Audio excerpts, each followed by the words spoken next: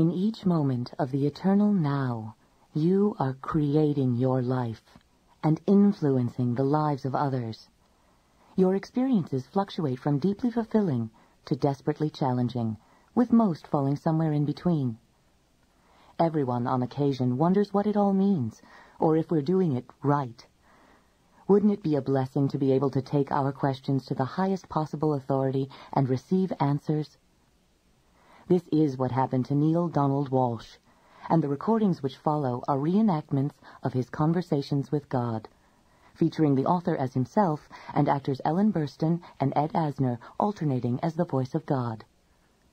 Nightingale Conant is pleased to offer this program in the spirit of discovery as, together, we journey through this mysterious, miraculous adventure called life.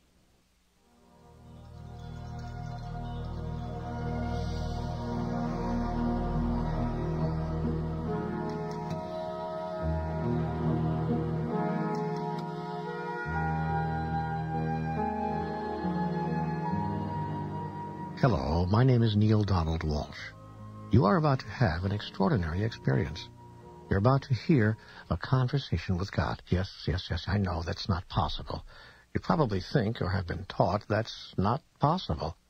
One can talk to God, sure, but not with God. I mean, God's not going to talk back, right? At least not in the form of a regular, everyday kind of conversation. Well, that's what I thought, too. Then this, this experience happened to me. I mean that literally. I mean the experience happened to me. The words you are about to hear were not written by me.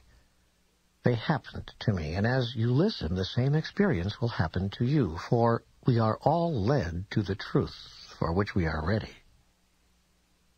God, it turns out, talks to everybody, the good and the bad, the saint and the scoundrel, and certainly all of us in between. Take you, for instance. God has come to you in many ways in your life. This is just another one of them. How many times have you heard the old axiom, when the student is ready, the teacher will appear? In the spring of 1992, it was around Easter, as I recall, an extraordinary phenomenon occurred in my life. God began talking with you through me. Let me explain. I was very unhappy during that period, personally, professionally, and emotionally, and my life was feeling like a failure on all levels. And as I'd been in the habit for years of writing my thoughts down in letters, which, by the way, I usually never delivered, I picked up my trusty yellow legal pad and began pouring out my feelings. But this time, rather than another letter to another person I imagined to be victimizing me, I, I thought I'd go straight to the source, straight to the greatest victimizer of them all. I decided to write a letter to God. It was a spiteful, passionate letter, full of confusion, contortions, and condemnations, and a pile of angry questions. Why wasn't my life working? What would it take to get it to work? Why could I not find happiness in relationship? Was the experience of adequate money going to elude me forever? And finally, and most emphatically, what had I done to deserve a life of such continuing struggle? To my surprise, as I scribbled out the last of my bitter, unanswerable questions and prepared to toss my pen aside, my hand remained poised over the paper as if held there by some invisible force. Abruptly, the pen began moving on its own. I had no idea what I was about to write, but an idea seemed to be coming, so I, I decided to flow with it. Out came do you really want an answer to all these questions, or are you just venting? I blinked, and then my mind came up with a reply. I wrote that down, too. Both. I'm venting, sure, but if these questions have answers, I'd sure as hell like to hear them. You are sure as hell about a lot of things, but wouldn't it be nice to be sure as heaven? And I wrote, what is that supposed to mean? Before I knew it, I had begun a conversation and I was not writing so much as taking dictation. What you are about to hear is a reading of a large portion of that dialogue. I hope you receive benefit from listening to it. The dialogue begins with a very simple question, actually. How does God talk? And to whom? I talk to everyone. All the time. The question is not to whom do I talk, but who listens. First, let's exchange the word talk with the word communicate. It's a much better word, a much fuller, more accurate one. When we try to speak to each other, me to you, you to me, we are immediately constricted by the unbelievable limitation of words. For this reason, I do not communicate by words alone. In fact, rarely do I do so. The most common form of communication is through feeling. Feeling is the language of the soul. If you want to know what's true for you about something, look to how you're feeling about it. Feelings are sometimes difficult to discover, and often even more difficult to acknowledge. Yet hidden in your deepest feelings is your highest truth. The trick is to get to those feelings. I will show you how. Again, if you wish. I also communicate with thought. Thought and feelings are not the same although they can occur at the same time. In communicating with thought, I often use images and pictures. For this reason, thoughts are more effective than mere words as tools of communication. In addition to feelings and thoughts, I also use the vehicle of experience as a grand communicator. And finally, when feelings and thoughts and experience all fail, I use words. Words are really the least effective communicator. They are most open to misinterpretation, most often misunderstood. Why is that? It is because of what words are. Words are merely utterances, noises that stand for feelings, thoughts, and experience. They're symbols, signs, insignias. They're not truth. They're not the real thing. Words may help you understand something. Experience allows you to know. Yet there are some things you cannot experience. So I've given you other tools of knowing, and these are called feelings. And so, too, thoughts. Now, the supreme irony here is that you've all placed so much importance on the Word of God, and so little on the experience. In fact, you place so little value on experience that when what you experience of God differs from what you've heard of God, you automatically discard the experience and own the words, when it should be just the other way around. Your experience and your feelings about a thing represent what you factually and intuitively know about that thing. Words can only seek to symbolize what you know, and can often confuse what you know. These, then, are the tools with which I communicate. Yet they are not the methods. For not all feelings, not all thoughts, not all experience, and not all words are from me. Many words have been uttered by others in my name, Many thoughts and many feelings have been sponsored by causes not of my direct creation. Many experiences result from these. The challenge is one of discernment. The difficulty is knowing the difference between messages from God and data from other sources. Discrimination is a simple matter with the application of a basic rule. Mine is always your highest thought your clearest word, your grandest feeling. Anything less is from another source. Now the task of differentiation becomes easy, for it should not be difficult even for the beginning student to identify the highest, the clearest, and the grandest. Yet will I give you these guidelines. The highest thought is always that thought which contains joy. The clearest words are those words which contain truth. The grandest feeling is that feeling which you call love. Joy, truth, love. These three are interchangeable, and one always leads to the other. It matters not in which order they are placed. Having with these guidelines determined which messages are mine and which have come from another source, the only question remaining is whether my messages will be heeded. Most of my messages are not. Some because they seem too good to be true. Others because they seem too difficult to follow. Many because they are simply misunderstood. Most because they are not received. My most powerful messenger is experience, and even this you ignore. Especially this you ignore. Your world would not be in its present condition were you to have simply listened to your experience. The result of your not listening to your experience is that you keep reliving it over and over again. For my purpose will not be thwarted, nor my will be ignored. You will get the message, sooner or later. I will not force you to, however. I will never coerce you. For I have given you a free will, the power to do as you choose. And I will never take that away from you, ever. And so I will continue sending you the same messages over and over again throughout the millennia to whatever corner of the universe you occupy. Endlessly will I send you my messages until you have received them and held them close, calling them your own. My messages will come in a hundred forms, in a thousand moments across a million years. You cannot miss them if you truly listen. You cannot ignore them once truly heard. Thus will our communication begin in earnest.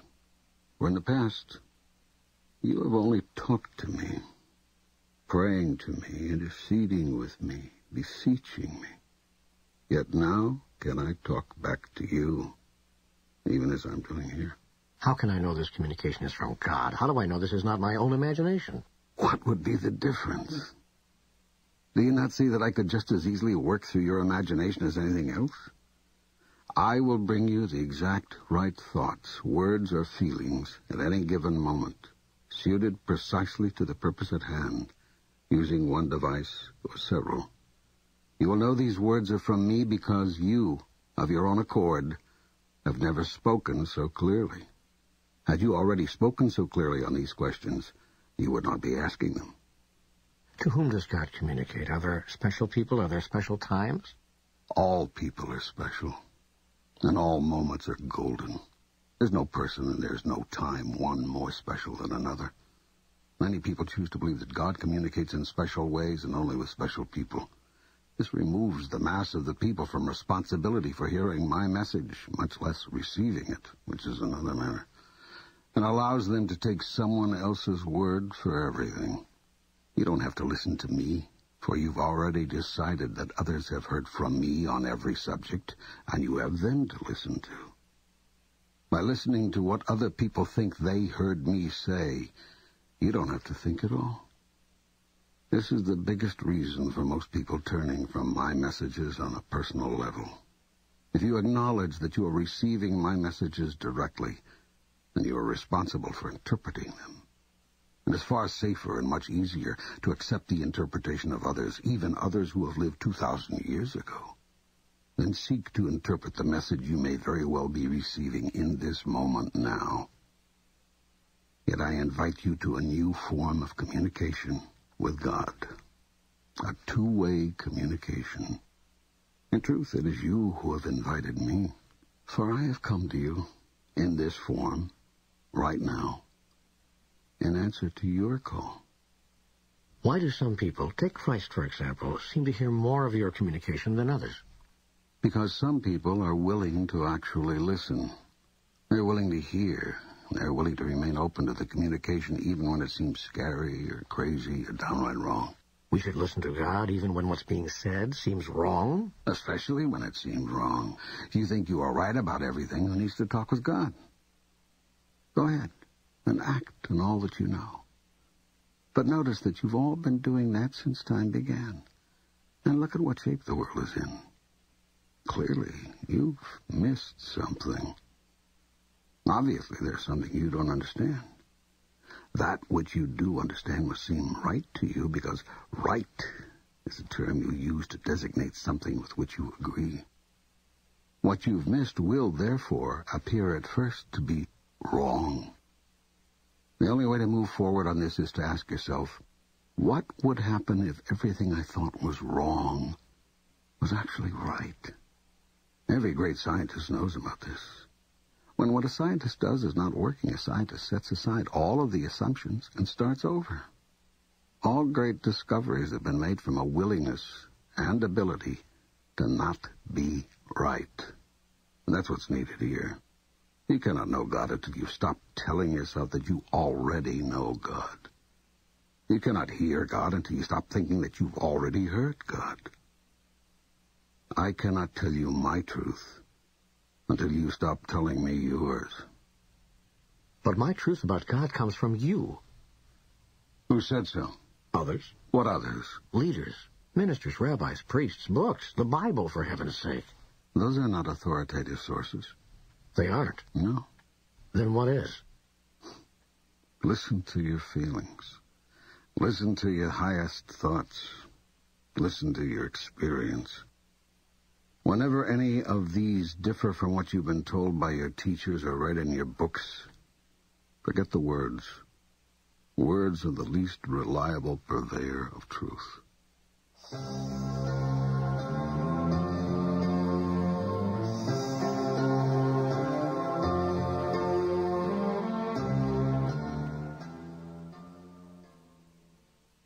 Is so much I want to say to you, so much I want to ask. I don't know where to begin. For instance, why is it that you do not reveal yourself? If there really is a God and you're it, why do you not reveal yourself in a way we can all understand? I have done so over and over. I'm doing so again right now. No, no, I mean by a method of revelation that is incontrovertible, that cannot be denied. Such as? Such as appearing right now before my eyes. I am doing so right now. Where? Everywhere you look. No, no, I mean in an incontrovertible way. What way would that be? In what form or shape would you have me appear? In the form or shape you actually have. That would be impossible. For I have no form or shape you understand.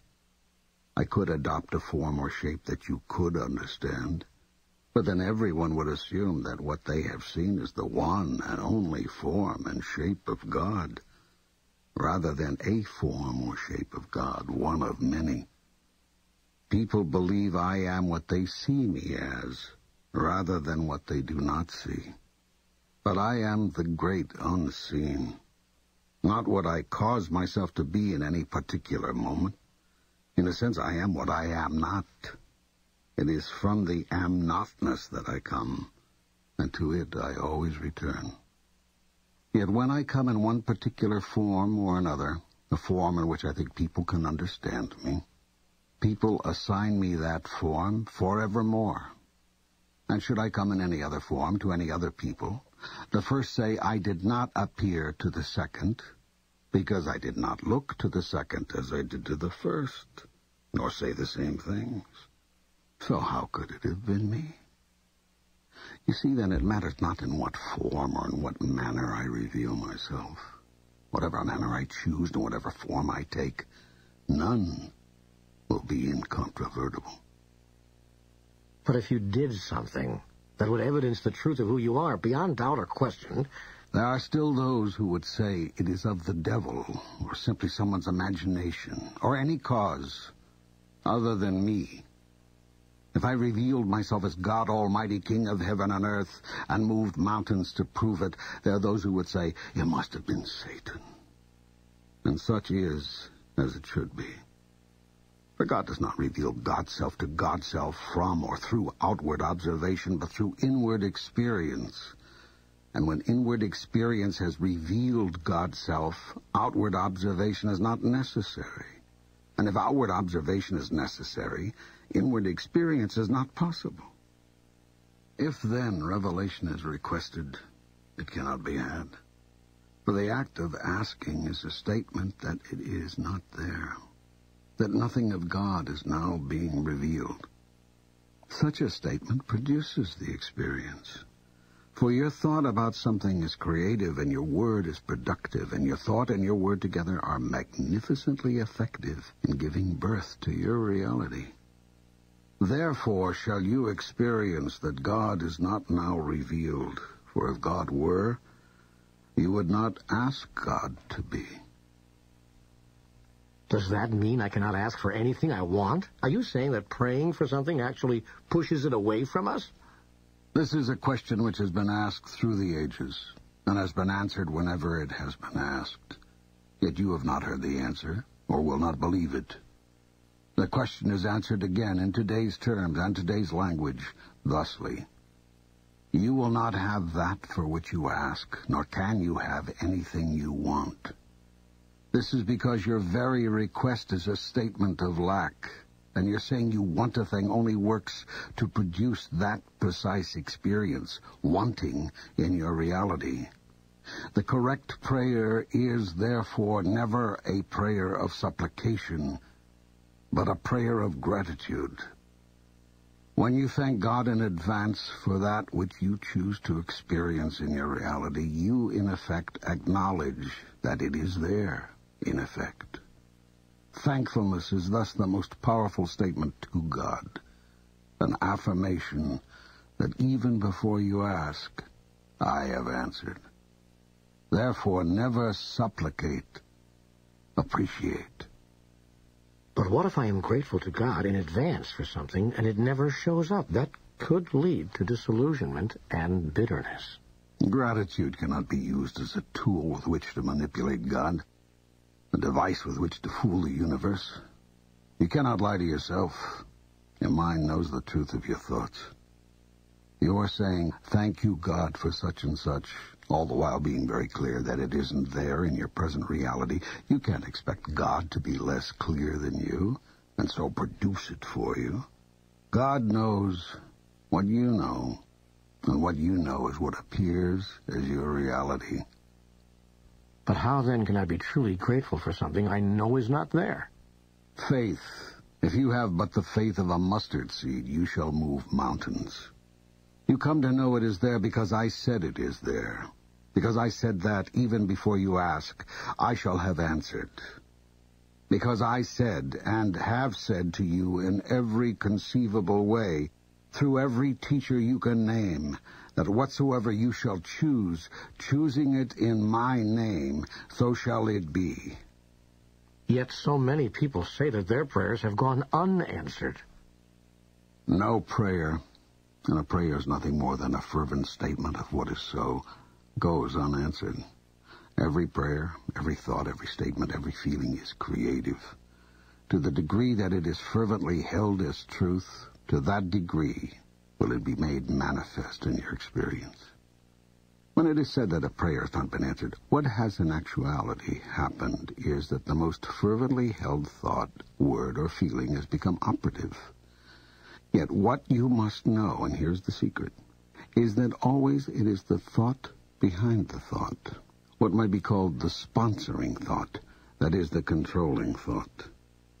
If therefore you beg and supplicate, there seems a much smaller chance that you will experience what you think you are choosing, because the sponsoring thought behind every supplication is that you do not have now what you wish.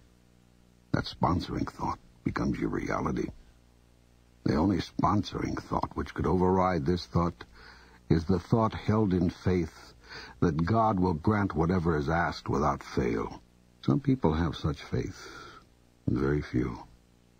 The process of prayer becomes much easier when, rather than having to believe that God will always say yes to every request, one understands intuitively that the request itself is not necessary. Then the prayer is a prayer of thanksgiving. It is not a request at all, but a statement of gratitude for what is so.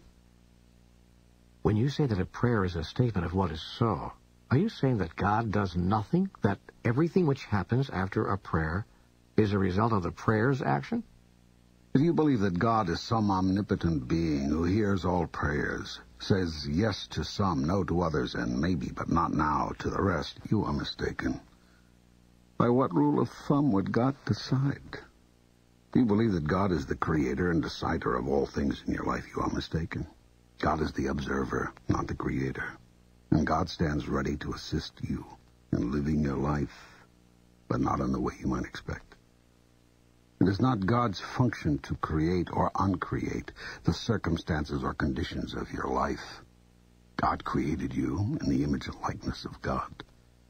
You have created the rest through the power God has given you. God created the process of life and life itself as you know it. Yet God gave you free choice to do with life as you will. In this sense, your will for you is God's will for you. You are living your life the way you are living your life, I have no preference in the matter. This is the grand illusion in which you have engaged. That God cares one way or the other what you do. I do not care what you do. And that is hard for you to hear. Yet do you care what your children do when you send them out to play? Is it a matter of consequence to you whether they play tag or hide and seek or pretend? No, it is not. Because you know they are perfectly safe. You have placed them in an environment which you consider friendly and very okay. Of course, you will always hope that they do not hurt themselves. And if they do, you will be right there to help them, heal them, allow them to feel safe again, to be happy again, to go and play again another day. But whether they choose hide and seek or pretend will not matter to you the next day either. You will tell them, of course, which games are dangerous to play. But you cannot stop your children from doing dangerous things. Not always, not forever. Not in every moment from now until death. It is the wise parent who knows this. Yet the parent never stops caring about the outcome. It is this dichotomy, not caring deeply about the process, but caring deeply about the result, that comes close to describing the dichotomy of God.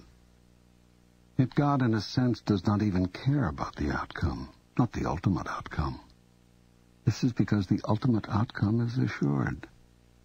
And this is the second great illusion of man that the outcome of life is in doubt. It is this doubt about ultimate outcome that has created your greatest enemy, which is fear. For if you doubt outcome, then you must doubt Creator. You must doubt God. And if you doubt God, you must live in fear and guilt all your life.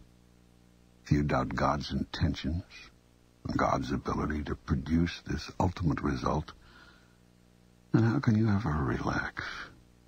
How can you ever truly find peace? Yet God has full power to match intentions with results. You cannot and will not believe in this, even though you claim that God is all-powerful. And so you have to create in your imagination a power equal to God, in order that you may find a way for God's will to be thwarted. So you have created in your mythology the being you call devil. You have even imagined a God at war with this being, thinking that God solves problems the way you do. Finally, you have actually imagined that God could lose this war. All of this violates everything you say you know about God, but this doesn't matter.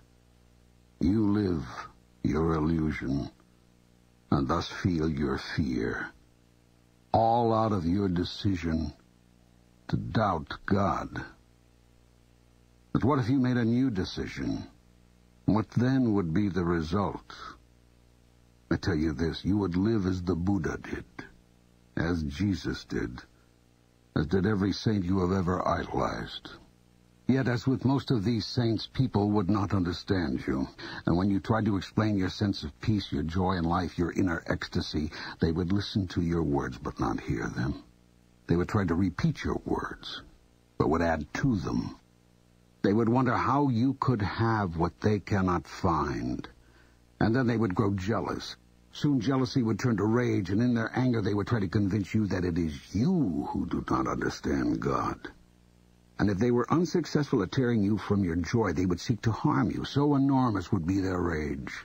And when you told them it does not matter, that even death cannot interrupt your joy nor change your truth, they would surely kill you. Then, when they saw the peace with which you accepted death, they would call you a saint and love you again. For it is the nature of people to love, then destroy, then love again that which they value most. But why? Why do we do that? Hmm. All human actions are motivated at their deepest level by one of two emotions, fear or love. In truth, there are only two emotions, only two words in the language of the soul. These are the opposite ends of the great polarity which I created when I produced the universe and your world as you know it today. These are the two points, the alpha and the omega. Which allow the system you call relativity to be. Without these two points, without these two ideas about things, no other idea could exist. Every human thought and every human action is based in either love or fear. There's no other human motivation. And all other ideas are but derivatives of these two. They're simply different versions, different twists on the same theme. Think on this deeply, and you will see that it is true. This is what I have called the sponsoring thought. It is either a thought of love or fear. This is the thought behind the thought behind the thought. It is the first thought. It is prime force. It is the raw energy that drives the engine of human experience. And here is how human behavior produces repeat experience after repeat experience. It is why humans love, then destroy, then love again. Always there's the swing from one emotion to the other. Love sponsors fear, sponsors love, sponsors fear.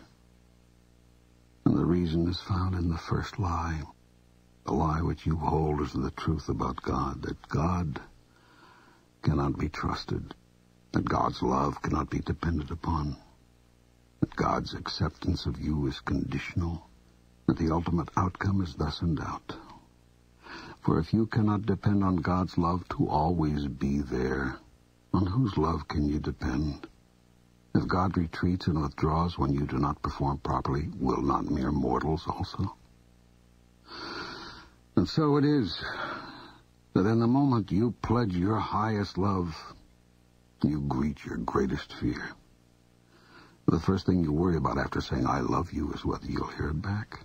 And if you hear it back, then you begin immediately to worry that the love you have just found you will lose. And so all action becomes a reaction, defense against loss, even as you seek to defend yourself against the loss of God.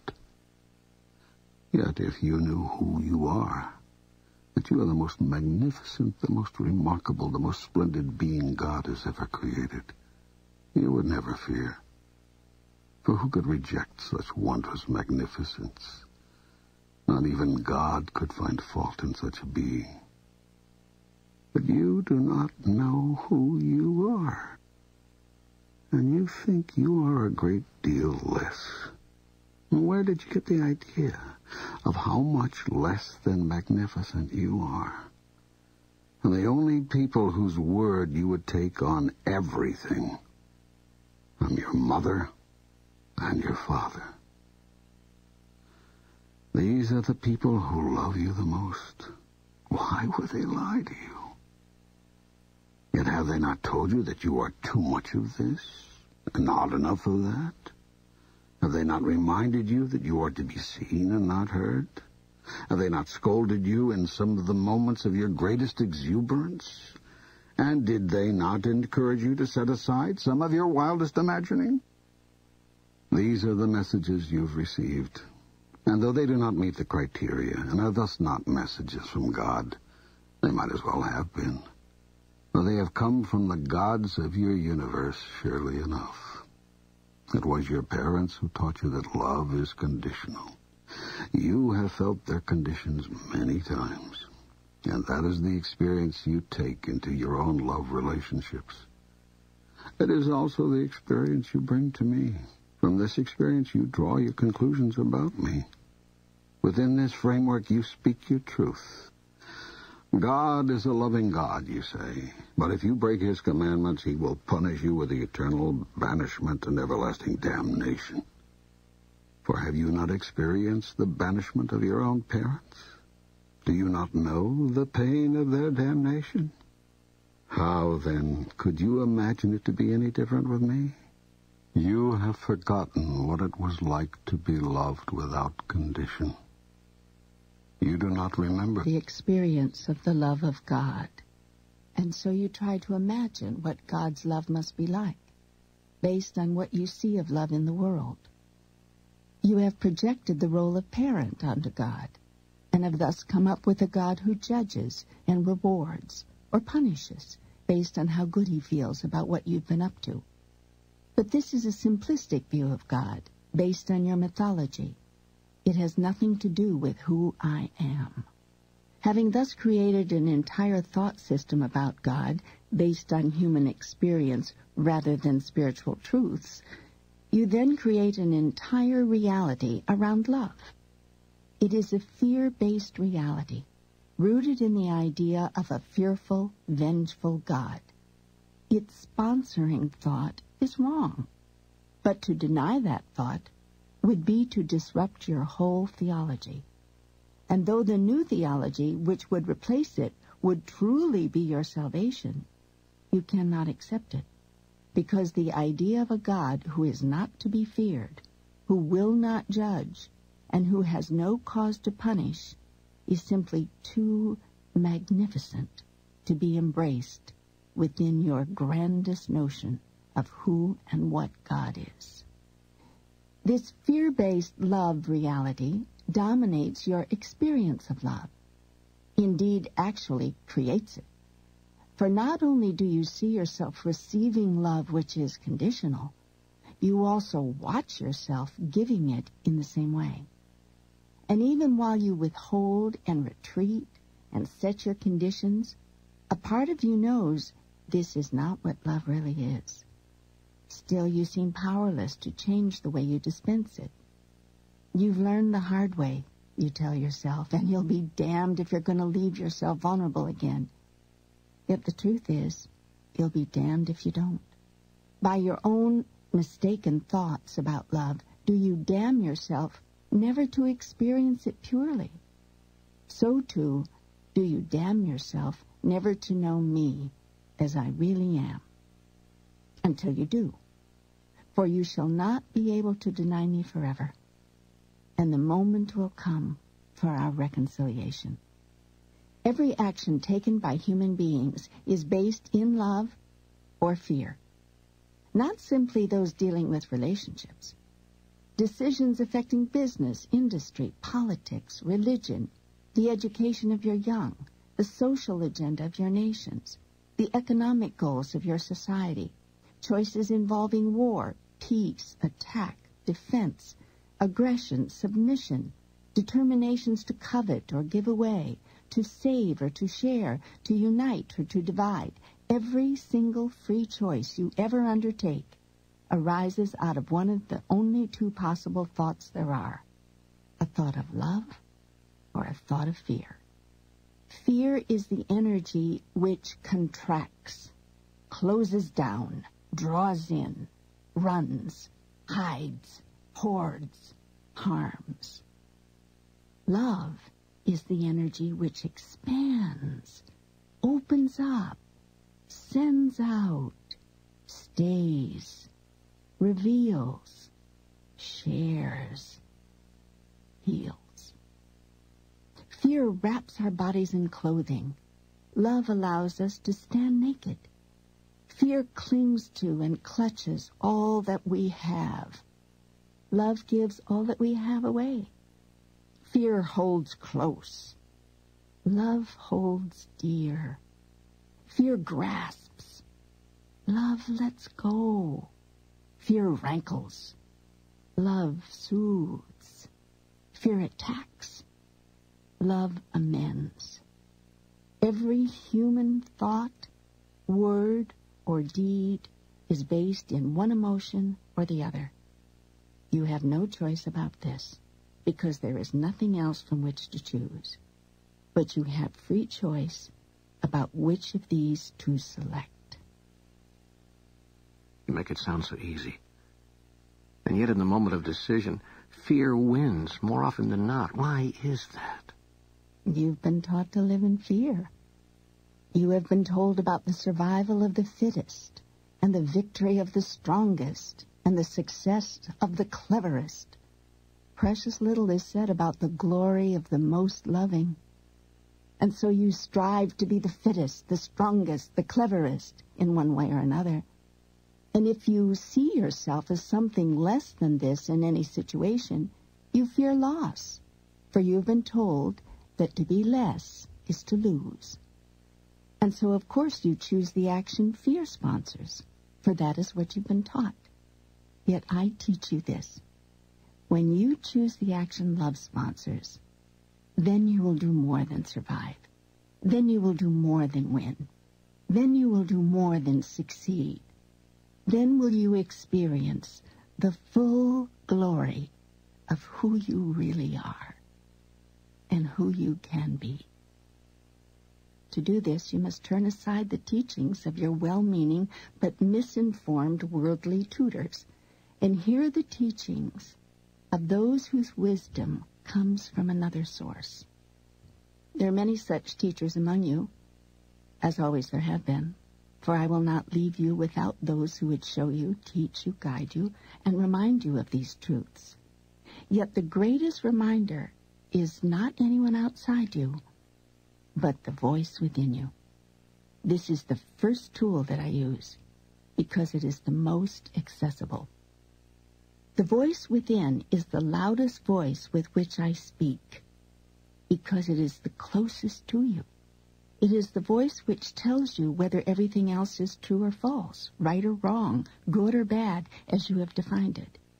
It is the radar that sets the course, steers the ship, guides the journey, if you but let it. It is the voice which tells you right now whether the very words you are listening to are words of love or words of fear. By this measure can you determine whether they are words to heed or words to ignore. You said that when I always choose the action that love sponsors, then I will experience the full glory of who I am and who I can be. Will you expand on this, please? There is only one purpose for all of life, and that is for you and all that lives to experience fullest glory. Everything else you say, think, or do is attendant to that function. There is nothing else for your soul to do, and nothing else your soul wants to do. The wonder of this purpose is that it is never ending. An ending is a limitation and God's purpose is without such a boundary. Should there come a moment in which you experience yourself in your fullest glory, you will in that instant imagine an ever greater glory to fulfill. The more you are, the more you can become. And the more you can become, the more you can yet be. The deepest secret is that life is not a process of discovery, but a process of creation. You are not discovering yourself, but creating yourself anew.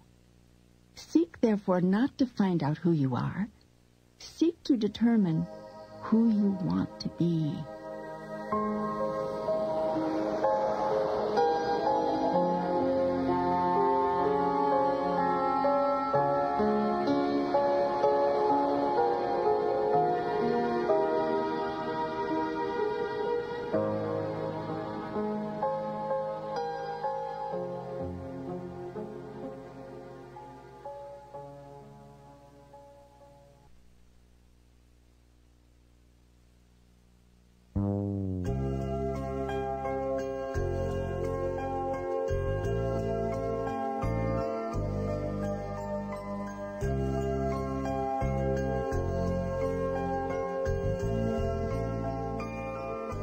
Who say that life is a school, that we are here to learn specific lessons, that once we graduate, we can go on to larger pursuits, no longer shackled by the body. Is this correct?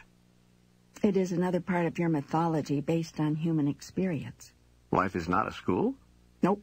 We're not here to learn lessons? Nope. Well, then why are we here? To remember and recreate who you are. I've told you over and over again, you do not believe me. Yet as well as it should be. For truly, if you do not create yourself as who you are, that you cannot be. Okay, all right, you've lost me. Let's go back to this school bit. I've I've heard teacher after teacher tell us that life is a school. I'm frankly shocked to hear you deny that. School is a place you go if there is something you do not know that you want to know. It is not a place you go if you already know a thing and simply want to experience your knowingness. Life, as you call it, is an opportunity for you to know experientially what you already know conceptually. You need learn nothing to do this. You need merely remember what you already know and act on it. I'm not sure I understand. Mm, Let's start here. The soul, your soul, knows all there is to know all the time. There's nothing hidden to it, nothing unknown, yet knowing is not enough. The soul seeks to experience. You can know yourself to be generous, but unless you do something which displays generosity, you have nothing but a concept. You can know yourself to be kind, but unless you do someone a kindness, you have nothing but an idea about yourself. It is your soul's only desire to turn its grandest concept about itself into its greatest experience. Until concept becomes experience, all there is is speculation. I have been speculating about myself for a long time, longer than the age of the universe times the age of the universe. You see then how young it is, how new is my experience of myself. Wait, wait, wait, wait. You've lost me again. Your experience of yourself? Mm, yes, let me explain it to you this way. In the beginning, that which is, is all there was, and there was nothing else. Yet, all that is could not know itself, because all that is, is all there was, and there was nothing else. And so all that is was not. For in the absence of something else, all that is, is not. This is the great is not is to which mystics have referred from the beginning of time. Now, all that is knew, it was all there was. But this was not enough, for it could only know its utter magnificence conceptually, not experientially. Yet the experience of itself is that for which it longed for it wanted to know what it felt like to be so magnificent. Still, this was impossible, because the very term magnificent is a relative term. All that is could not know what it felt like to be magnificent unless that which is not showed up. In the absence of that which is not, that which is, is not. Do you understand this? I think so. Keep going. All right. The one thing that all that is knew is there was nothing else.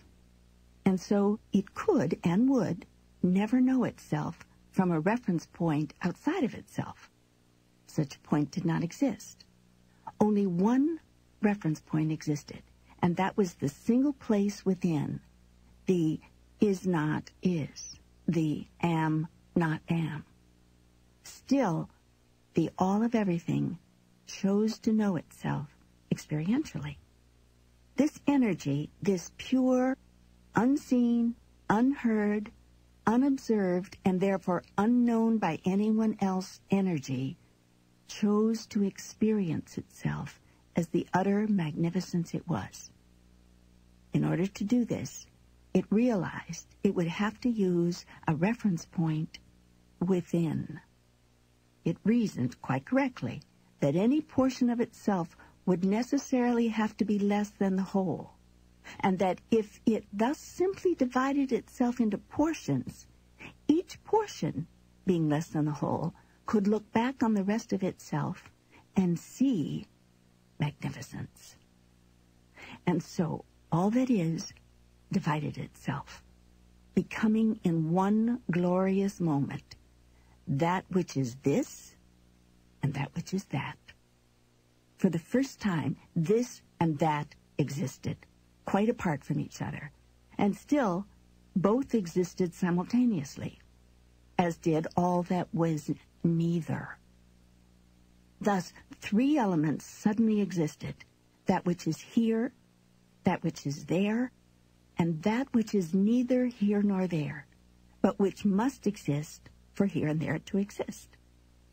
It is the nothing which holds the everything. It is the non-space which holds the space. It is the all which holds the parts. Can you understand this? Are you following this? I think I am, actually. Believe it or not, you've used such a clear illustration that I think I'm actually understanding this. I'm going to go further. Now, this nothing which holds the everything is what some people call God. Yet that is not accurate either, for it suggests that there is something God is not, namely everything that is not nothing. But I am all things, seen and unseen. So this description of me as the great unseen, the no thing, or the space between, an essentially Eastern mystical definition of God, is no more accurate than the essentially Western practical description of God as all that is seen. Those who believe that God is all that is and all that is not are those whose understanding is correct. Now, in creating that which is here and that which is there, God made it possible for God to know itself. In the moment of this great explosion from within, God created relativity, the greatest gift God ever gave to itself. Thus, relationship is the greatest gift God ever gave to you, a point to be discussed in detail later. From the no thing, thus sprang the everything. A spiritual event entirely consistent, incidentally, with what your scientists call the Big Bang Theory. As the elements of all raced forth, time was created. For a thing was first here, then it was there, and the period it took to get from here to there was measurable. Just as the parts of itself which are seen began to define themselves relative to each other, so too did the parts which are unseen. God knew that for love to exist and to know itself as pure love, its exact opposite had to exist as well. So God voluntarily created the great polarity, the absolute opposite of love. Everything that love is not, what is now called fear. In the moment fear existed, love could exist as a thing that could be experienced. It is this creation of duality between love and its opposite, which humans refer to in their various mythologies as the birth of evil, the fall of Adam, the rebellion of Satan, and so forth. Just as you have chosen to personify pure love as the character you call God, so have you chosen to personify abject fear as the character you call the devil. Some on earth have established rather elaborate mythologies around this event, complete with scenarios of battles and war, angelic soldiers and devilish warriors, the forces of good and evil, of light and dark. This mythology has been mankind's early attempt to understand and tell others in a way they could understand a cosmic occurrence of which the human soul is deeply aware, but of which the mind can barely conceive. In rendering the universe as a divided version of itself, God produced from pure energy all that now exists, both seen and unseen. In other words, not only was the physical universe thus created, but the metaphysical universe as well. The part of God which forms the second half of the am, not am equation also exploded into an infinite number of units smaller than the whole. These energy units you would call spirits. In some of your religious mythologies, it is stated that God the Father had many spirit children.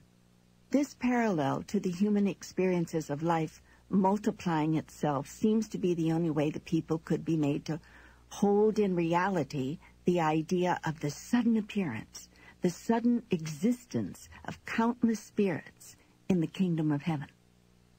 In this instance, your mythical tales and stories are not so far from ultimate reality, for the endless spirits comprising the totality of me are, in a cosmic sense, my offspring.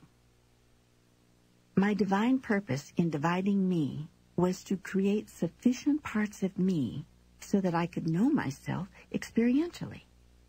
There is only one way for the Creator to know itself experientially as the Creator, and that is to create.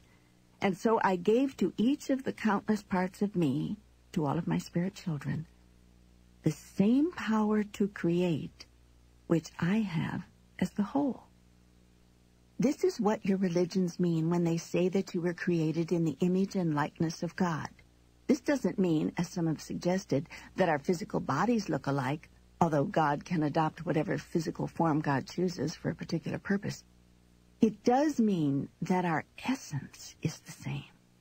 We are composed of the same stuff. We are the same stuff with all the same properties and abilities, including the ability to create physical reality out of thin air. My purpose in creating you, my spiritual offspring, was for me to know myself as God. I have no way to do that save through you. Thus it can be said, and has been many times, that my purpose for you is that you should know yourself as me. This seems so amazingly simple, yet it becomes very complex because there is only one way for you to know yourself as me. and that is for you first to know yourself as not me. Now try to follow this. Fight to keep up because this gets very subtle here. Are you ready? I think so. Good. Remember, you've asked for this explanation. You've waited for it for years. You've asked for it in layman's terms, not theological doctrines or scientific theories. Yes, yes, I know what I've asked. And having asked, so shall you receive. Now, to keep things simple, I'm going to use your Children of God mythological model as a basis for discussion, because it is a model with which you're very familiar, and in many ways, it is not that far off. So let's go back to how this process of self-knowing must work. There is one way I could have caused all of my spiritual children to know themselves as parts of me, and that was simply to tell them. This I did. But you see, it was not enough for spirit to simply know itself as God, or part of God, or children of God, or inheritors of the kingdom, or whatever mythology you want to use. As I've already explained, knowing something and experiencing it are two different things. Spirit longed to know itself experientially, just as I did. Conceptual awareness was not enough for you. So I devised a plan. It is the most extraordinary idea in all the universe and the most spectacular collaboration. I say collaboration because all of you are in it with me. Under the plan, you as spirit would enter the physical universe just created. This is because physicality is the only way to know experientially what you know conceptually. It is, in fact, the reason I created the physical cosmos to begin with, and the system of relativity which governs it, and all creation. Once in the physical universe, you, my spirit children, could experience what you know of yourself, but first you had to come to know the opposite. To explain this simply, you cannot know yourself as tall unless and until you become aware of short. You cannot experience the part of yourself that you call fat unless you also come to know thin. Taken to ultimate logic, you cannot experience yourself as what you are until you've encountered what you are not. This is the purpose of the theory of relativity and all physical life. It is by that which you are not that you yourself are defined. Now, in the case of the ultimate knowing, in the case of knowing yourself as the creator, you cannot experience yourself as creator unless and until you create. And you cannot create yourself until you uncreate yourself. In a sense, you have to first not be in order to be. Do you follow? I think. Stay with it. Of course, there's no way for you to not be who and what you are. You simply are that pure creative spirit. Have been, always, and always will be. So you did the next best thing. You caused yourself to forget who you really are. Upon entering the physical universe, you relinquished your remembrance of yourself. This allows you to choose to be who you are rather than simply wake up in the castle, so to speak. It is in the act of choosing to be, rather than simply being told that you are, a part of God, that you experience yourself as being at total choice, which is what, by definition, God is. Yet, how can you have a choice about something over which there is no choice? You cannot not be my offspring no matter how hard you try. But you can forget. You are, have always been, and will always be a divine part of the divine whole, a member of the body. That is why the act of rejoining the whole, of returning to God, is called remembrance. You actually choose to remember who you really are, or to join together with the various parts of you to experience the all of you, which is to say, the all of me. Your job on earth, therefore, is not to learn, because you already know, but to remember who you are and to remember who everyone else is. That is why a big part of your job is to remind others, that is, to remind them, so that they can remember also. All the wonderful spiritual teachers have been doing just that. it, it is your sole purpose. That is to say, your sole purpose. My God. This is so simple and so symmetrical. I mean, it, it all fits in. It suddenly all fits. I see now a picture I've never quite put together before. Good. That's good. That is the purpose of this dialogue. You have asked me for answers. I have promised I would give them to you. You will render my words accessible to many people. It is part of your work. Now you have many questions, many inquiries to make about life. We have here placed the foundation. We've laid the groundwork for other understandings. Let's go to the other questions, and don't worry, if there is something about what we've just gone through you do not understand, it'll all become clear to you soon enough.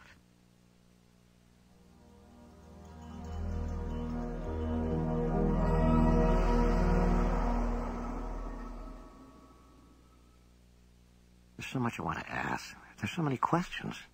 Suppose I should start with the big ones, the obvious ones. Like, why is the world in the shape it's in? Of all the questions man has asked of God, this is the one asked most often. From the beginning of time, man has asked it. From the first moment to this, you have wanted to know, why must it be like this? The classic posing of the question is usually something like, if God is all perfect and all loving, why would God create pestilence and famine, war and disease, earthquakes and tornadoes and hurricanes, and all manner of natural disaster, deep personal disappointment and worldwide calamity? The answer to this question lies in the deeper mystery of the universe and the highest meaning of life. I do not show my goodness by creating only what you call perfection all around you. I do not demonstrate my love by not allowing you to demonstrate yours. As I've already explained, you cannot demonstrate love until you can demonstrate not loving. A thing cannot exist without its opposite, except in the world of the absolute. Yet the realm of the absolute was not sufficient for either you or me. I existed there in the always, and is from where you too have come. In the absolute, there is no experience, only knowing. Knowing is a divine state. Yet the grandest joy is in being. Being is achieved only after experience. The evolution is this, knowing experiencing, being. This is the Holy Trinity, the triune that is God. God the Father is knowing, the parent of all understandings, the begetter of all experience, for you cannot experience that which you do not know. God the Son is experiencing, the embodiment, the acting out of all that the Father knows of itself for you cannot be that which you have not experienced. God the Holy Spirit is being, the disembodiment of all that the Son has experienced of itself, the simple, exquisite isness possible only through the memory of the knowing and experiencing. This simple being is bliss. It is God's state after knowing and experiencing itself. It is that for which God yearned in the beginning. Of course, you're well past the point where you must have it explained to you that the Father-Son descriptions of God have nothing to do with gender. I use here the picturesque speech of your most recent scriptures. Much earlier holy writings placed this metaphor in a mother-daughter context. Neither is correct. Your mind can best hold the relationship as parent-offspring or that which gives rise to and that which is risen. Adding the third part of the Trinity produces this relationship. That which gives rise to, that which is risen, that which is. This triune reality is God's signature. It is the divine pattern. The three in one is everywhere found in the realms of the sublime. You cannot escape it in matters dealing with time and space, God and consciousness, or any of the subtle relationships. On the other hand, you will not find the triune truth in any of life's gross relationships.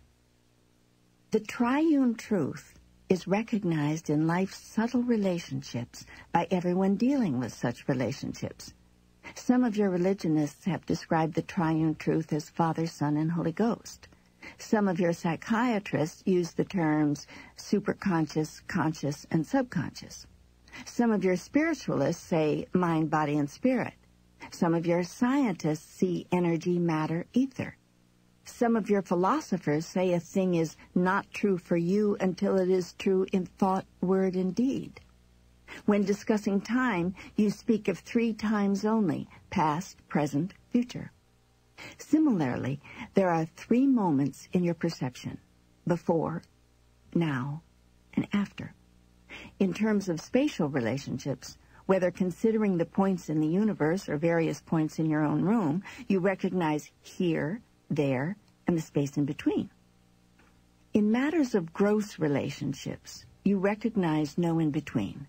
That is because gross relationships are always dyads, whereas relationships of the higher realm are invariably triads. Hence, there is left-right, up-down, big-small, fast-slow, hot-cold, and the greatest dyad ever created, male and female. There are no in-betweens in these dyads. A thing is either one thing or the other, or some greater or lesser version in relationship to one of these polarities. Within the realm of gross relationships, nothing conceptualized can exist without a conceptualization of its opposite. Most of your day-to-day experience is foundationed in this reality. Within the realm of sublime relationships, nothing which exists has an opposite. All is one, and everything progresses from one to the other in a never-ending circle. Time is such a sublime realm in which what you call past, present, and future exist interrelationally. That is, they are not opposite, but rather parts of the same whole, progressions of the same idea, cycles of the same energy, aspects of the same immutable truth. If you conclude from this that past, present, and future exist at one and the same time, you're right. Yet now is not the moment to discuss that. We can get into this in much greater detail when we explore the whole concept of time, which we'll do later.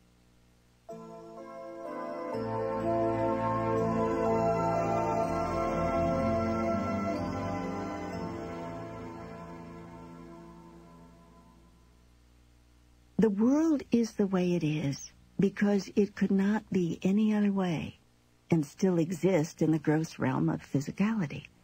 Earthquakes and hurricanes, floods and tornadoes, and other of what you call natural disasters are but movements of the elements from one polarity to the other.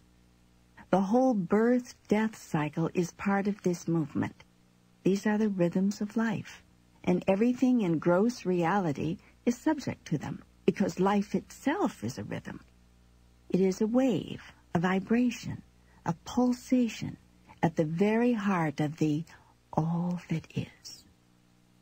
illness and disease are opposites of health and wellness, and are made manifest in your reality at your behest. You cannot be ill without at some level causing yourself to be. And you can be well again in a moment by simply deciding to be. Deep personal disappointments are responses which are chosen, and worldwide calamities are the result of worldwide consciousness. Your question infers that I choose these events, that it is my will and desire they should occur. Yet I do not will these things into being. I merely observe you doing so. And I do nothing to stop them because to do so would be to thwart your will. That in turn would deprive you of the God experience, which is the experience you and I have chosen together. Do not condemn, therefore, all that you would call bad in the world. Rather ask yourself, what about this have you judged bad, and what, if anything, you wish to do to change it? Inquire within rather than without, asking, what part of myself do I wish to experience now in the face of this calamity? What aspect of being do I choose to call forth? For all of life exists as a tool of your own creation, and all of its events merely present themselves as opportunities for you to decide and be who you are. This is true for every soul, and so you see there are no victims in the universe, only creators. The masters who have walked this planet all knew this. That is why, no matter which master you might name, none imagined themselves to be victimized though many were truly crucified. Each soul is a master, though some do not remember their origins or their heritages. Yet each creates the situation and the circumstance for its own highest purpose and its own quickest remembering in each moment called now. Judge not, then, the karmic path walked by another. Envy not success, nor pity failure, for you know not what is success or failure in the soul's reckoning. Call not a thing calamity, nor joyous event, until you decide or witness how it is used. For is a death a calamity if it saves the lives of thousands? And is a life a joyous event if it has caused nothing but grief? Yet even this you should not judge but keep always your own counsel and allow others theirs. This does not mean ignore a call for help, nor the urging of your own soul to work toward the change of some circumstance or condition. It does mean avoiding labels and judgment while you do whatever you do. For each circumstance is a gift, and in each experience is hidden a treasure.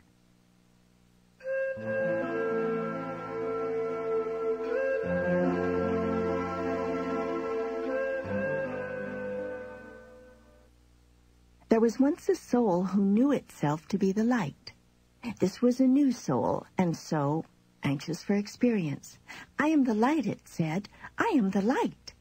Yet all the knowing of it and all the saying of it could not substitute for the experience of it. And in the realm from which this soul emerged, there was nothing but the light. Every soul was grand, every soul was magnificent, and every soul shone with the brilliance of my awesome light. And so the little soul in question was as a candle in the sun. In the midst of the grandest light of which it was part, it could not see itself, nor experience itself as who and what it really is. Now it came to pass that this soul yearned and yearned to know itself. And so great was its yearning that I one day said, Do you know, little one, what you must do to satisfy this yearning of yours? Oh, what, God, what? I'll do anything, the little soul said.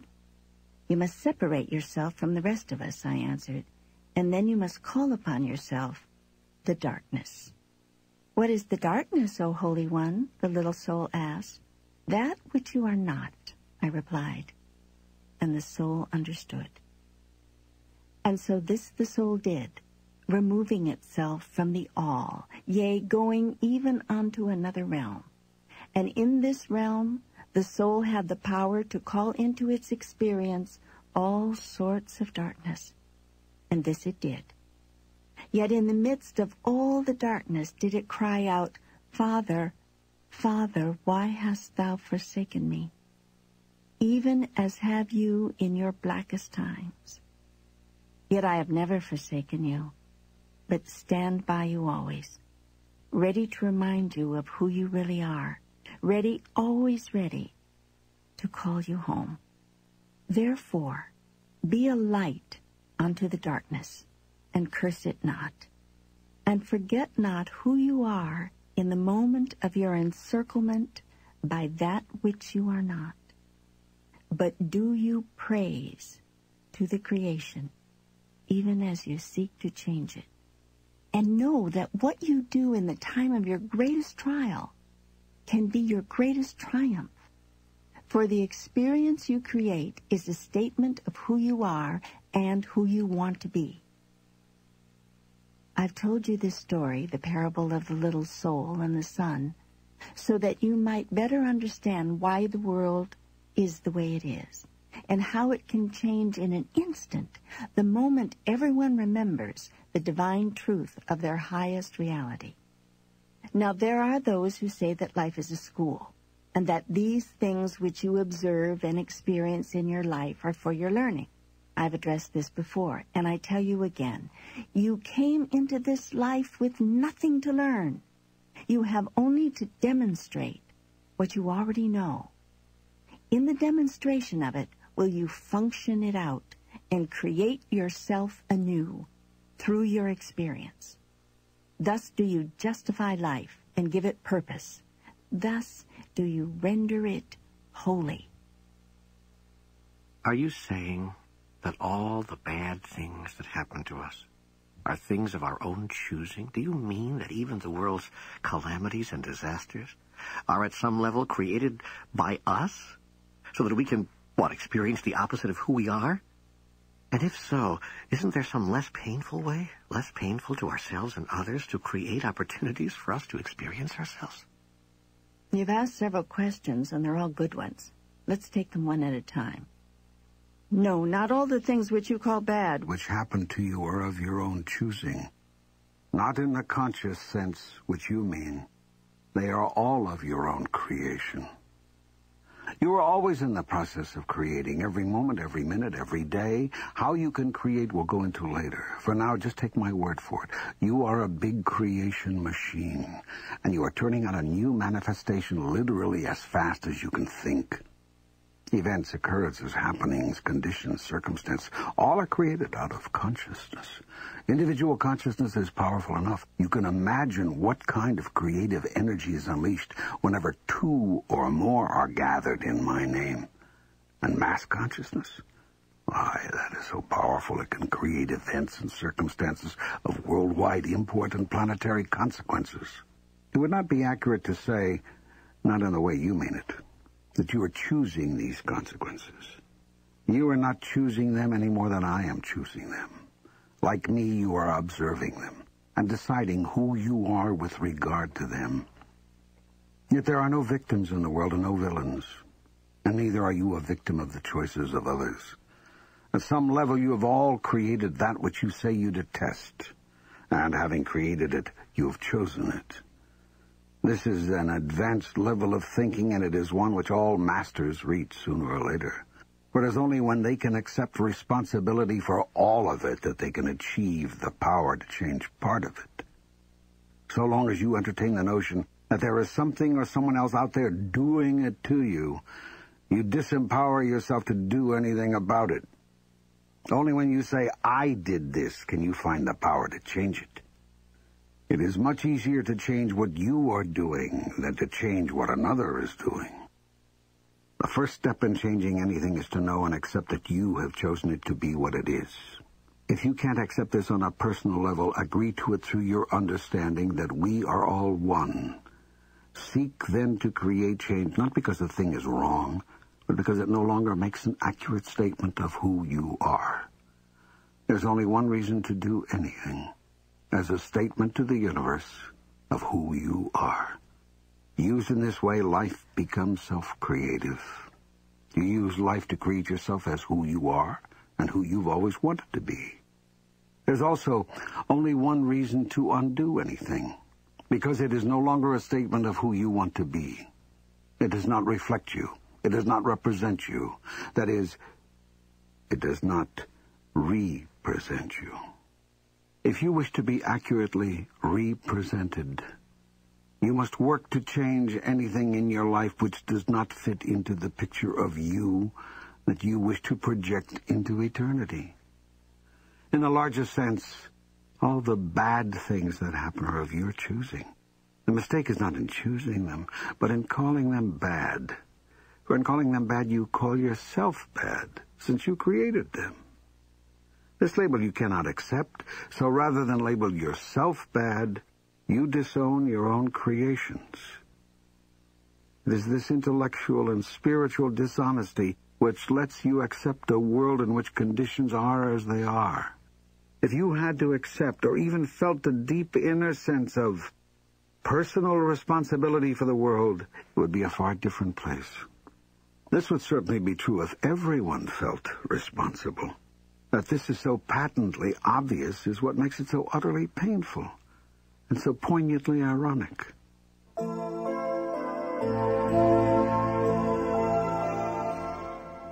The world's natural calamities and disasters, its tornadoes and hurricanes, volcanoes and floods, its physical turmoils, are not created by you specifically. What is created by you is the degree to which these events touch your life.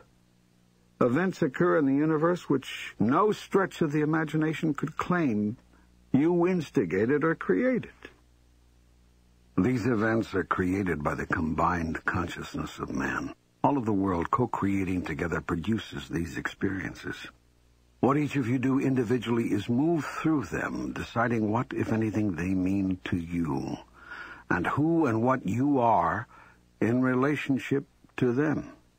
Thus, you create collectively and individually the life and times you are experiencing for the sole purpose of evolving.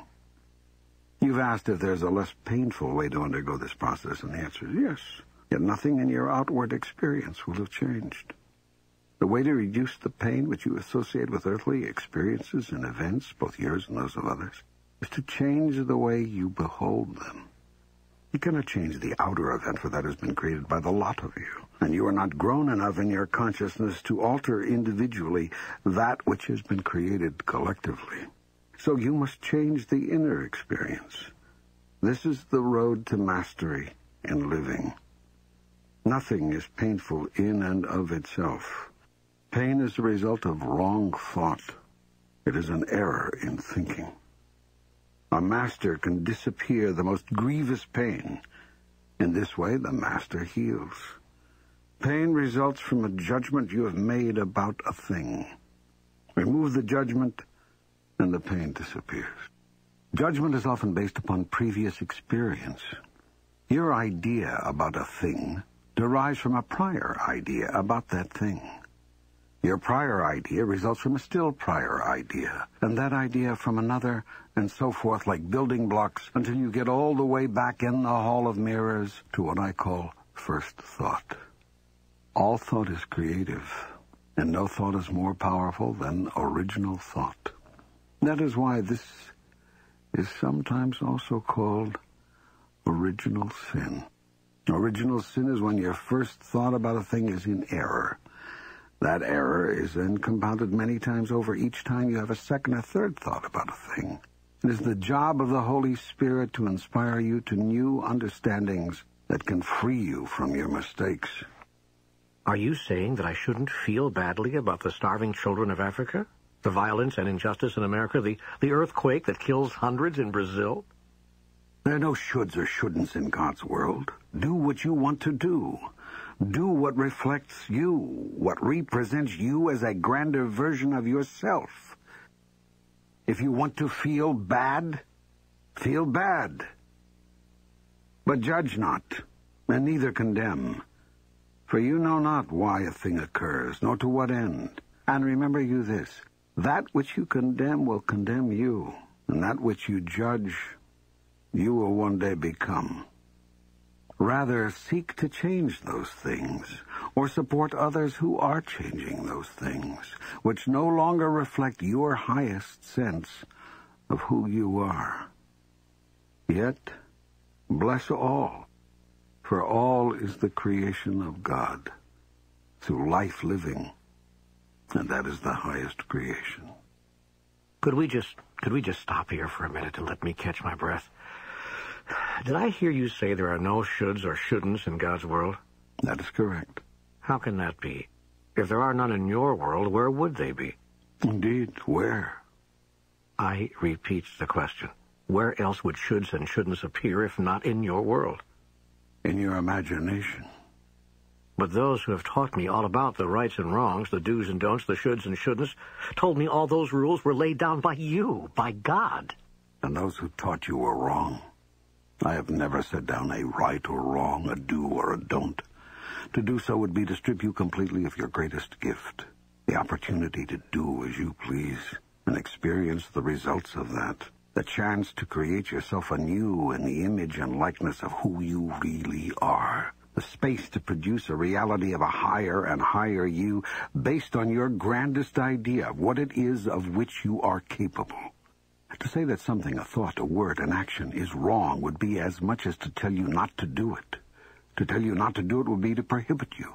To prohibit you would be to restrict you. To restrict you would be to deny the reality of who you really are, as well as the opportunity for you to create and experience that truth.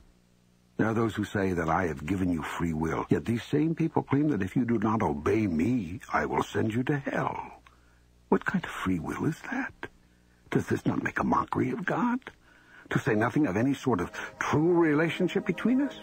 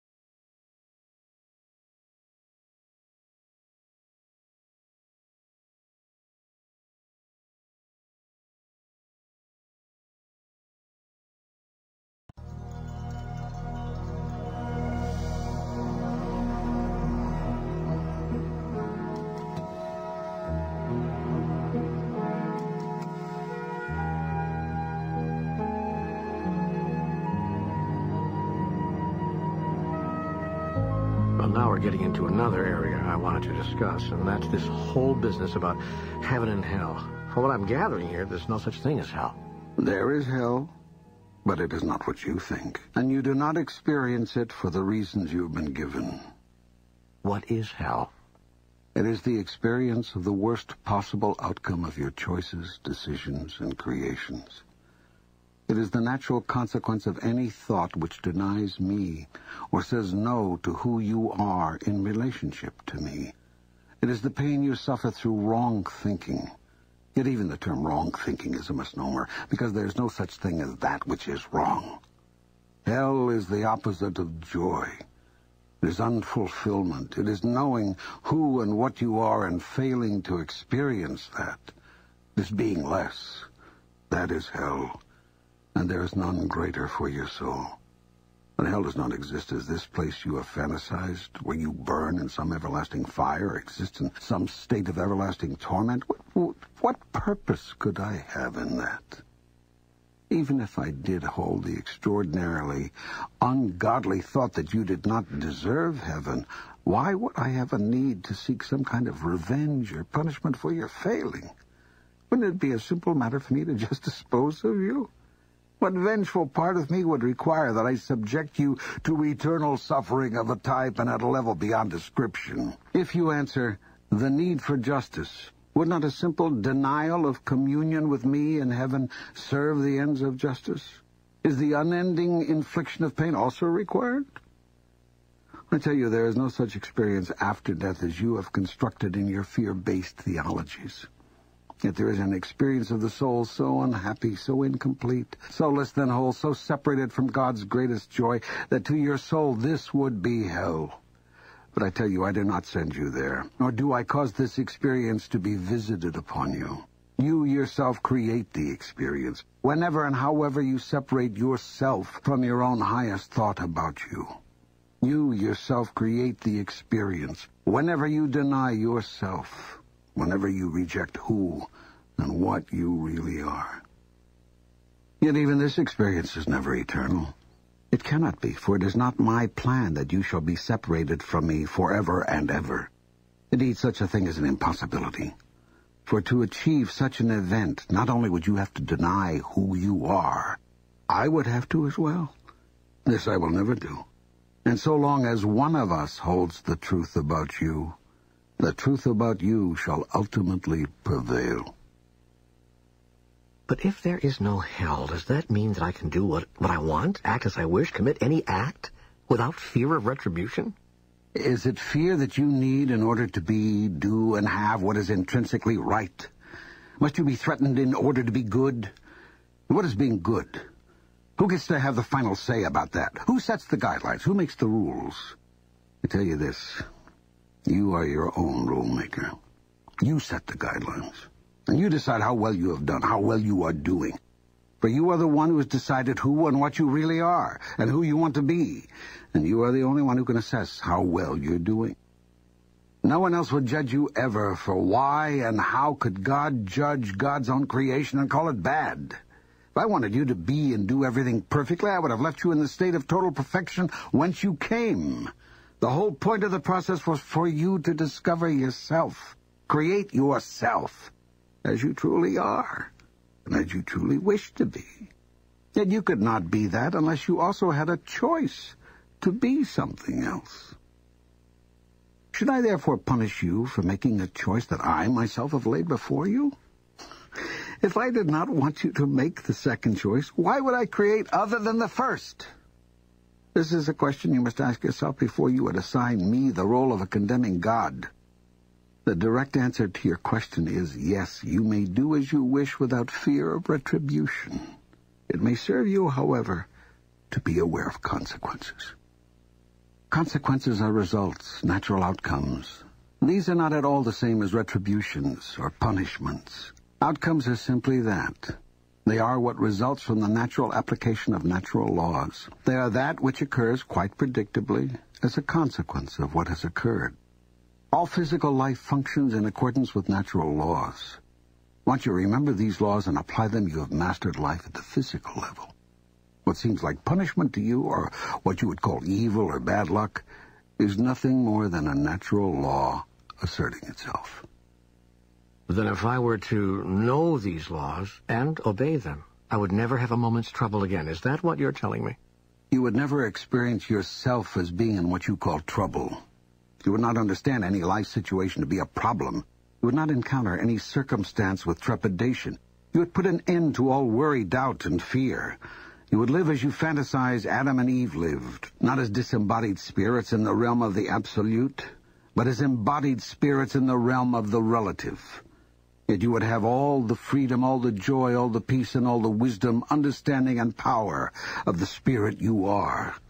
You would be a fully realized being. This is the goal of your soul. This is its purpose, to fully realize itself while in the body, to become the embodiment of all that it really is. This is my plan for you. This is my ideal. That I should become realized through you. That thus, concept is turned into experience. That I might know myself experientially. The laws of the universe are laws that I laid down. They are perfect laws, creating perfect function of the physical. Have you ever seen anything more perfect than a snowflake? Its intricacy, its design, its symmetry, its conformity to itself and originality from all else, all are a mystery. You wonder at the miracle of this awesome display of nature. Yet if I can do this with a single snowflake, what think you I can do have done with the universe. Were you to see the symmetry of it, the perfection of its design, from the largest body to the smallest particle, you would not be able to hold the truth of it in your reality. Even now, as you get glimpses of it, you cannot yet imagine or understand its implications.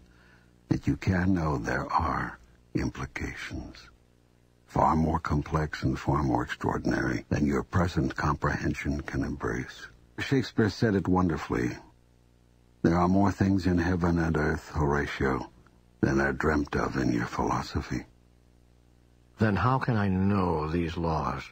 How can I learn them? It is not a question of learning, but of remembering.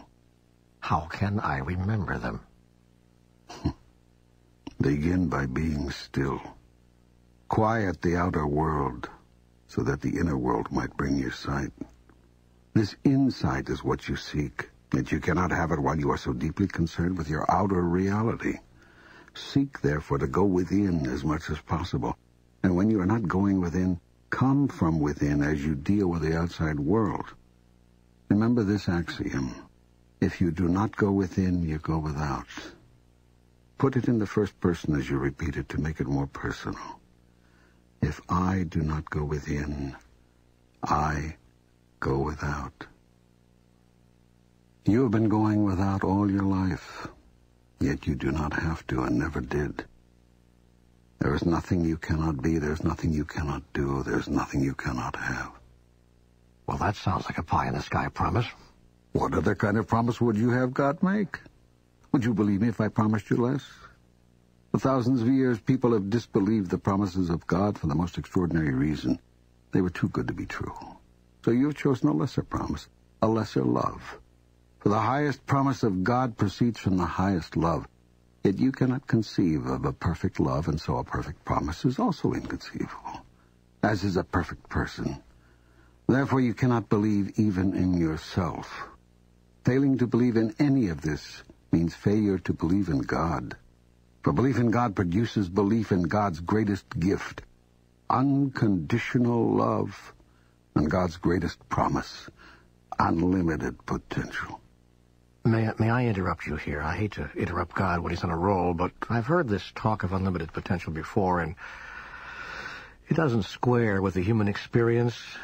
Forget the difficulties encountered by the average person. What about the challenges of those born with mental or physical limitations? Is their potential unlimited? You have written so in your own scripture, in many ways and in many places. Give me one reference. Look to see what you have written in Genesis chapter 11, verse 6 of your Bible. It says, uh, And the Lord said, Behold, the people are one, and they have all one language, and this is only... And this is only the beginning of what they will do. And now nothing will be restrained from them which they have imagined to do. Yes. Now, can you trust that? Well, that does not answer the question of the feeble, the infirm, the handicapped, those who are limited. You think they are limited, as you put it, not of their choice? Do you imagine that a human soul encounters life challenges, whatever they may be, by accident? Is this your imagining? Do you mean that a soul chooses what kind of life it will experience ahead of time? No. That would defeat the purpose of the encounter. The purpose is to create your own experience and thus create yourself in the glorious moment of now. You do not therefore choose the life you will experience ahead of time. You may, however, select the persons, places, and events, the conditions and circumstances, the challenges and obstacles, the opportunities and options with which to create your experience. You may select the colors for your palette, the tools for your chest, the machinery for your shop. What you create with these is your business. That is the business of life. Your potential is unlimited in all that you've chosen to do. Do not assume that a soul which has been incarnated in a body which you call limited has not reached its full potential, for you do not know what that soul was trying to do. You do not understand its agenda. You are unclear as to its intent. Therefore, bless every person and condition and give thanks. Thus you affirm the perfection of God's creation and show your faith in it.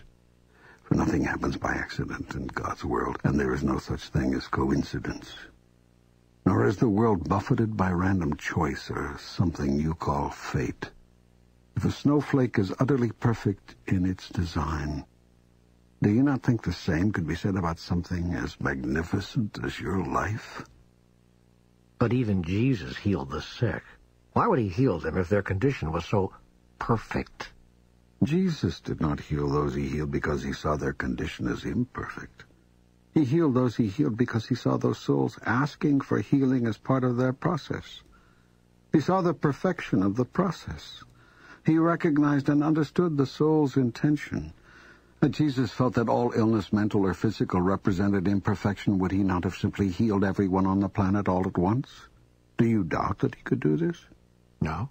No, I believe he could have. Good. Then the mind begs to know, why did he not do it? Why would the Christ choose to have some suffer and others be healed? For that matter, why does God allow any suffering at any time? This question has been asked before, and the answer remains the same. There is perfection in the process. And all life arises out of choice.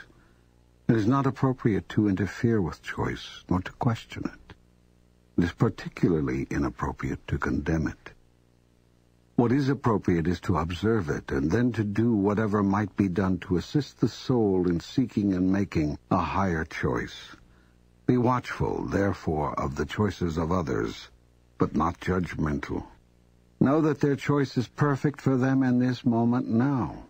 Yet stand ready to assist them should the moment come when they seek a newer choice, a different choice, a higher choice. Move into communion with the souls of others and their purpose, their intention will be clear to you. This is what Jesus did with those he healed. And with all those whose lives he touched, Jesus healed all those who came to him or who sent others to him, supplicating for them. He did not perform a random healing. To have done so would have been to violate a sacred law of the universe. Allow each soul to walk its path. But does that mean we must not help anyone without being asked? Surely not.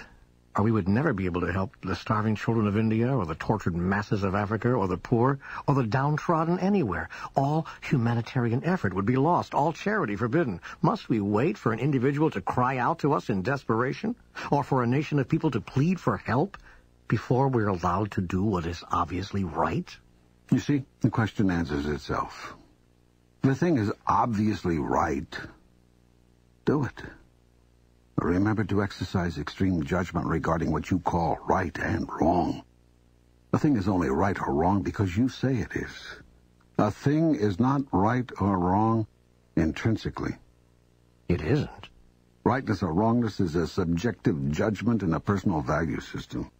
By your subjective judgments do you create yourself. By your personal values do you determine and demonstrate who you are.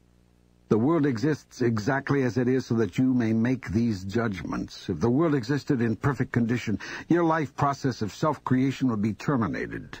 It would end. A lawyer's career would end tomorrow were there no more litigation. A doctor's career would end tomorrow were there no more illness. A philosopher's career would end tomorrow were there no more questions. And God's career would end tomorrow were there no more problems. Precisely. You have put it perfectly. We, all of us, would be through creating were there nothing more to create. We, all of us, have a vested interest in keeping the game going. Much as we all say we would like to solve all the problems, we dare not solve all the problems, or there will be nothing left for us to do. Your industrial military complex understands this very well. That is why it opposes mightily any attempt to install a war no more government anywhere. Your medical establishment understands this too. That is why it staunchly opposes. It must, it has to for its own survival. Any new miracle drug or cure, to say nothing of the possibility of miracles themselves. The religious community also holds this clarity. That is why it attacks uniformly any definition of God, which does not include fear, judgment, and retribution, and any definition of self, which does not include their own idea of the only path to God. If I say to you, you are God, where does that leave religion? If I say to you, you are healed, where does that leave science and medicine? If I say to you, you shall live in peace, where does that leave the peacemakers? If I say to you, the world is fixed. Where does that leave the world? What now of plumbers? The world is filled with essentially two kinds of people. Those who give you things you want and those who fix things. In a sense, even those who simply give you things you want, the butchers, the bakers, the candlestick makers are also fixers. For to have a desire for something is often to have a need for it.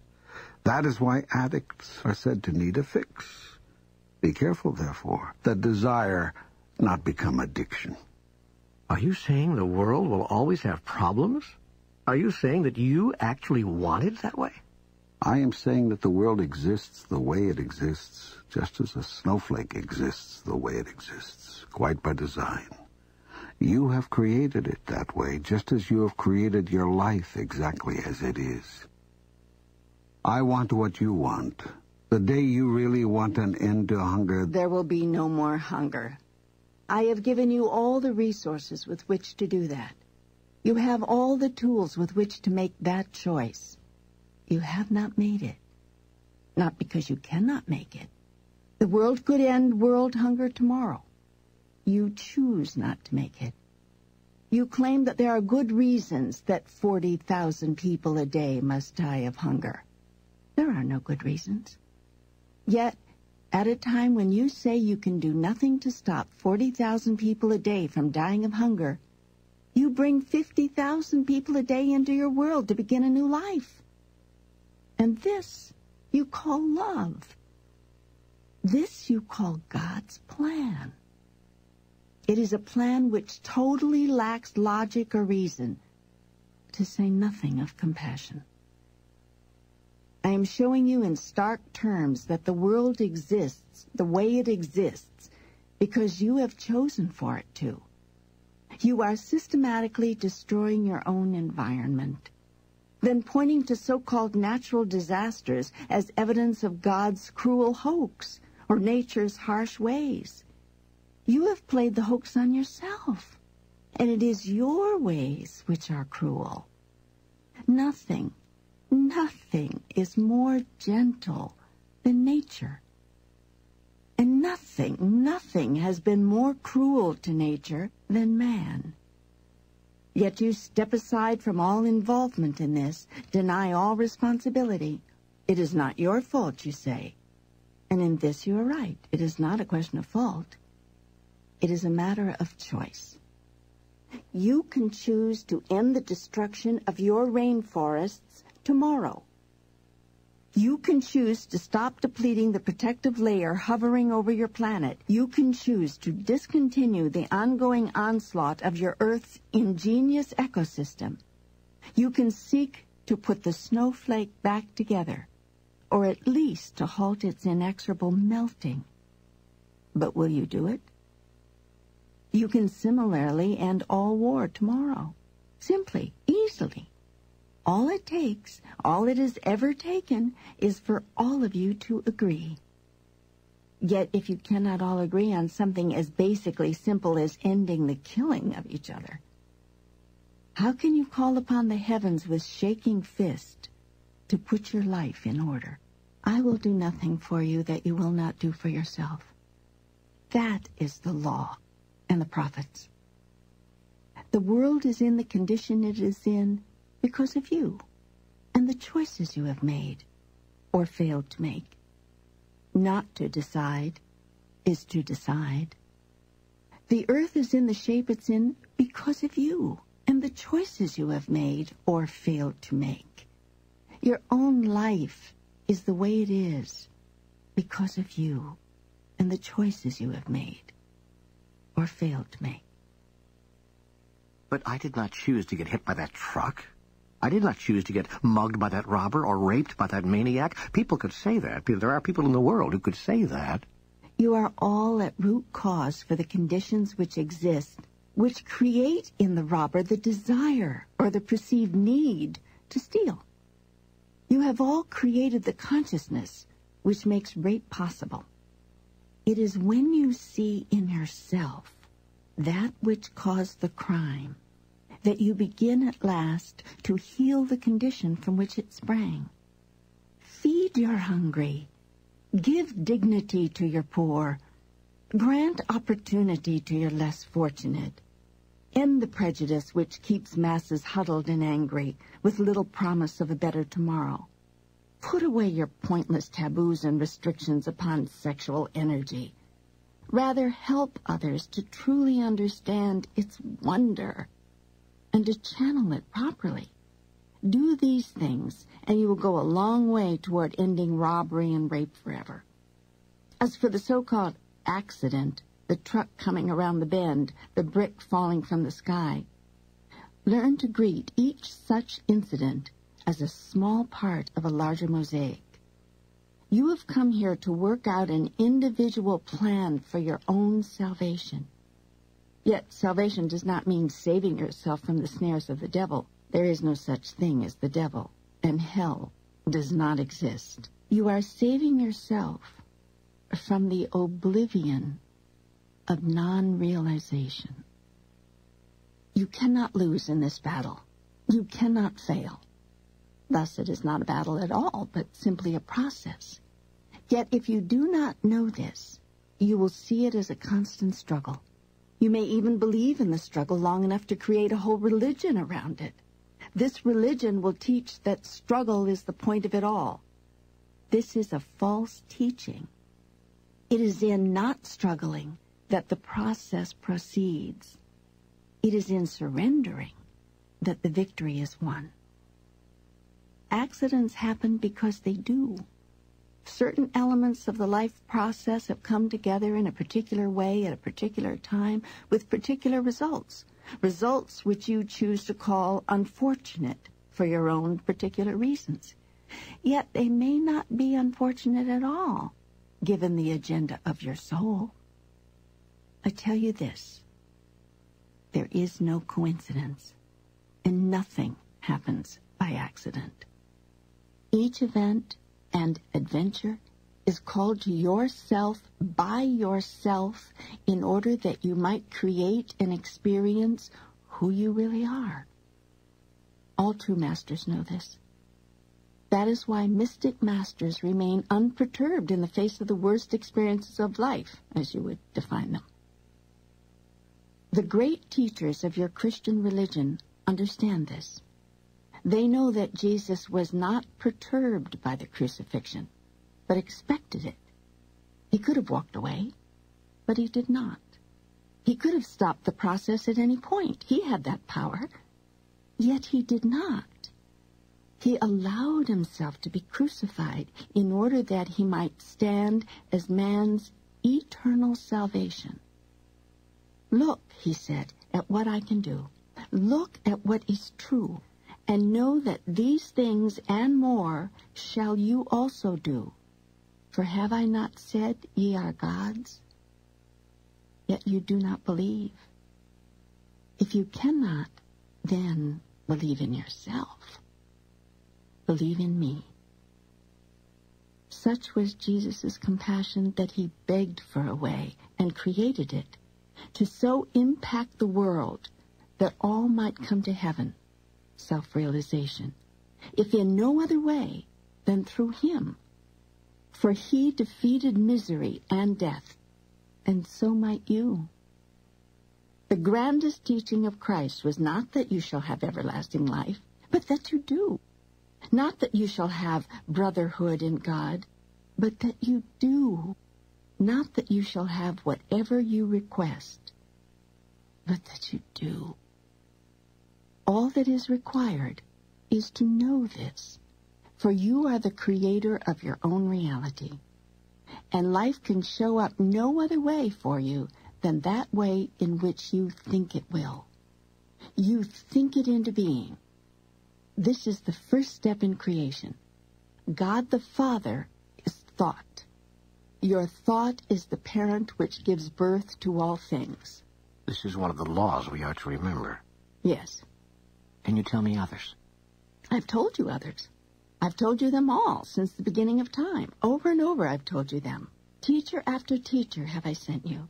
You do not listen to my teachers. You kill them. But why? Why do we kill the holiest among us? We kill them or dishonor them, which is the same thing. Why? because they stand against every thought you have that would deny me. And deny me you must if you are to deny yourself. Why would I want to deny you or me?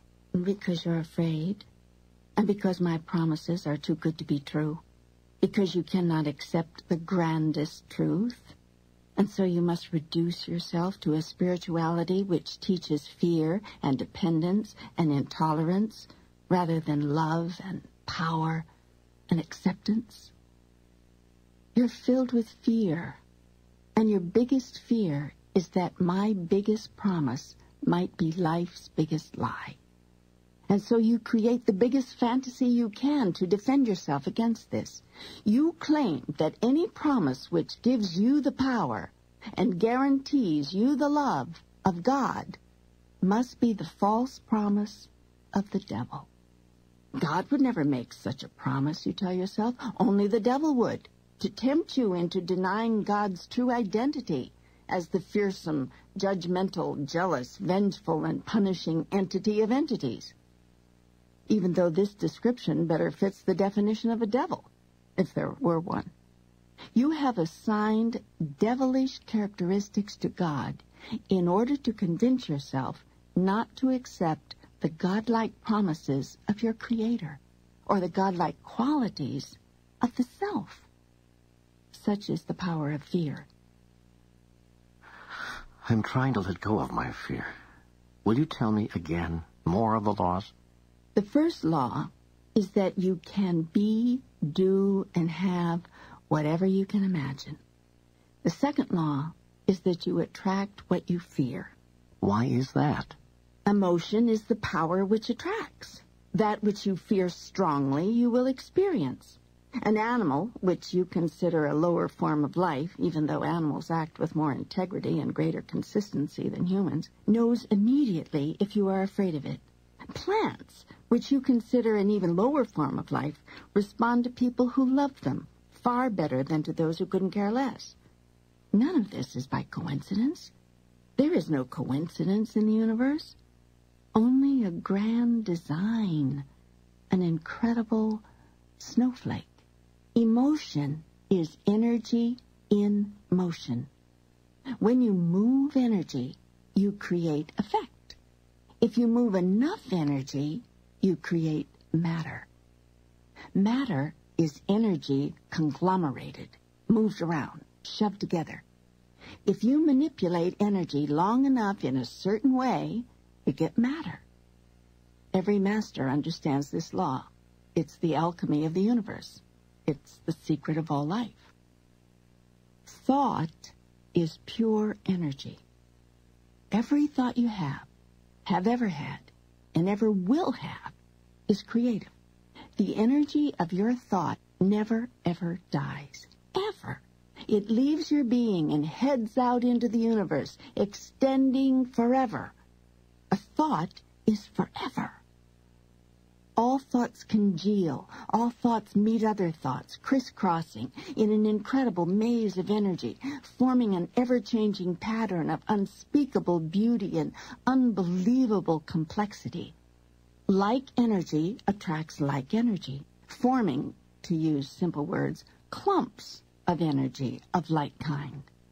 When enough similar clumps crisscross each other, run into each other, they stick to each other to use another simple term. It takes an incomprehensibly huge amount of similar energy sticking together thusly to form matter. But matter will form out of pure energy. In fact, that is the only way it can form. Once energy becomes matter, it remains matter for a very long time, unless its construction is disrupted by an opposing or dissimilar form of energy. This dissimilar energy, acting upon matter, actually dismembers the matter, releasing the raw energy of which it was composed. This is, in elementary terms, the theory behind your atomic bomb. Einstein came closer than any other human being, before or since, to discovering, explaining, and functionalizing the creative secret of the universe.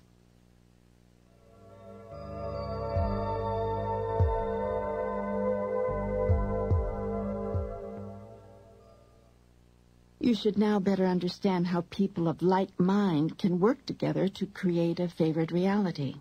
The phrase, wherever two or more are gathered in my name, becomes much more meaningful. Of course, when entire societies think a certain way, very often astonishing things happen, not all of them necessarily desirable.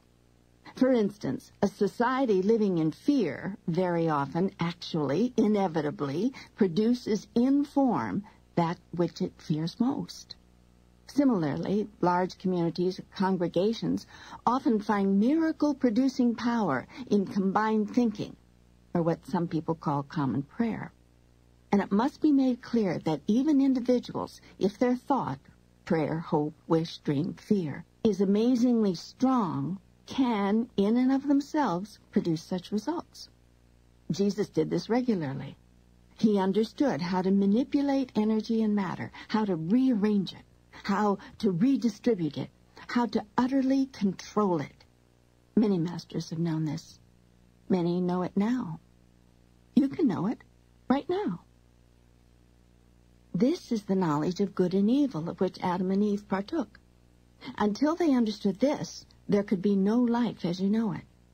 Adam and Eve, the mythical names you have given to represent first man and first woman, were the father and mother of the human experience. What has been described as the fall of Adam was actually his upliftment, the greatest single event in the history of humankind. For without it, the world of relativity would not exist. The act of Adam and Eve was not original sin, but in truth, first blessing.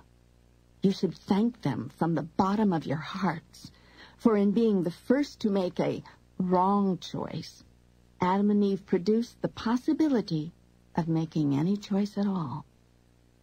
In your mythology, you have made Eve the bad one, the temptress who ate of the fruit of the knowledge of good and evil, and coyly invited Adam to join her. This mythological setup has allowed you to make woman man's downfall ever since, resulting in all manner of warped realities, not to mention distorted sexual views and confusions. How can you feel so good about something so bad? What you most fear is what will most plague you. Fear will draw it to you like a magnet all your holy scriptures of every religious persuasion and tradition which you have created contain the clear admonition, fear not. Do you think this is by accident? The laws are very simple. Thought is creative. Fear attracts like energy. Love is all there is. Oops, you got me on that third one. How can love be all there is if fear attracts like energy? Love is the ultimate reality. It is the only, the all.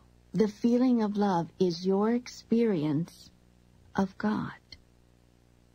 In highest truth, love is all there is, all there was, and all there ever will be.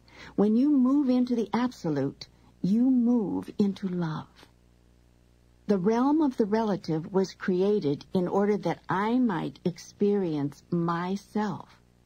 This has already been explained to you. This does not make the realm of the relative real. It is a created reality you and I have devised and continue to devise in order that we may know ourselves experientially. Yet the creation can seem very real. Its purpose is to seem so real we accept it as truly existing. In this way, God has contrived to create something else other than itself. Though in strictest terms, this is impossible since God is, I am, all that is. In creating something else, namely the realm of the relative, I have produced an environment in which you may choose to be God rather than simply being told that you are God in which you may experience Godhead as an act of creation, rather than a conceptualization in which the little candle in the sun, the littlest soul, can know itself as the light. Fear is the other end of love. It is the primal polarity. In creating the realm of the relative, I first created the opposite of myself.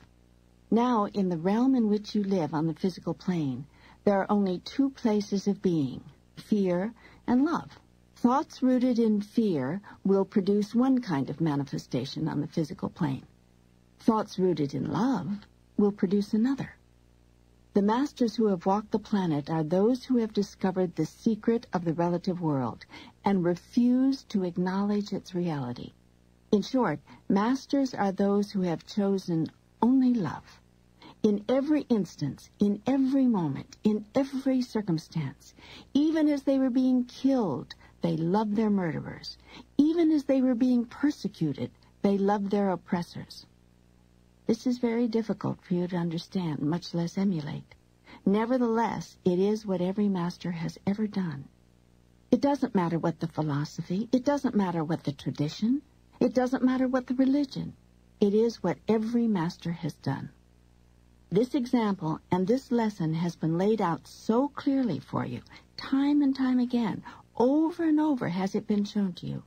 Through all the ages and in every place, through all your lifetimes and in every moment, the universe has used every contrivance to place this truth before you, in song and story, in poetry and dance, in words and in motion, in pictures of motion, which you call motion pictures, and in collections of words, which you call books. From the highest mountain it has been shouted, in the lowest place, its whisper has been heard. Through the corridors of all human experience has this truth been echoed. Love is the answer. Yet you have not listened. Now come you to this conversation, asking God again what God has told you countless times in countless ways. Yet I will tell you again, here. Will you listen now? Will you truly hear? What do you think brought you to this? How does it come to pass that you are listening to this? Do you think I know not what I am doing? There are no coincidences in the universe. I have heard the crying of your heart. I have seen the searching of your soul. I know how deeply you have desired the truth. In pain have you called out for it, and in joy. Unendingly have you beseeched me, show myself, explain myself, reveal myself. I am doing so here in terms so plain you cannot misunderstand, in language so simple you cannot be confused, in vocabulary so common you cannot get lost in the verbiage. So go ahead now. Ask me anything. Anything. I will contrive to bring you the answer. The whole universe will I use to do this, so be on the lookout. This is far from my only tool. You may ask a question, then put this down, but watch, listen. The words to the next song you hear, the information in the next article you read, the storyline of the next movie you watch, the chance utterance of the next person you meet, or the whisper of the next river, the next ocean, the next breeze that caresses your ear, all these devices are mine. All these avenues are open to me. I will speak to you if you will listen. I will come to you if you will invite me. I will show you then that I have always been there, always.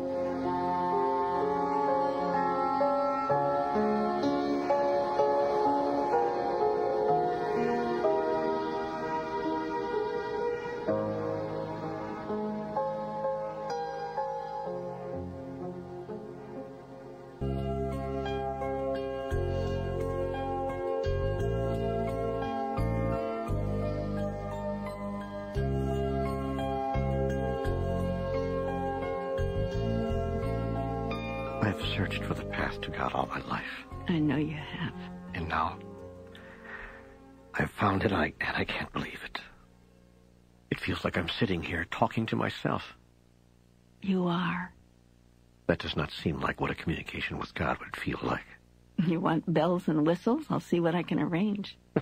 you know, don't you, that there are those who will call this a blasphemy, especially if you keep showing up as such a wise guy. Let me explain something to you. You have this idea that God shows up in only one way in life. That's a very dangerous idea. It stops you from seeing God all over. If you think God looks only one way or sounds only one way or is only one way, you're going to look right past me night and day. You'll spend your whole life looking for God and not finding her because you're looking for a him. I use this as an example. It has been said that if you don't see God in the profane and the profound, you're missing half the story. That is a great truth. God is in the sadness and the laughter, in the bitter and the sweet. There is a divine purpose behind everything, and therefore a divine presence in everything. Well, I once began writing a book called God is a Salami Sandwich. That would have been a very good book. I gave you that inspiration. Why didn't you write it? well, it felt like blasphemy, or at the very least, horribly irreverent. You mean wonderfully irreverent. What gave you the idea that God is only reverent? God is the up and the down, the hot and the cold, the left and the right, the reverent and the irreverent. Think you that God cannot laugh? Did you imagine that God doesn't enjoy a good joke? Is it your knowing that God is without humor? I tell you, God invented humor. Must you speak in hushed tones when you speak to me? Are slang words or tough language outside my ken? I tell you, you can speak to me as you would speak with your best friend. Do you think there is a word I haven't heard? A sight I have not seen? A sound I do not know? Is it your thought that I despise some of these, while I love the others? I tell you, I despise nothing. None of it is repulsive to me. It's life, and life is the gift, the unspeakable treasure, the holy of holies. I am life, for I am the stuff life is. Its every aspect has a divine purpose. Nothing exists, nothing, without a reason understood and approved by God. How can this be? How can this be? What of the evil which has been created by man? You cannot create a thing, not a thought, an object, an event, no experience of any kind, which is outside of God's plan. For God's plan is for you to create anything, everything, whatever you want. In such freedom lies the experience of God being God. And this is the experience for which I created you, and life itself.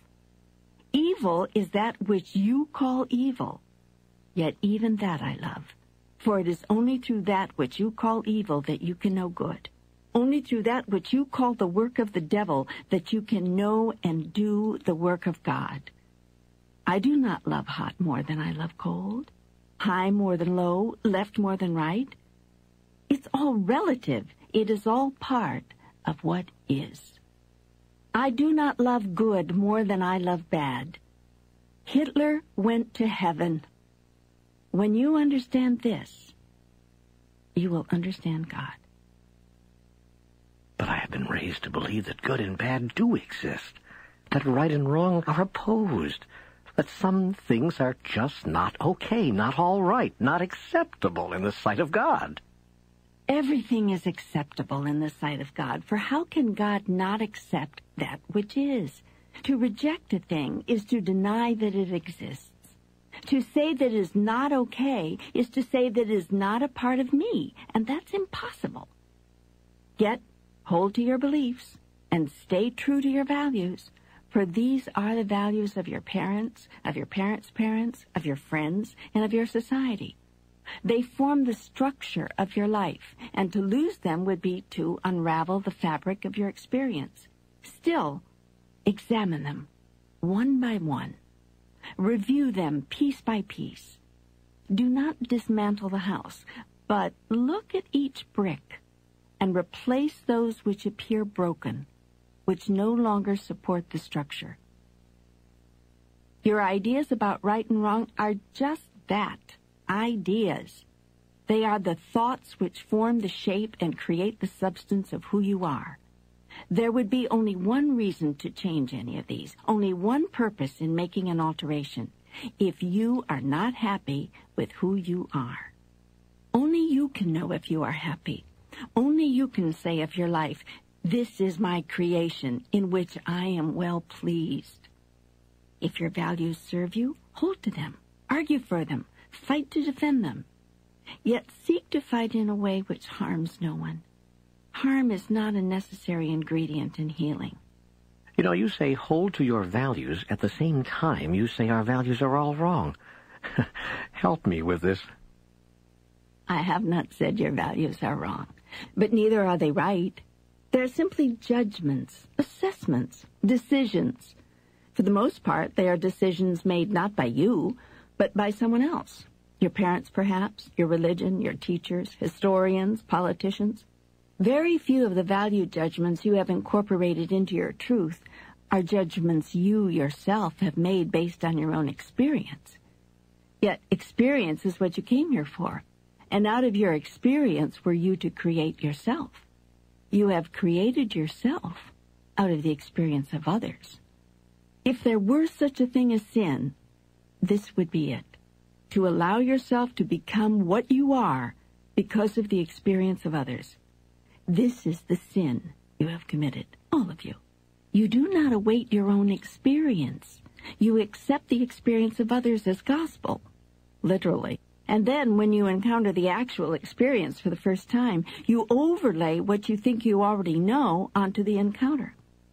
If you did not do this, you might have a wholly different experience, one that might render your original teacher or source wrong. In most cases, you don't want to make your parents, your schools, your religions, your traditions, your holy scriptures wrong, so you deny your own experience in favor of what you have been told to think. Nowhere can this be more profoundly illustrated than in your treatment of human sexuality. Everyone knows that the sexual experience can be the single most loving, most exciting, most powerful, most exhilarating, most renewing, most energizing, most affirming, most intimate, most uniting, most recreative physical experience of which humans are capable. Having discovered this experientially, you have chosen to accept instead the prior judgments, opinions, and ideas about sex promulgated by others all of whom have a vested interest in how you think. These opinions, judgments, and ideas have run directly contradictory to your own experience. Yet because you are loath to make your teachers wrong, you convince yourself it must be your experience that is wrong. The result is that you have betrayed your highest truth about this subject with devastating results. You have done the same thing with money. Every time in your life that you have had lots and lots of money, you felt great. You felt great receiving it, and you felt great spending it. There was nothing bad about it, nothing evil, nothing inherently wrong. Yet you have so deeply ingrained within you the teachings of others on this subject that you have rejected your experience in favor of truth. Having adopted this truth as your own, you have formed thoughts around it, thoughts which are creative. You have thus created a personal reality about money which pushes it away from you. For why would you seek to attract that which is not good? Amazingly, you have created the same contradiction around God. Everything your heart experiences about God tells you that God is good. Everything your teachers teach you about God tells you God is bad. Your heart tells you God is to be loved without fear. Your teachers tell you God is to be feared for he is a vengeful God. You are to live in fear of God's wrath, they say. You are to tremble in his presence. Your whole life through, you are to fear the judgment of the Lord, for the Lord is just, you are told. And God knows you will be in trouble when you confront the terrible justice of the Lord. You are therefore to be obedient to God's commands, or else. Above all, You are not to ask such logical questions as, if God wanted strict obedience to his laws, why did he create the possibility of those laws being violated? Ah, your teachers tell you, because God wanted you to have free choice. Yet what kind of choice is free when to choose one thing over the other brings condemnation? How is free will free when it is not your will but someone else's which must be done? Those who teach you this would make a hypocrite of God. You are told that God is forgiveness and compassion. Yet if you do not ask for this forgiveness in the right way, if you do not come to God properly, your plea will not be heard, your cry will go unheeded. Even this would not be so bad if there were only one proper way. But there are as many proper ways being taught as there are teachers to teach them. Most of you, therefore, spend the bulk of your adult life searching for the right way to worship, to obey, and to serve God. The irony of all this is that I do not want your worship. I do not need your obedience. And it is not necessary for you to serve me. These behaviors are the behaviors historically demanded of their subjects by monarchs, usually egomaniacal, insecure, tyrannical monarchs at that. They're not godly demands in any sense. And it seems remarkable that the world hasn't by now concluded that the demands are counterfeit, having nothing to do with the needs or desires of deity. Deity has no needs. All that is, is exactly that. All that is. It therefore wants or lacks nothing, by definition. If you choose to believe in a God who somehow needs something, and has such hurt feelings if he doesn't get it that he punishes those from whom he expected to receive it, then you choose to believe in a God much smaller than I am. You truly are children of a lesser God. No, my children, please let me assure you again that I am without needs. I require nothing. This does not mean I am without desires desires and needs are not the same thing, although many of you have made them so in your present lifetime. Desire is the beginning of all creation.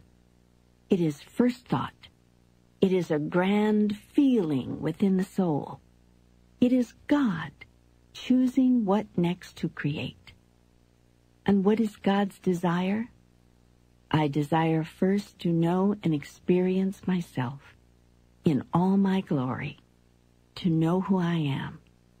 Before I invented you and all the worlds of the universe, it was impossible for me to do so.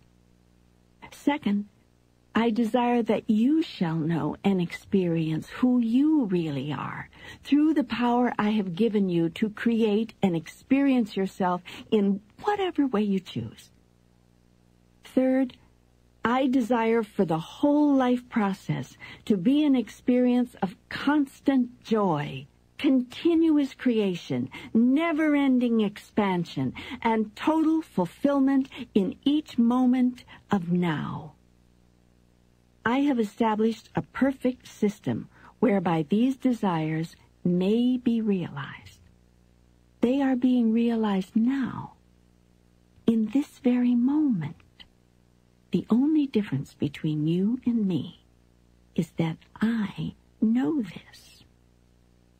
In the moment of your total knowing, which moment could come upon you at any time, you too will feel as I do always, totally joyful, loving, accepting, blessing, and grateful. These are the five attitudes of God. And before we are through with this dialogue, I will show you how the application of these attitudes in your life now can and will bring you to godliness. All of this is a very long answer to a very short question. Yes, hold to your values, so long as you experience that they serve you. Yet look to see whether the values you serve with your thoughts, words, and actions bring to the space of your experience the highest and best idea you ever had about you. Examine your values one by one. Hold them up to the light of public scrutiny. If you can tell the world who you are and what you believe without breaking stride or hesitating, you are happy with yourself. There is no reason to continue much further in this dialogue with me because you have created a self and a life for the self which needs no improvement. You have reached perfection. Well, my life is not perfect, nor is it close to being perfect. I, I am not perfect. I am, in fact, a bundle of imperfections. I wish, sometimes I wish with all my heart, that I could correct these imperfections, that I could know what causes my behaviors, what sets up my downfalls, what keeps getting in my way. That's why I've come to you, I guess. I haven't been able to find the answers on my own. I'm glad you came. I've always been here to help you. I'm here now. You don't have to find the answers on your own. You never had to. Yet it seems so presumptuous to simply sit down and dialogue with you this way, much less imagine that you, God, are responding. I mean, this is crazy. I see. The authors of the Bible were all sane, but you are crazy. The Bible writers were witnesses to the life of Christ and faithfully recorded what they heard and saw. Correction. Most of the New Testament writers never met or saw Jesus in their lives. They lived many years after Jesus left the earth. They wouldn't have known Jesus of Nazareth if they walked into him on the street. But... But the Bible writers were great believers and great historians. They took the stories which had been passed down to them and to their friends by others, elders, from elder to elder, until finally a written record was made. And not everything of the Bible authors was included in the final document. Already churches had sprung up around the teachings of Jesus, and as it happens, whenever and wherever people gather in groups around a powerful idea, there were certain individuals within these churches or enclaves who determined what parts of the Jesus story were going to be told and how. This process of selecting and editing continued throughout the gathering, writing, and publishing of the Gospels and the Bible. Even several centuries after the original scriptures were committed to writing, a high council of the church determined yet one more time which doctrines and truths were to be included in the then official Bible, and which would be unhealthy or premature to reveal to the masses. And there have been other holy scriptures as well, each placed in writing in moments of inspiration by otherwise ordinary men, none of whom were any more crazy than you. But let's drive to the heart of your question. Why do you think it's crazy for you to be able to have a dialogue with God? Do you not believe in prayer? Yes, of course, but that's different. Prayer for me has always been one way. I ask, and God remains immutable. God has never answered a prayer? Oh, yes, of course, but never verbally, you see. Oh, I've had all kinds of things happen in my life that I was convinced was an answer, a very direct answer to prayer. But God has never spoken to me. Hmm, I see. So this God in which you believe, this God can do anything. He just cannot speak. Of course God can speak, if God wants to. It just doesn't seem probable that God would speak to me, that God would want to speak to me. This is the root of every problem you experience in your life, for you do not consider yourself worthy enough to be spoken to by God. Good heavens, how can you ever expect to hear my voice if you don't imagine yourself to be deserving enough to even be spoken to? I tell you this, I am performing a miracle right now, for not only am I speaking to you, but to every person who is listening to these words. To each of them am I now speaking. I know who every one of them is. I know now who will find their way to these words. And I know that, just as with all my other communications, some will be able to hear, and some will be able to only listen, but will hear nothing.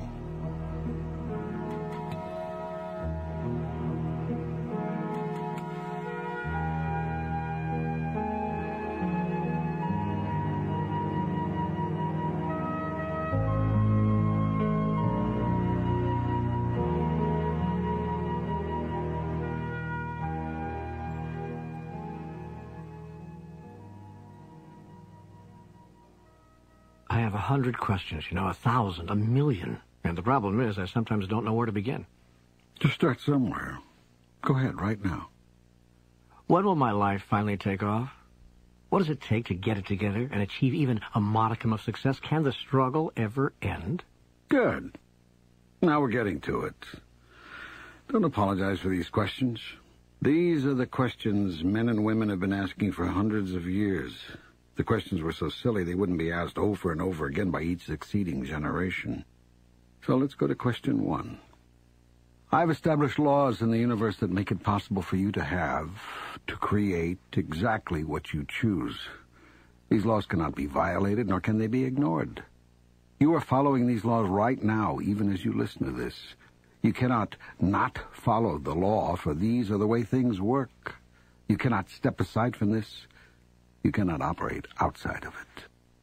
Every minute of your life you have been operating inside of it, and everything you have ever experienced you have thusly created. You are in a partnership with God. We share an eternal covenant. My promise to you is to always give you what you ask. Your promise is to ask, to understand the process of the asking and the answering. I've already explained this process to you once. I'll do so again, so that you clearly understand it. You are a threefold being. You consist of body, mind, and spirit. You could also call these the physical, the non-physical, and the metaphysical. This is the Holy Trinity, and it has been called by many names. That which you are, I am. I am manifested as three in one. Some of your theologians have called this Father, Son, and Holy Spirit. Your psychiatrists have recognized this triumvirate and called it conscious, subconscious, and superconscious. Your philosophers have called it the id, the ego, and the superego. Science calls this energy, matter, and antimatter. Poets speak of mind, heart, and soul. New Age thinkers refer to body, mind, spirit. Your time is divided into past, present, and future. Could this not be the same as subconscious, conscious, and superconscious? Space is likewise divided into three, here, there, and the space between. It is defining and describing this space between that becomes difficult, elusive.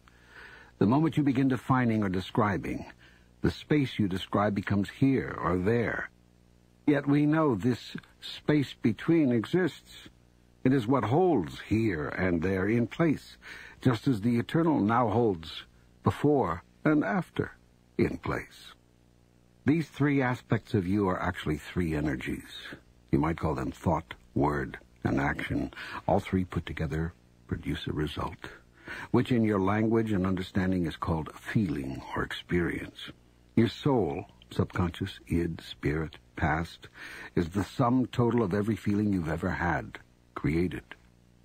Your awareness of some of these is called your memory. When you have a memory, you are said to remember.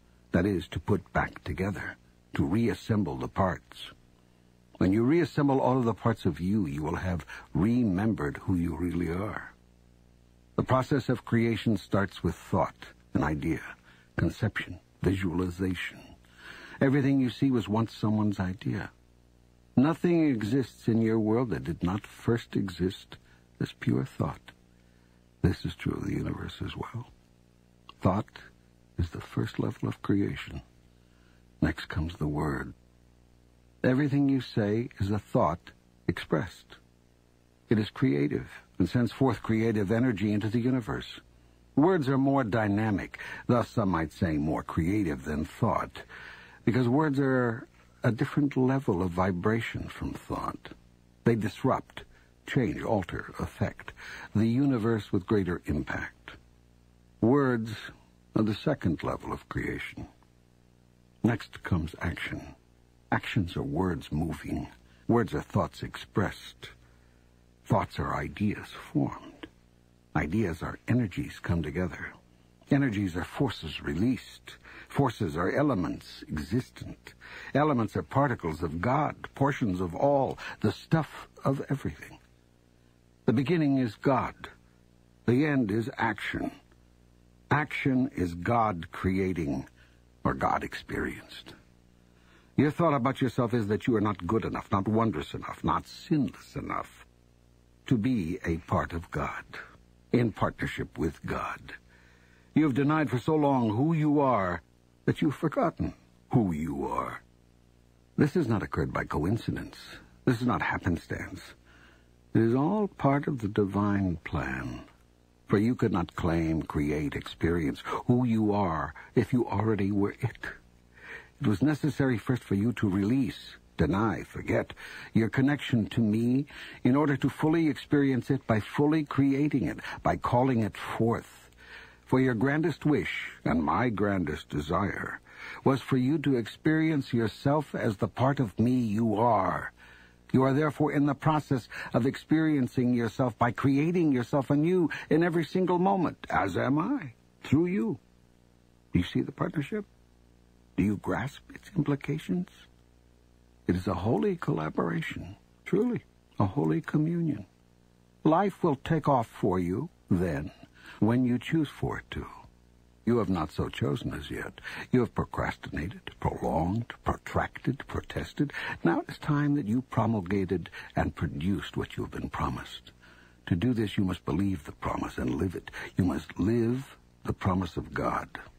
Promise of God is that you are his son, her offspring, its likeness, his equal. Ah, here's where you get hung up. You can accept his son, offspring, likeness, but you recoil at being called his equal. It is too much to accept. Too much bigness, too much wonderment, too much responsibility. For if you are God's equal, that means nothing is being done to you and all things are created by you. There can be no more victims, no more villains, only outcomes of your thought about a thing. I tell you this, all you see in your world is the outcome of your idea about it. Do you want your life to truly take off? Then change your idea about it, about you. Think, speak, and act as the God you are. Of course, this will separate you from many. Most of your fellow men. They will call you crazy. They will say you blaspheme. They will eventually have enough of you. Uh, they will attempt to crucify you. They will do this not because they think you are living in a world of your own illusions. Most men are gracious enough to allow you your private entertainments. But because sooner or later others will become attracted to your truth, by the promises it holds for them. Here is where your fellow men will interfere, for here is where you will begin to threaten them. For your simple truth, simply lived, will offer more beauty, more comfort, more peace, more joy, and more love of self and others than anything your earthly fellows could contrive. And that truth adopted would mean the end of their ways. It would mean the end of hatred and fear and bigotry and war. The end of the condemning and killing that has gone on in my name. The end of might is right. The end of purchase through power. The end of loyalty and homage through fear. The end of the world as they know it and as you have created it thus far. So be ready, kind soul, for you will be vilified and spat upon, called names and deserted, and finally they will accuse you, try you, and condemn you, all in their own ways, from the moment you accept and adopt your holy cause, the realization of self. Why then do it? Because you are no longer concerned with the acceptance or approval of the world. You are no longer satisfied with what that has brought you. You are no longer pleased with what it has given others. You want the pain to stop, the suffering to stop, the illusion to end. You've had enough of this world as it presently is. You seek a newer world. Seek it no longer. Now, call it forth. Yes, well, can you help me to better understand how to do that? Yes. Go first to your highest thought about yourself. Imagine the you that you would be if you lived that thought every day. Imagine what you would think, do, and say, and how you would respond to what others do and say. Do you see any difference between that projection and what you think, do, and say now? Yes. Yes, I see a great deal of difference. Good. You should, since we know that right now you are not living your highest vision of yourself. Now, having seen the differences between where you are and where you want to be, begin to change. Consciously change. your thoughts, words, and actions to match your grandest vision. This will require tremendous mental and physical effort. It will entail constant, moment-to-moment monitoring of your every thought, word, and deed. It will involve continued choice-making, consciously. This whole process is a massive move to consciousness. What you will find out if you undertake this challenge is that you've spent half your life unconscious. That is to say, unaware on a conscious level of what you are choosing in the way of thoughts, words, and deeds until you experience the aftermath of them. Then when you experience these results, you deny that your thoughts, words, and deeds had anything to do with them. This is a call to stop such unconscious living. It is a challenge to which your soul has called you from the beginning of time. That kind of continual mental monitoring seems as though it might be terribly exhausting. It could be, until it becomes second nature. In fact, it is your second nature. It is your first nature to be unconditionally loving. It is your second nature to choose to express your first nature, your true nature, consciously. Excuse me, but wouldn't this kind of non-stop editing of everything I think, say, and do make Jack a dull boy? Never. Different, yes. Dull, no. Was Jesus dull? I don't think so. Was the Buddha boring to be around? People flocked, begged to be in his presence. No one who's attained mastery is dull. Unusual, perhaps. Extraordinary, perhaps, but never dull. So, do you want your life to take off? Begin at once to imagine it the way you want it to be, and move into that. Check every thought, word, and action that does not fall into harmony with that. Move away from those. When you have a thought that is not in alignment with your higher vision, change to a new thought, then and there. When you say a thing that is out of alignment with your grandest idea, make a note not to say something like that again. When you do a thing that is misaligned with your best intention, decide to make that the last time. And make it right with whomever was involved if you can. I've heard this before, but I've always railed against it because it seems so, so dishonest. I mean, if you're sick as a dog, you're not supposed to admit it. If you're broke as a pauper, you're never supposed to say it. If you're upset as hell, you're not supposed to show it. Reminds me of the joke about the three people who were sent to hell. One was a Catholic, one was a Jew, one was a New Ager. The devil said to the Catholic, sneeringly, Well, how are you enjoying the heat? And the Catholic sniffed, I'm, I'm offering it up. The devil then asked the Jew, And how are you enjoying the heat? The Jew said, So what else could I expect but more hell? Finally, the devil approached the New Ager. Heat, the New Ager asked, perspiring. What heat? It's a good joke. But I'm not talking about ignoring the problem or pretending it isn't there. I'm talking about noticing the circumstance and then telling your highest truth about it. If you're broke, you're broke. It's pointless to lie about it and actually debilitating to try to manufacture a story about it so as not to admit it. Yet it's your thought about it. Broke is bad. This is horrible. I'm a bad person because good people who work hard and really try never go broke, etc that rules how you experience brokenness. It's your words about it. I'm broke. I haven't a dime. I don't have any money. That dictates how long you stay broke. It's your actions surrounding it, feeling sorry for yourself, sitting around despondent, not trying to find a way out because what, what's the use anyway? That creates your long-term reality. The first thing to understand about the universe is that no condition is good or bad. It just is. So stop making value judgments.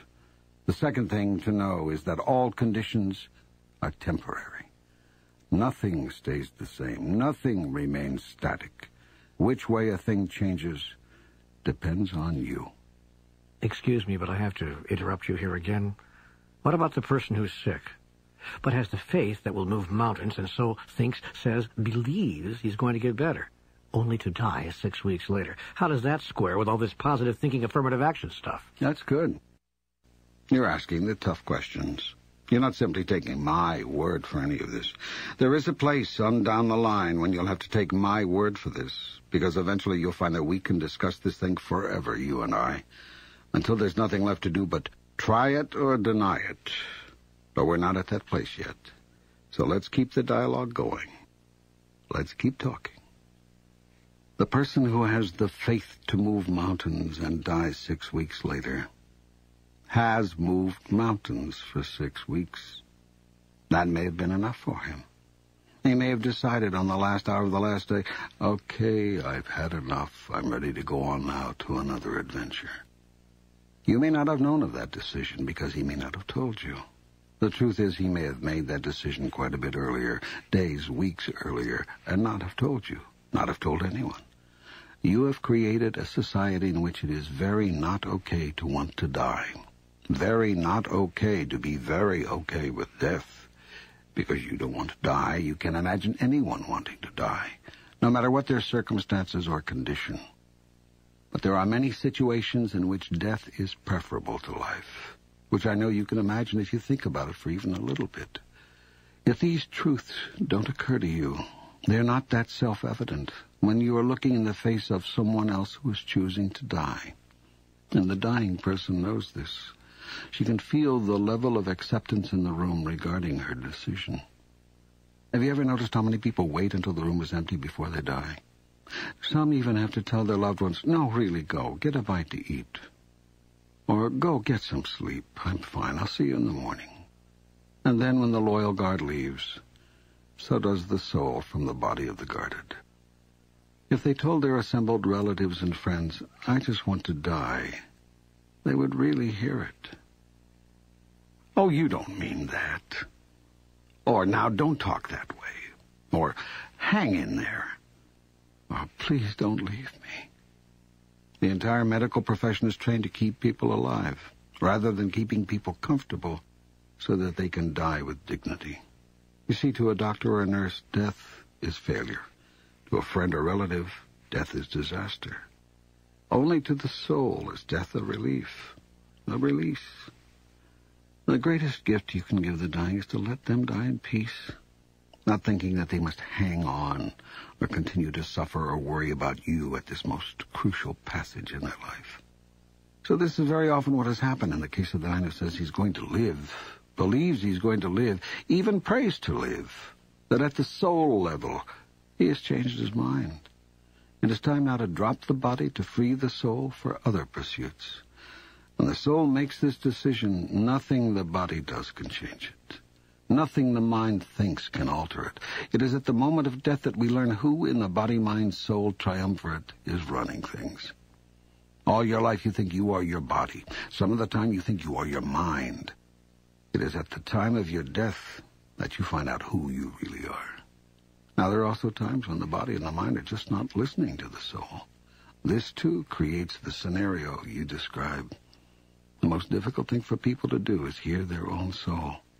Notice that so few do. Now it happens often that the soul makes a decision that it is time to leave the body. The body and the mind, ever servants of the soul, hear this, and the process of extrication begins. Yet the mind, ego, doesn't want to accept. After all, this is the end of its existence. So it instructs the body to resist death. This the body does gladly, since it too does not want to die.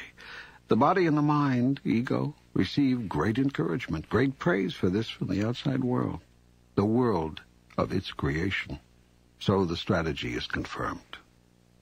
Now at this point, everything depends on how badly the soul wants to leave. If there's no great urgency here, the soul may say, all right, you win. I'll stick around with you a little longer. But if the soul is very clear that staying does not serve its higher agenda, that there is no further way it can evolve through this body. The soul is going to leave, and nothing will stop it, nor should anything try to. The soul is very clear that its purpose is evolution. That is its sole purpose, and its sole purpose. It is not concerned with the achievements of the body or the development of the mind. These are all meaningless to the soul. The soul is also clear that there is no great tragedy involved in leaving the body. In many ways, the tragedy is being in the body. So you have to understand the soul sees this whole death thing differently. It, of course, sees the whole life thing differently, too. And that is the source of much of the frustration and anxiety one feels in one's life. The frustration and anxiety comes from not listening to one's soul.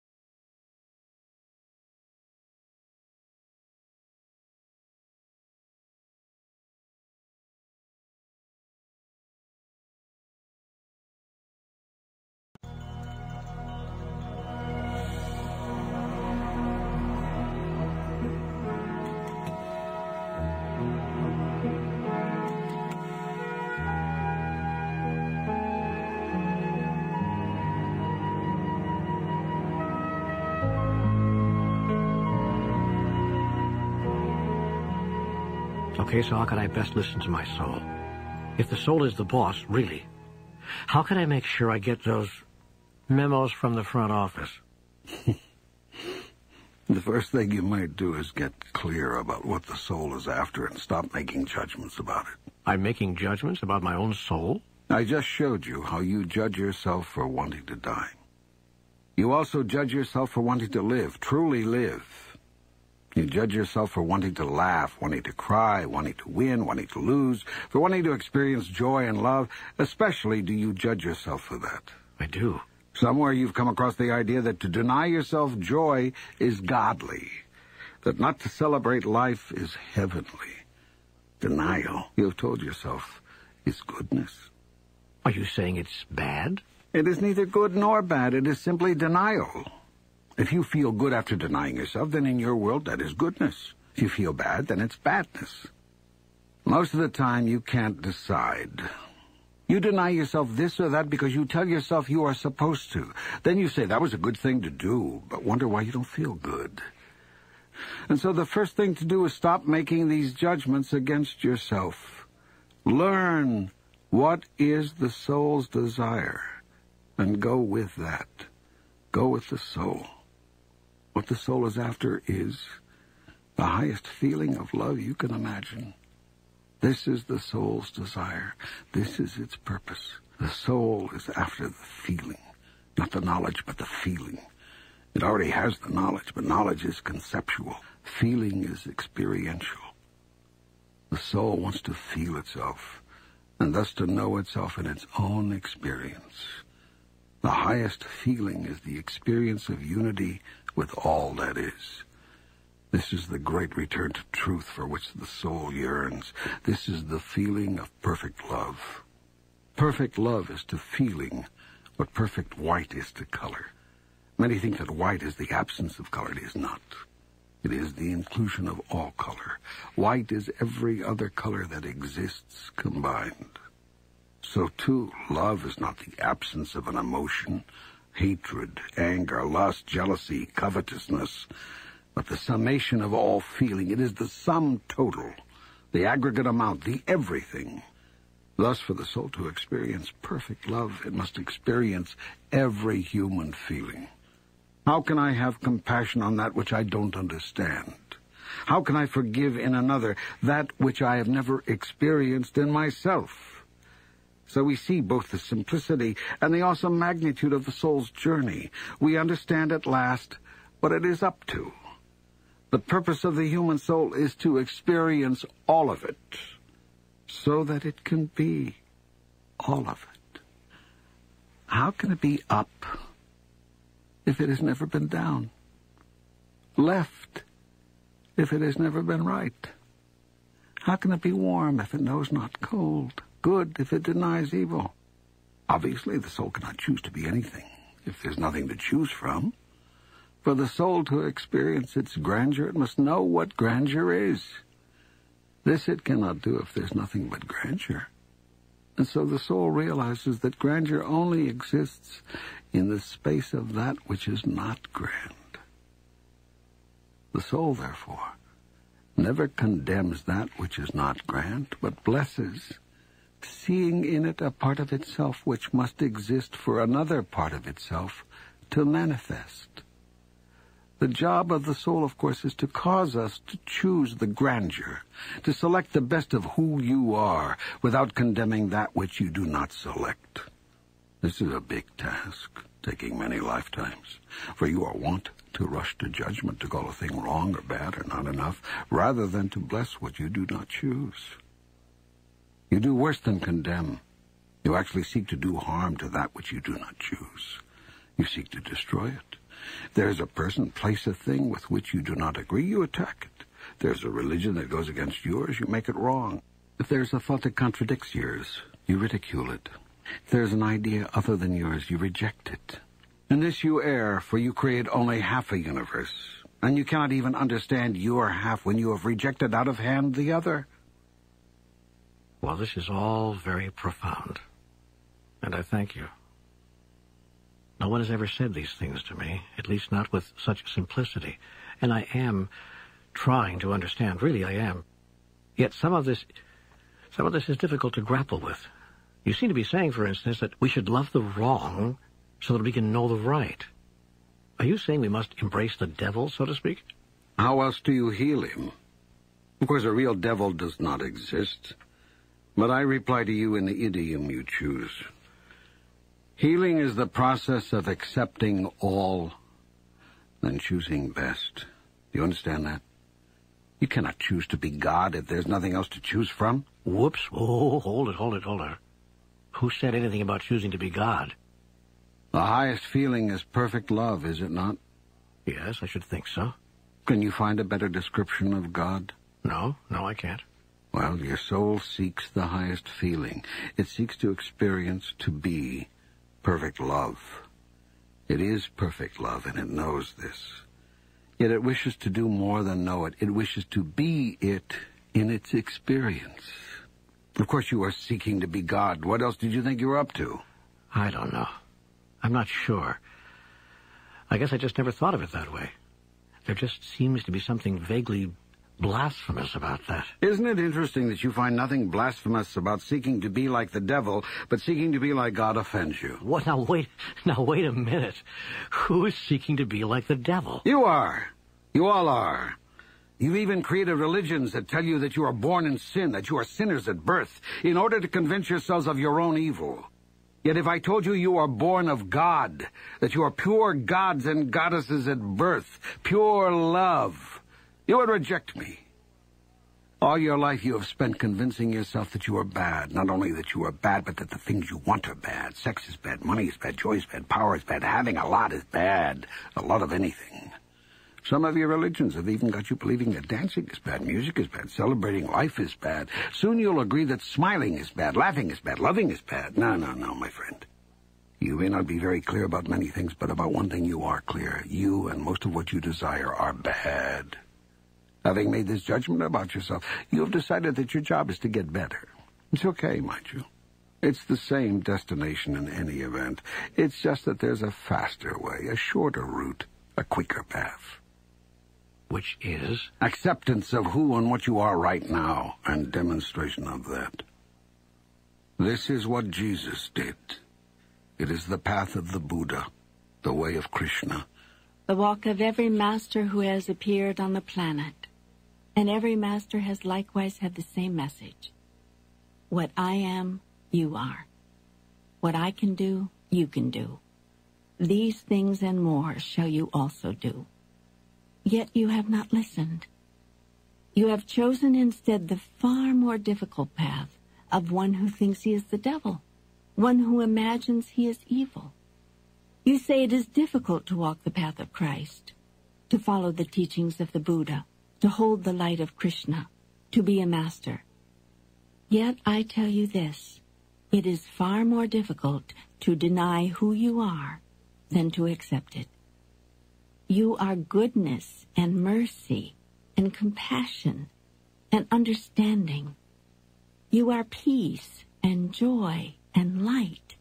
You are forgiveness and patience, strength and courage, a helper in time of need, a comforter in time of sorrow, a healer in time of injury, a teacher in times of confusion. You are the deepest wisdom and the highest truth, the greatest peace and the grandest love.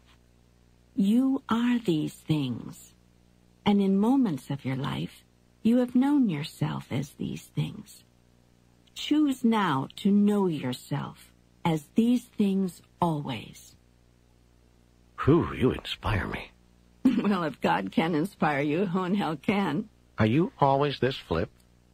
I meant that not as a flippancy. Listen to it again. Oh, I see. However, it would be okay if I were being flip, wouldn't it? I don't know. I'm used to my God being a little more serious. well, do me a favor and don't try and contain me. By the way, do yourself the same favor. It just so happens I have a great sense of humor. I'd say you'd have to when you see what you've all done with life, wouldn't you? I mean, sometimes I have to just laugh at it. It's all right, though, because you see, I know it'll all come out all right in the end. What do you mean by that? I mean, you can't lose in this game. You can't go wrong. It's not part of the plan. There's no way not to get where you're going. There's no way to miss your destination. If God is your target, you're in luck because God is so big you can't miss. Well, that's the big worry, of course. The big worry is that somehow we'll mess up and not get to ever see you, be with you. You mean get to heaven? Yes. We're all afraid of going to hell. So you've placed yourself there to begin with in order to avoid going there. Hmm, interesting strategy. there you go, being flip again. I can't help it. This whole hell thing brings out the worst in me. Good grief, you're, you're a regular comedian. It took you this long to find that out? You looked at the world lately? Which, which brings me to another question. Why did you fix the world instead of allowing it to go straight to hell? Why don't you? I? I don't have the power. Nonsense. You've the power and the ability right now to end world hunger this minute, to cure diseases this instant. What if I told you your own medical profession holds back cures, refuses to approve alternative medicines and procedures because they threaten the very structure of the healing profession? What if I told you that the governments of the world do not want to end world hunger? Would you believe me? Well, I'd have a hard time with that. I know that's the populist view, but I can't believe it's actually true. I mean, no doctor wants to deny a cure. No countryman wants to see his people die. No individual doctor, that's true. No particular countryman, that's right. But doctoring and politicking have become institutionalized. And it's the institutions that fight these things, sometimes very subtly, sometimes even unwittingly, but inevitably. Because to those institutions, it's a matter of survival. And so to give you just one very simple and obvious example, doctors in the West deny the healing efficacies of doctors in the East because to accept them, to admit that certain alternate modalities might just provide some healing, would be to tear at the very fabric of the institution as it has structured itself. This is not malevolent, yet it is insidious. The profession doesn't do this because it is evil. It does it because it is scared. All attack is a call for help. I read that in A Course in Miracles. I put it there. Boy, you have an answer for everything, don't you? Which reminds me, we only just started getting to your questions. We were discussing how to get your life on track, how to get it to take off. I was discussing the process of creation. Yes, and I kept interrupting. That's all right, but let's just get back because we don't want to lose the thread of something that's very important. Life is a creation not a discovery. You do not live each day to discover what it holds for you, but to create it. You are creating your reality every minute, probably without knowing it. Here's why that is so and how that works. I have created you in the image and likeness of God. God is the creator. You are three beings in one. You can call these three aspects of being anything you want. Father, Son, and Holy Ghost, mind, body, and spirit, superconscious, conscious, and subconscious. Creation is a process that proceeds from these three parts of your body. Put another way, you create at three levels. The tools of creation are thought, word, and deed. All creation begins with thought, proceeds from the Father. All creation then moves to word. Ask and you shall receive. Speak and it shall be done unto you all creation is fulfilled indeed, and the Word was made flesh and dwelt among us. That which you think of, but thereafter never speak of, creates at one level. That which you think of and speak of creates at another level. That which you think, speak, and do becomes made manifest in your reality. To think, speak, and do something which you do not truly believe is impossible. Therefore, the process of creation must include belief or knowing. This is absolute faith. This is beyond hoping. This is knowing of a certainty. By your faith shall ye be healed. Therefore, the doing part of creation always includes knowing. It is a gut level clarity, a total certainty, a complete acceptance as reality of something. This place of knowing is a place of intense and incredible gratitude. It is a thankfulness in advance. And that, perhaps, is the biggest key to creation, to be grateful before and for the creation. Such taking for granted is not only condoned, but encouraged. It is the sure sign of mastery. All masters know in advance that the deed has been done. Celebrate and enjoy all that you create, have created. To reject any part of it is to reject a part of yourself. Whatever it is that is now presenting itself as part of your creation, own it, claim it, bless it, be thankful for it. Seek not to condemn it. God damn it. For to condemn it is to condemn yourself. If there is some aspect of creation you find you do not enjoy, bless it and simply change it. Choose again. Call forth a new reality. Think a new thought. Say a new word. Do a new thing. Do this magnificently, and the rest of the world will follow you. Ask it to. Call for it to. Say, I am the life and the way. Follow me. This is how to manifest God's will on earth as it is in heaven. If it is all as simple as that, if these steps are all we need, why does it not work that way for more of us? It does work that way for all of you. Some of you are using the system consciously with full awareness, and some of you are using it unconsciously without even knowing what you are doing. Some of you are walking in wakefulness, and some of you are sleepwalking. Yet all of you are creating your reality. Creating, not discovering. Using the power I have given you and the process I've just described. So you've asked when your life will take off, and I've given you the answer.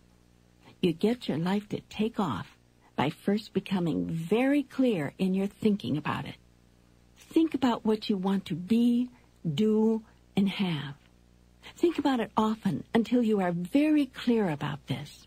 Then when you are very clear, think about nothing else. Imagine no other possibilities. Throw all negative thoughts out of your mental constructions. Lose all pessimism.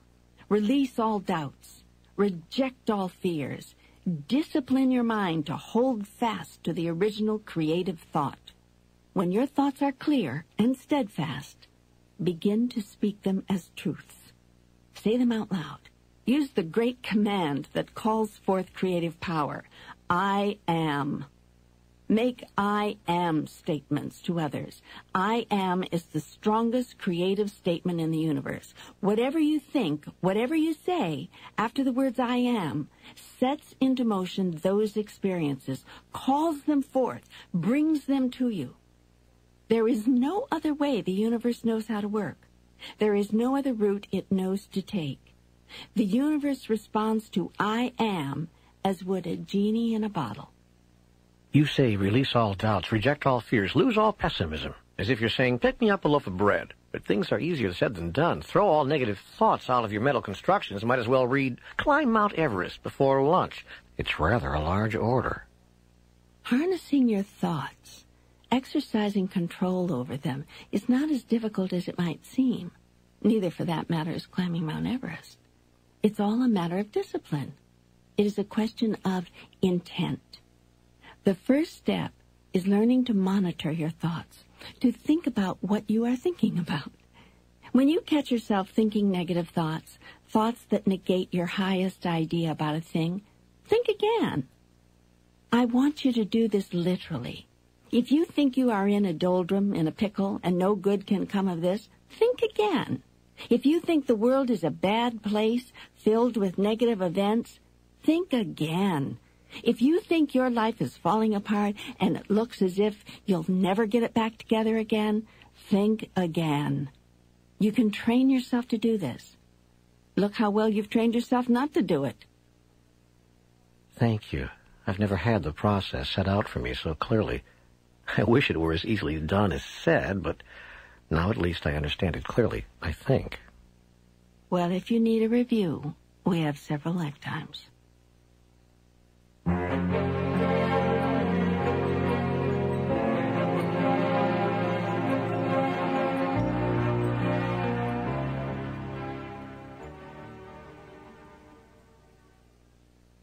What is the true path to God?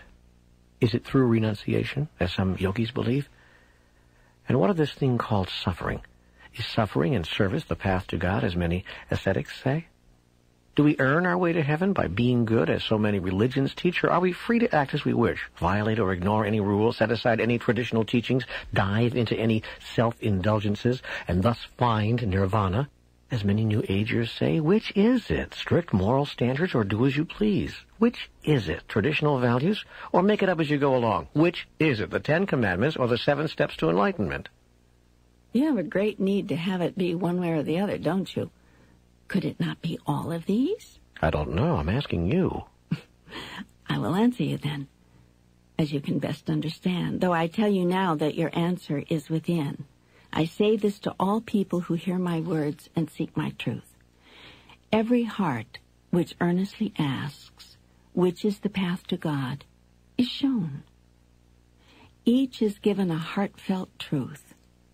Come to me along the path of your heart not through a journey of your mind. You will never find me in your mind. In order to truly know God, you have to be out of your mind. Your question begs an answer, and I will not step aside from the thrust of your inquiry. I will begin with a statement that will startle you and perhaps offend the sensitivities of many people. There are no such things as the Ten Commandments. Oh my God, there aren't? Who would I command? Myself? And why would such commandments be required? Whatever I want is. N'est-ce pas? Why is it therefore necessary to command anyone? And if I did issue commandments, would they not be automatically kept? How could I wish something to be so, so badly, that I would command it, and then sit by and watch it not be so? What kind of a king would do that? What kind of a ruler? And yet I tell you this, I am neither a king nor a ruler. I am simply and awesomely the creator. Yet the creator does not rule, but merely creates, creates, and keeps on creating. I have created you, blessed you, in the image and likeness of me and I have made certain promises and commitments to you. I have told you in plain language how it will be with you when you become as one with me. You are, as Moses was, an earnest seeker. Moses, too, as do you now, stood before me begging for answers. O God of my fathers, he called, God of my God, deign to show me. Give me a sign that I may tell my people how can we know that we are chosen? And I came to Moses, even as I have come to you now, with a divine covenant, an everlasting promise, a sure and certain commitment. How can I be sure? Moses asked plaintively. Because I have told you so, I said. You have the Word of God. And the Word of God was not a commandment, but a covenant. These then are the Ten Commitments. You shall know that you have taken the path to God, and you shall know that you have found God, for there will be these signs, these indications, these changes in you. You shall love God with all your heart, all your mind, all your soul, and there shall be no other God set before me. No longer will you worship human love or success, money or power, nor any symbol thereof. You will set aside these things as a child sets aside toys, not because they are unworthy, but because you have outgrown them. And you shall know that you have taken the path to God because you shall not use the name of God in vain nor will you call upon me for frivolous things. You will understand the power of words and of thoughts, and you would not think of invoking the name of God in an ungodly manner. You shall not use my name in vain, because you cannot. For my name, the great I am, is never used in vain, that is, without result nor can it ever be. And when you have found God, you shall know this. And I shall give you these other signs as well. You shall remember to keep a day for me, and you shall call it holy. This so that you do not long stay in your illusion, but cause yourself to remember who and what you are. And then shall you soon call every day the Sabbath, and every moment holy. You shall honor your mother and your father, and you will know you are the Son of God when you honor your Father, Mother, God in all that you say or do or think. And even as you so honor the Mother, Father, God, and your Father and Mother on earth, for they have given you life, so too will you honor everyone. You know you have found God when you observe that you will not murder, that is, willfully kill without cause. For while you will understand that you cannot end another's life in any event, all life is eternal, you will not choose to terminate any particular incarnation nor change any life energy from one form to another without the most sacred justification.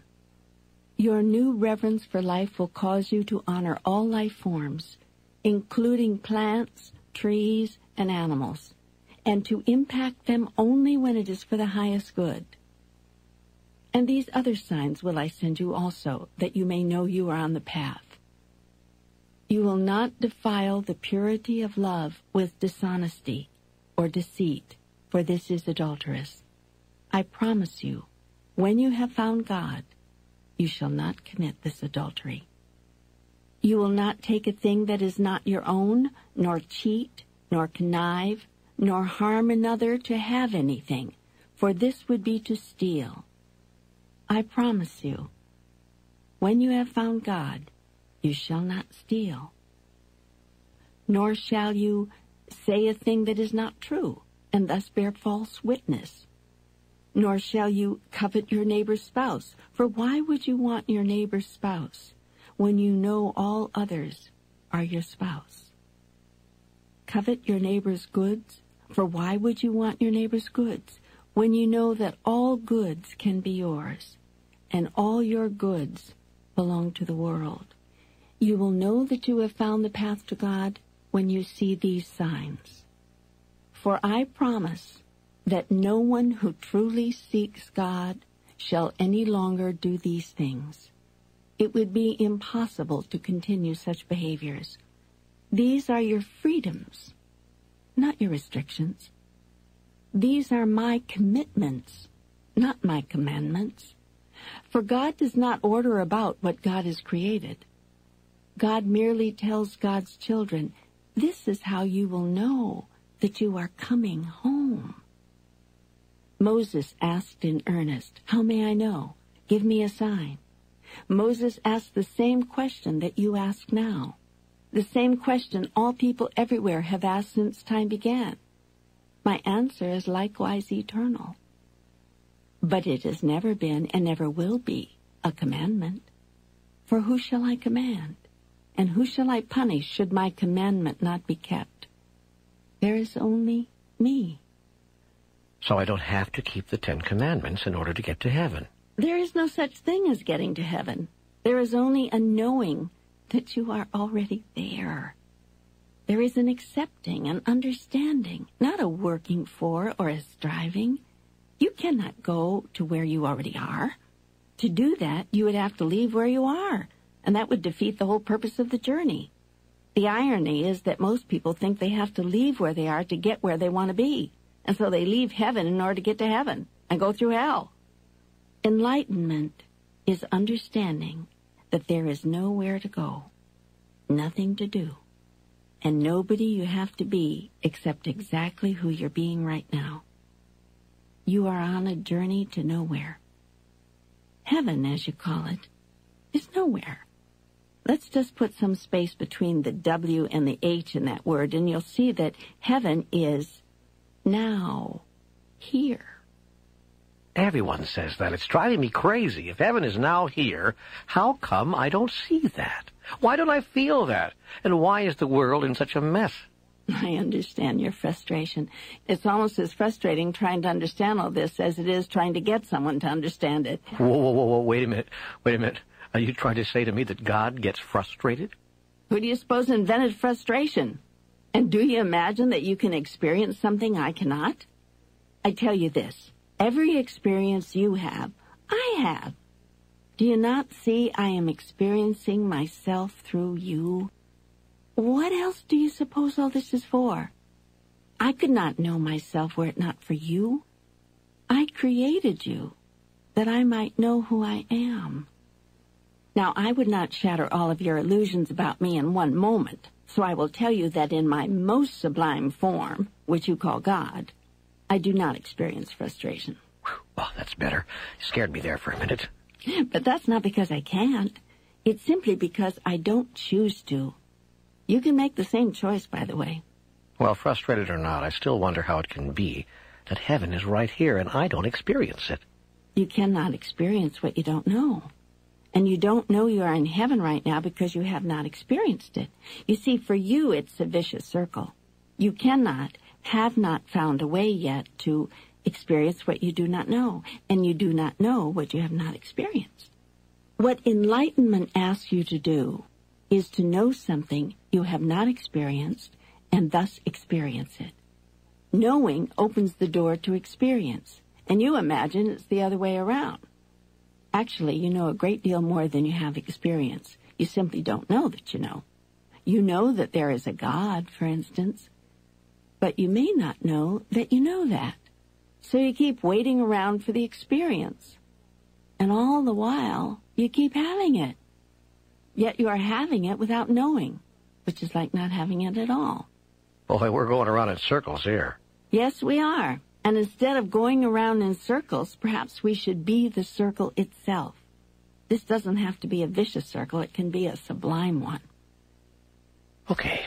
A question then. Is renunciation a part of the truly spiritual life? Yes, because ultimately all spirit renounces what is not real, and nothing in the life you lead is real, save your relationship with me. Yet renunciation, in the classic sense of self-denial, is not required. A true master does not give up something.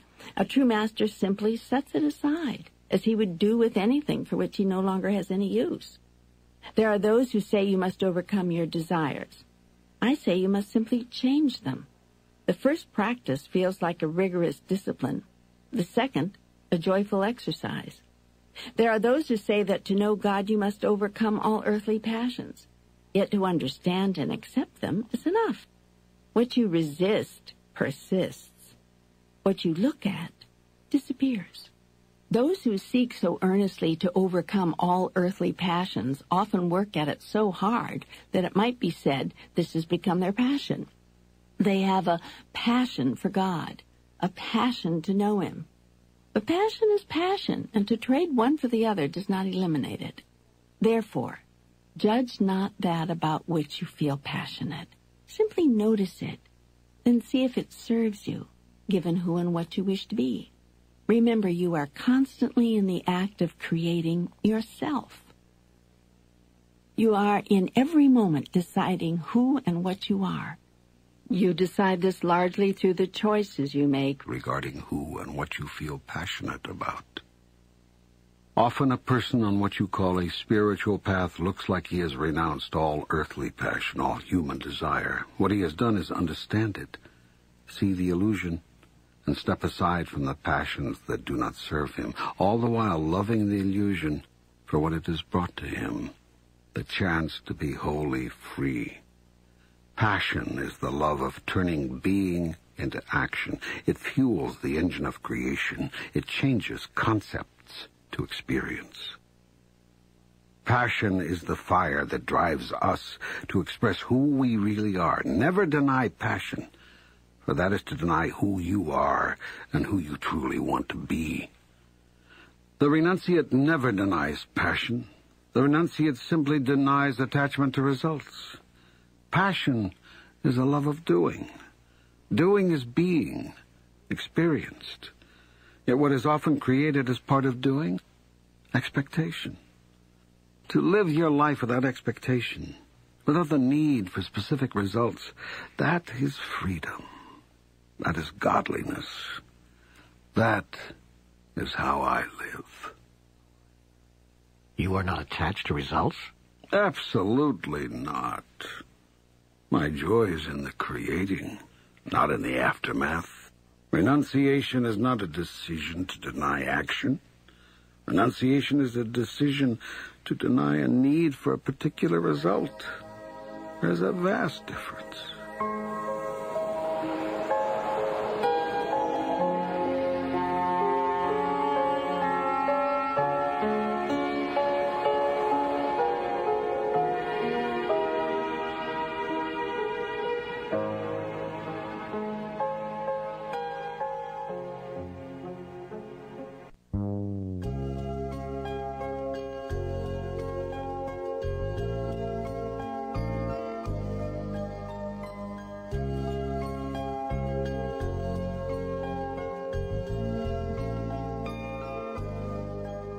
Explain what you mean by the statement, passion is the love of turning being into action?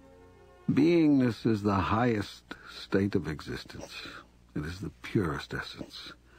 It is the now, not now, the all, not all, the always, never aspect of God.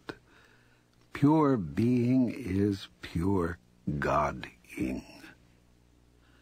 Yet it has never been enough for us to simply be. We have always yearned to experience what we are. And that requires a whole other aspect of divinity called doing. Let us say that you are, at the core of your wonderful self, that aspect of divinity called love. This is, by the way, the truth of you. Now, it is one thing to be love, and quite another thing to do something loving. The soul longs to do something about what it is, in order that it might know itself in its own experience. So it will seek to realize its highest idea through action. This urge to do this is called passion.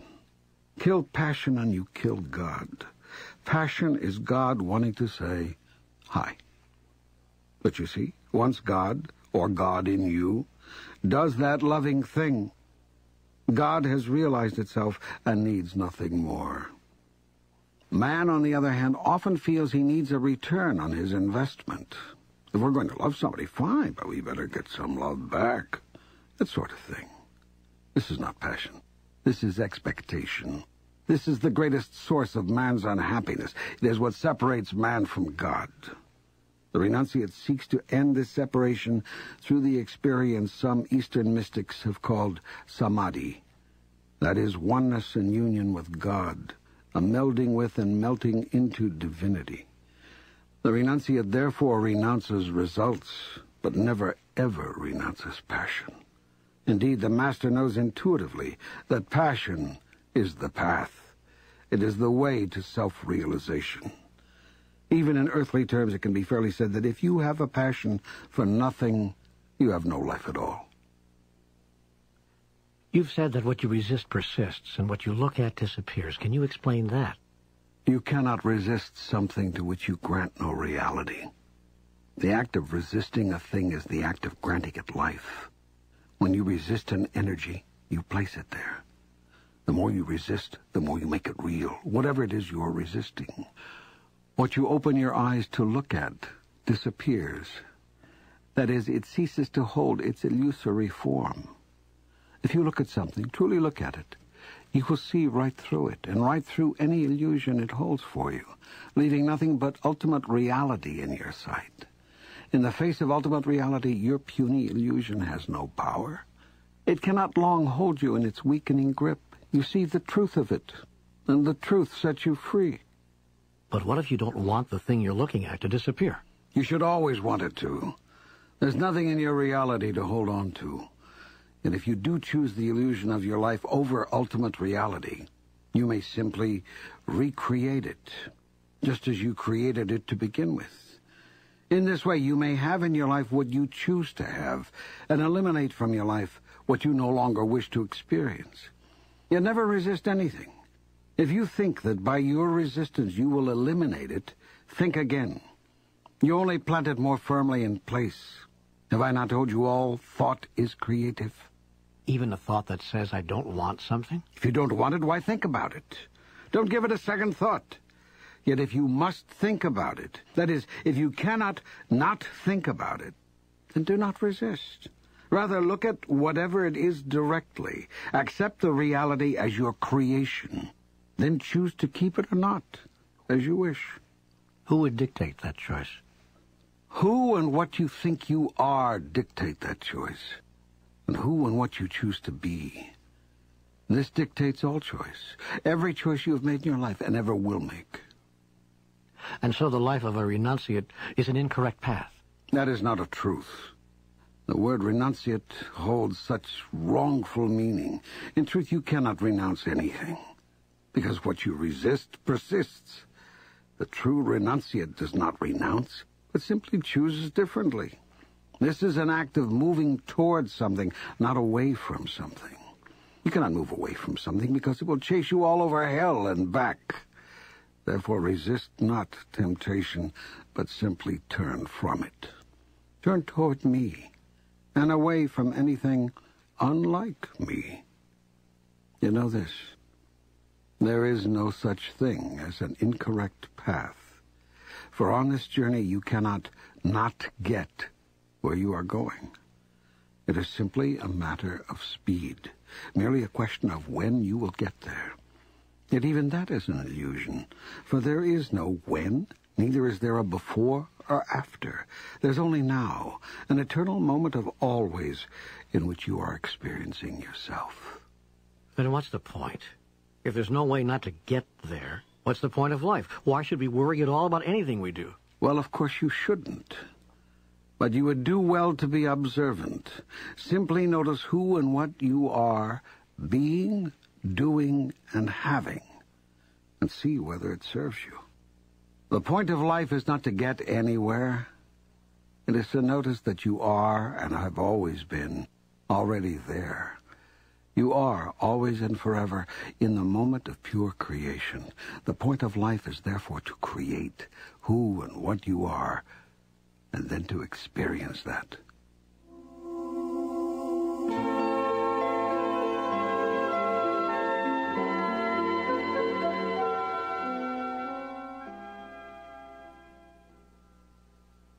And what of suffering? Is suffering the way and the path to God? Some say it is the only way. I am not pleased by suffering, and whoever says I am does not know me. Suffering is an unnecessary aspect of the human experience. It is not only unnecessary, it is unwise, uncomfortable, and hazardous to your health.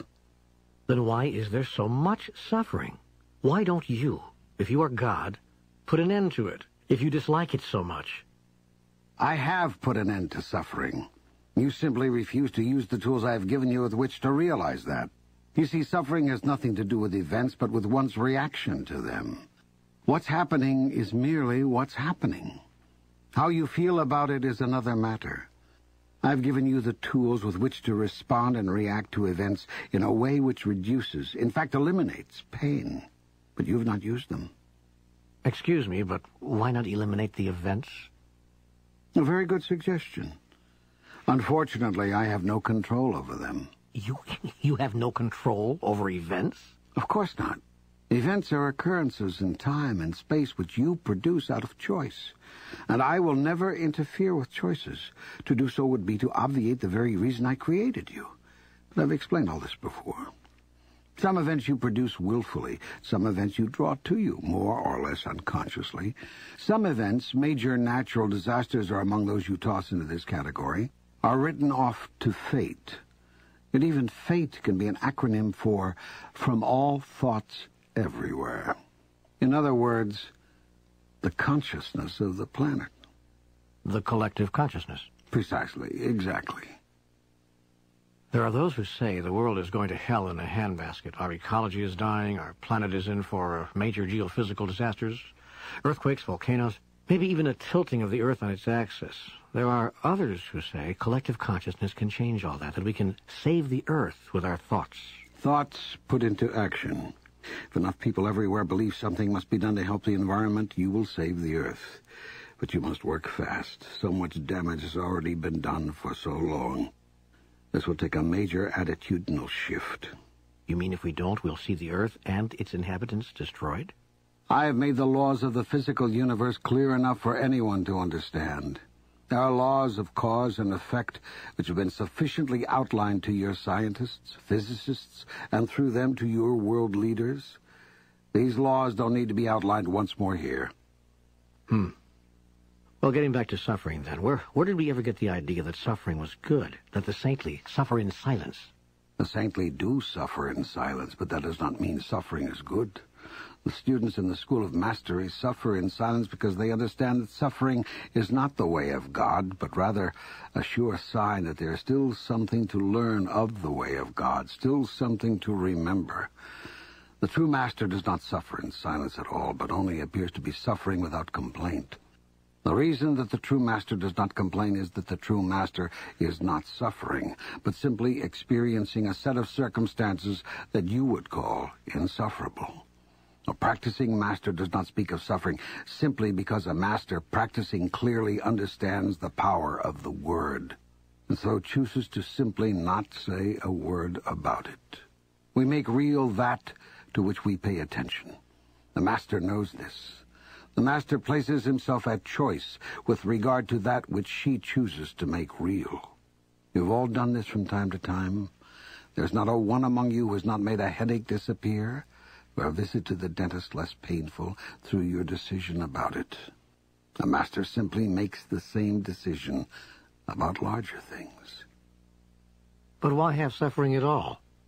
Why have even the possibility of suffering? You cannot know and become that which you are in the absence of that which you are not, as I have already explained to you. I still don't understand how he ever got the idea that suffering was good. You are wise to be insistent in questioning that. The original wisdom surrounding suffering and silence has become so perverted that now many believe, and several religions actually teach, that suffering is good and joy is bad. Therefore, you have decided that if someone has cancer but keeps it to himself, he is a saint.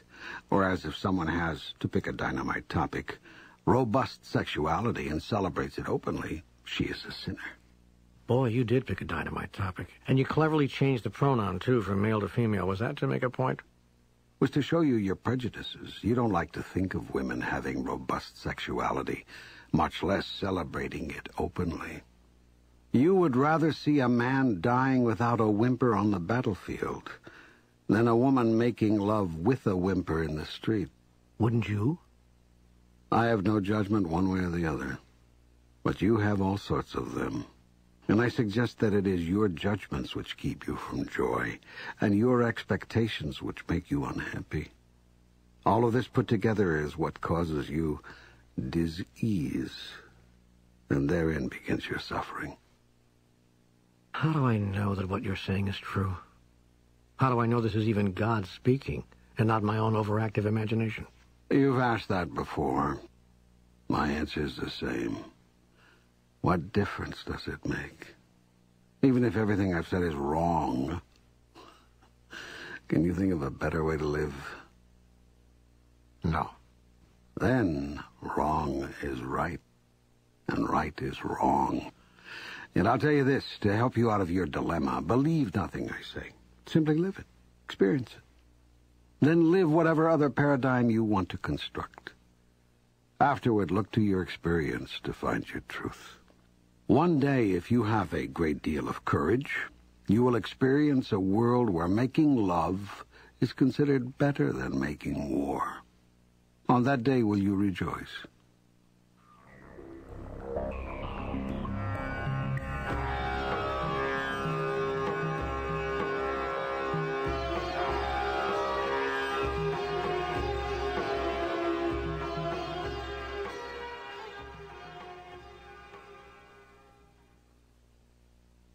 Life is so scary and so confusing.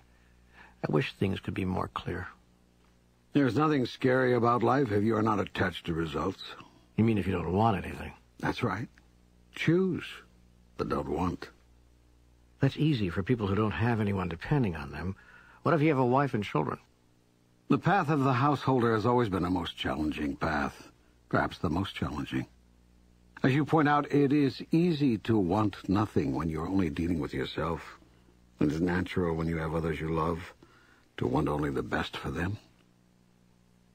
Well, it hurts when you can't give them all that you want them to have. A nice home, some decent clothes, enough food. I feel as though I've been struggling for 20 years just to make ends meet. When I still have nothing to show for it. You mean in terms of material wealth? I mean in terms of just some of the basics that a man would like to pass on to his children. I mean in terms of some of the very simple things a man would like to provide for his wife. I see.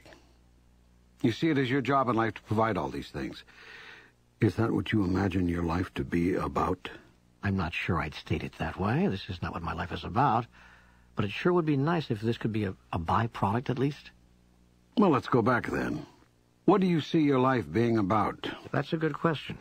I've had a lot of different answers to that through the years. What is your answer now? Well, it feels as though I have two answers to that question. The answer I'd like to see and the answer I'm seeing. What's the answer you'd like to see? I'd like to see my life being about the evolution of my soul. I'd like to see my life being about expressing and experiencing the part of me I love most, the part of me that is compassion and patience and giving and helping, the part of me that is knowing and wise, forgiving, and love. Sounds like you've been listening to me. Yes. Yes, it's beautiful on an esoteric level, but I'm trying to figure out how to practicalize that. So the answer to your question that I see being real in my life is that it's about day-to-day survival. Oh, and you think one precludes the other. Well, You think esoterics preclude survival. the truth is, I'd like to do more than just survive. I've been surviving all these years. I notice I'm still here. But I'd like the struggle for survival to end. I see that just getting by from day to day is still a struggle. I'd like to do more than just survive. I'd like to prosper. Now, what would you call prospering? Having enough that I don't have to worry where my next dollar is coming from. Not having to stress and strain just to make the rent or handle the phone bill. I mean, I hate to get so mundane. But we're talking real life here, not an airy-fairy, spiritually romanticized picture of life. Do I hear a little anger there? Not anger so much as frustration. I've been at the spiritual game for over 20 years now, and look where it's gotten me. One paycheck away from the poorhouse. And now I've just lost my job, and it looks like the cash flow has stopped again. I'm getting really tired of the struggle. I'm 49 years old, and I'd like to have some security in life so I could devote more time to God stuff, to soul evoluting. That is where my heart is, but it's not where my life allows me to go.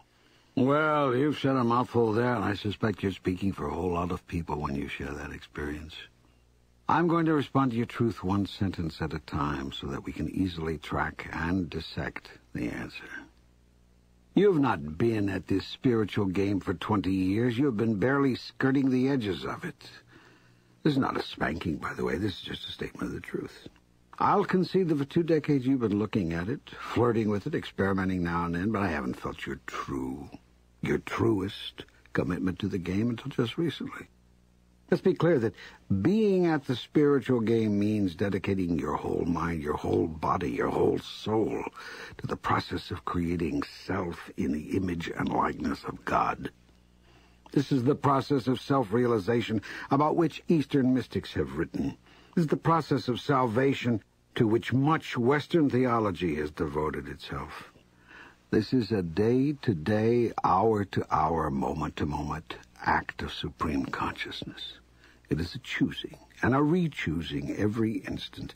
It is ongoing creation, conscious creation, creation with a purpose.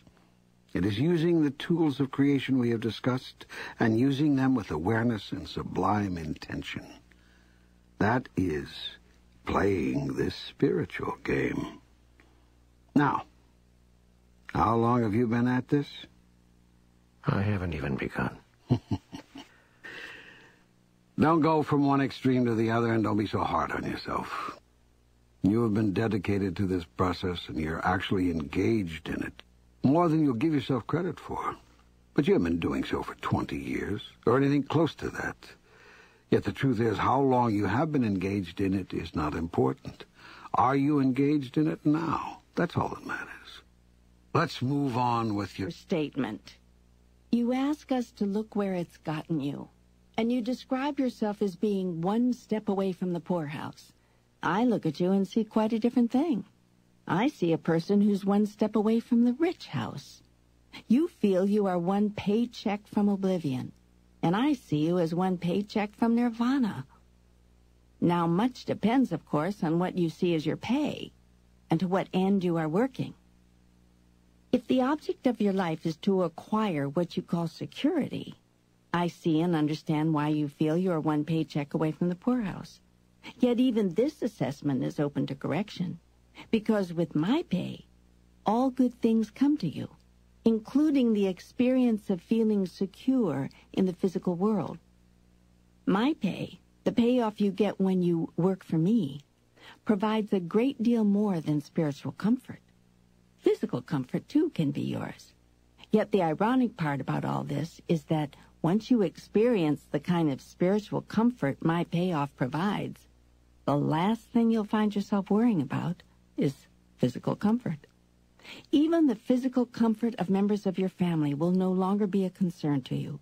For once you rise to a level of God consciousness, you will understand that you are not responsible for any other human soul, and that while it is commendable to wish every soul to live in comfort, each soul must choose, is choosing, its own destiny this instant. Clearly it is not the highest action to deliberately abuse or destroy another. Clearly it is equally inappropriate to neglect the needs of those you have caused to be dependent on you. Your job is to render them independent, to teach them as quickly and completely as possible how to get along without you. For you are no blessing to them as long as they need you to survive. But bless them truly only in the moment they realize you are unnecessary. In the same sense, God's greatest moment is the moment you realize you need no God. I know, I know. This is the antithesis of everything you've ever been taught. Your teachers have told you of an angry God, a jealous God, a God who needs to be needed. And that is not a God at all, but a neurotic substitute for that which would be a deity. A true master is not the one with the most students, but one who creates the most masters. A true leader is not the one with the most followers, but one who creates the most leaders. A true king is not the one with the most subjects, but one who leads the most to royalty. A true teacher is not the one with the most knowledge, but one who causes the most others to have knowledge. And a true God is not one with the most servants, but one who serves the most, thereby making gods of all others. For this is both the goal and the glory of God, that my subjects shall be no more, and that all shall know God not as the unattainable, but as the unavoidable.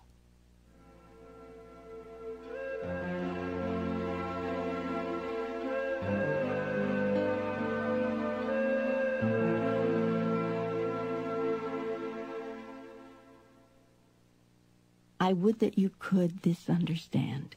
Your happy destiny is unavoidable. You cannot not be saved. There is no hell except not knowing this. So now, as parents, spouses, and loved ones, seek not to make of your love a glue that binds, but rather a magnet that first attracts, then turns around and repels lest those who are attracted begin to believe they must stick to you to survive. Nothing could be further from the truth. Nothing could be more damaging to another. Let your love propel your beloveds into the world and into the full experience of who they are. In this will you have truly loved. It is a great challenge, this path of the householder. There are many distractions, many worldly concerns. The ascetic is bothered by none of these. He has brought his bread and water and given his humble mat on which to lie. And he can devote his every hour to prayer, meditation, and contemplation of the divine. How easy to see the divine under such circumstances. How simple a task. Ah, but give one a spouse and children See the divine in a baby who needs changing at 3 a.m. See the divine in a bill that needs paying by the first of the month. Recognize the hand of God in the illness that takes a spouse, the job that's lost, the child's fever, the parent's pain. Now we are talking saintliness. I understand your fatigue. I know you are tired of the struggle. Yet I tell you this. When you follow me, the struggle disappears. Live in your God space, and the events become blessings, one and all. How? How can I get to my God space? When I've lost my job, the rent needs paying, the kids need a dentist, and being in my lofty philosophical space seems the least likely way to solve any of this. Do not forsake me when you need me most. Now is the hour of your greatest testing. Now is the time of your greatest chance. It is the chance to prove everything that has been recorded here. When I say don't forsake me, I sound like that needy, neurotic God we talked about, but I'm not. You can forsake me all you want. I don't care. And it won't change a thing between us. I merely say this in answer to your questions. It is when the going gets tough that you so often forget who you are and the tools I have given you for creating the life that you would choose. Now is the time to go to your God space more than ever. First, it will bring you great peace of mind, and from a peaceful mind do great ideas flow. Ideas which could be solutions to the biggest problems you imagine yourself to have. Second, it is in your God space that you self-realize. And that is the purpose, the only purpose of your soul.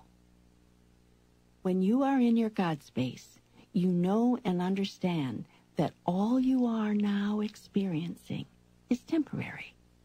I tell you that heaven and earth shall pass away, but you shall not. This everlasting perspective helps you to see things in their proper light. You can define these present conditions and circumstances as what they truly are, temporary and temporal. You may then use them as tools, for that is what they are temporary temporal tools in the creation of present experience. Just who do you think you are in relationship to the experience called lose a job? Who do you think you are? And perhaps more to the point, who do you think I am? Do you imagine this is too big a problem for me to solve? Is getting out of this jam too big a miracle for me to handle? I understand that you may think it's too big for you to handle, even with all the tools I've given you. But do you really think it's too big for me? Well, I know intellectually that no job is too big for God. But emotionally, I guess I can't be sure. Not whether you can handle it, but whether you will. I see. So it's a matter of faith. Well, yes.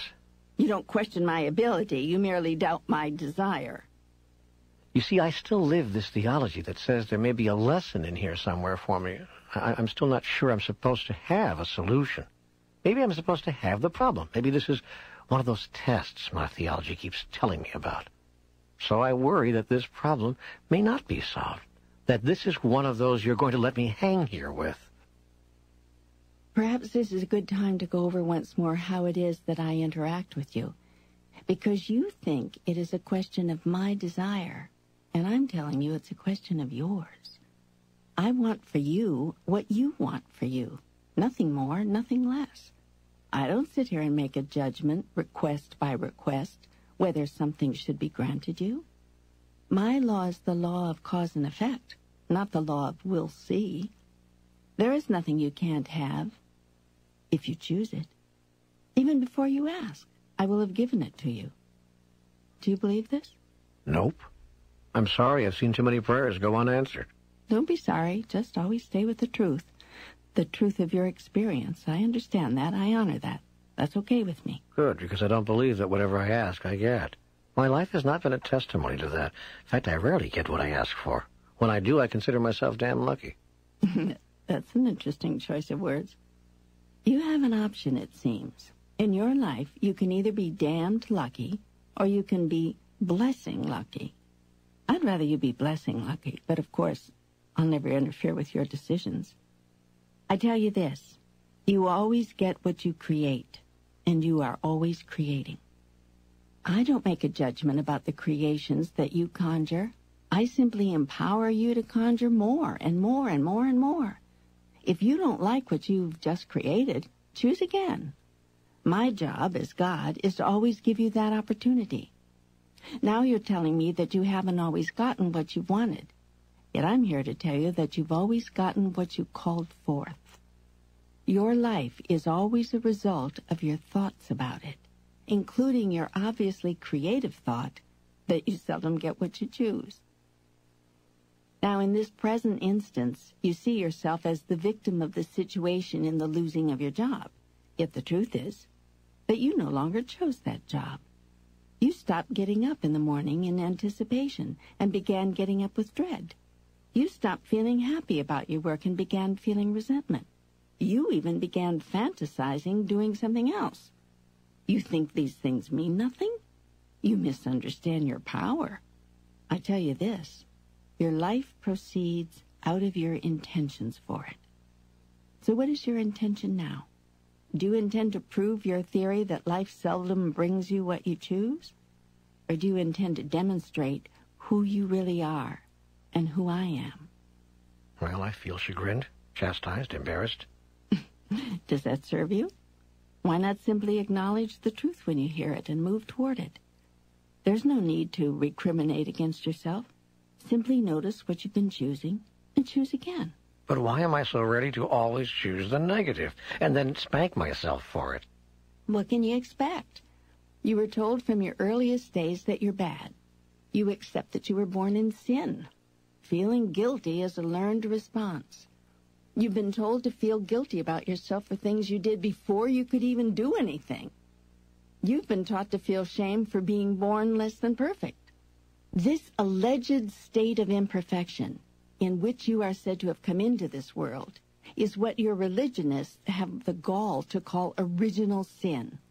And it is original sin, but not yours.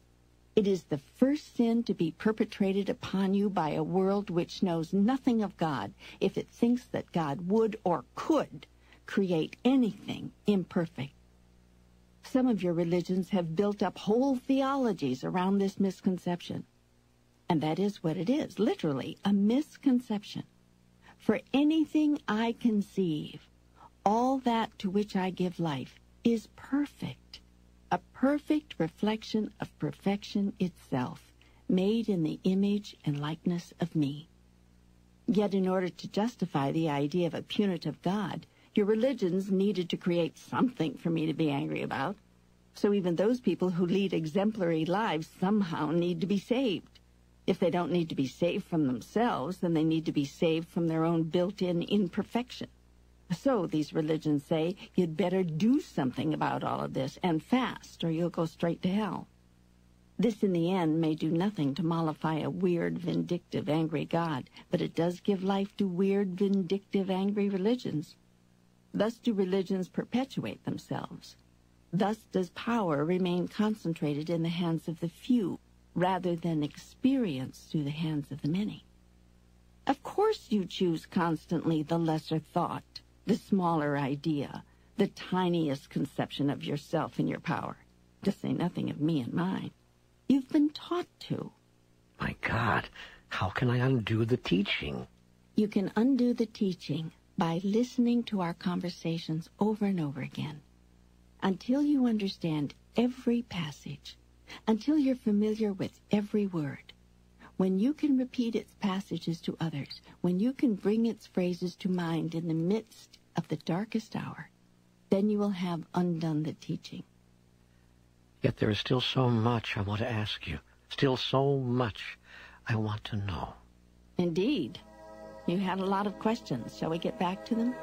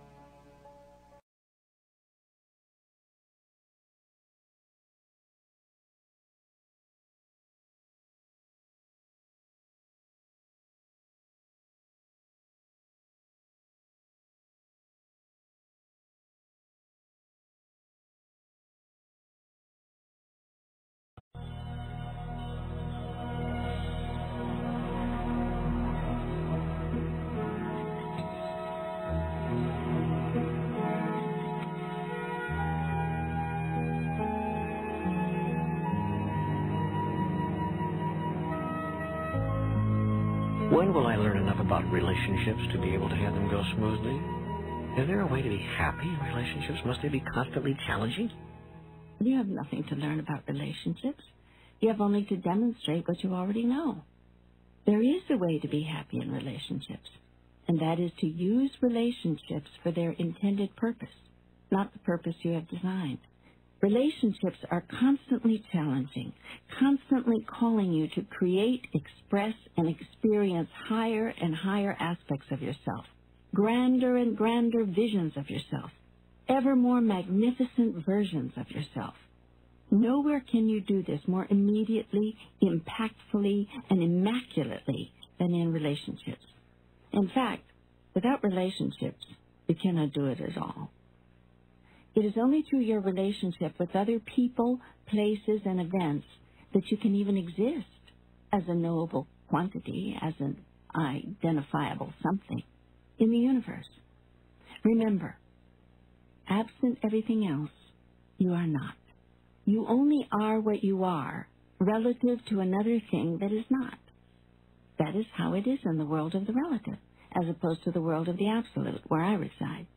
Once you clearly understand this, once you deeply grasp it, then you intuitively bless each and every experience, all human encounter, and especially personal human relationships, for you see them as constructive in the highest sense. You see that they can be used, must be used, are being used, whether you want them to be or not, to construct who you really are. That construction can be a magnificent creation of your own conscious design, or a strictly happenstance configuration. You can choose to be a person who has resulted simply from what has happened, or from what you've chosen to be and do about what has happened. It is in the latter form that creation of self becomes conscious. It is in the second experience that self becomes realized. Bless, therefore, every relationship and hold each as special and formative of who you are and now choose to be. Now, your inquiry has to do with individual human relationships of the romantic sort, and I understand that. So let me address myself specifically and at length to human love relationships, these things which continue to give you such trouble. When human love relationships fail, relationships never truly fail except in the strictly human sense that they did not produce what you want. They fail because they were entered into for the wrong reason. Wrong, of course, is a relative term meaning something measured against that which is right, whatever that is. It would be more accurate in your own language to say relationships fail, change, most often when they are entered into for reasons not wholly beneficial or conducive to their survival. Most people enter into relationships with an eye toward what they can get out of them rather than what they can put into them. The purpose of a relationship is to decide what part of yourself you'd like to see show up, not what part of another you can capture and hold. There can be only one purpose for relationships and for all of life to be and to decide who you really are. It is very romantic to say that you were nothing until that special other came along, but it's not true. Worse, it puts an incredible pressure on the other to be all sorts of things he or she is not. Not wanting to let you down, they try very hard to be and do these things until they cannot anymore. They can no longer complete your picture of them. They can no longer fill the roles to which they have been assigned. Resentment builds, anger follows. Finally, in order to save themselves and the relationship, these special others begin to reclaim their real selves, acting more in accordance with who they really are. It is about this time that you say they've really changed. It's very romantic to say that now that your special other has entered your life, you feel complete.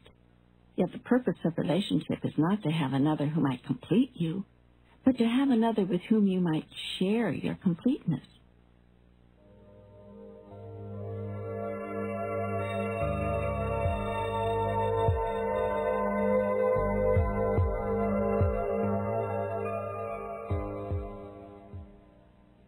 Here is the paradox of all human relationships.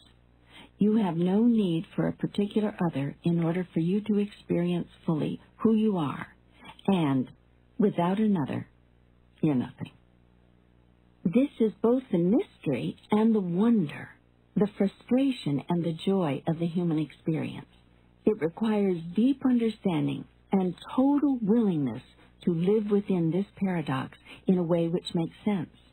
I observe that very few people do. Most of you enter your relationship forming years ripe with anticipation, full of sexual energy, a wide open heart, and a joyful, if eager, soul. Somewhere between 40 and 60, and for most it is sooner rather than later, you've given up on your grandest dream, set aside your highest hope, and settled for your lowest expectation, or nothing at all. The problem is so basic, so simple, and yet so tragically misunderstood. Your grandest dream, your highest idea, and your fondest hope has had to do with your beloved other rather than your beloved self. The test of your relationships has had to do with how well the other lived up to your ideas and how well you saw yourself living up to his or hers. Yet the only true test has to do with how well you live up to yours. Relationships are sacred because they provide life's grandest opportunity, indeed, its only opportunity, to create and produce the experience of your highest conceptualization of self.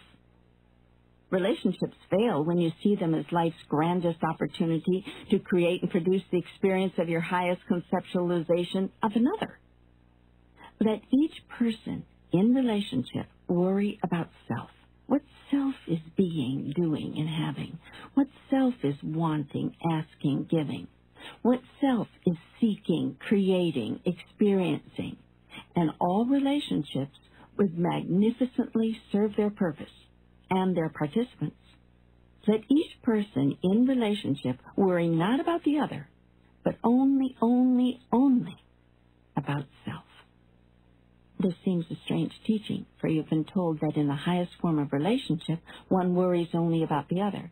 Yet I tell you this, your focus upon the other, your obsession with the other, is what causes relationships to fail. What is the other being?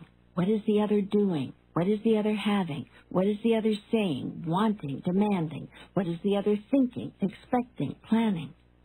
The Master understands that it doesn't matter what the other is being, doing, having, saying, wanting, demanding. It doesn't matter what the other is thinking, expecting, planning. It only matters what you are being in relationship to that. The most loving person is the person who is self-centered. That is a radical teaching. Not if you look at it carefully. If you cannot love yourself, you cannot love another. Many people make the mistake of seeking love of self through love of another.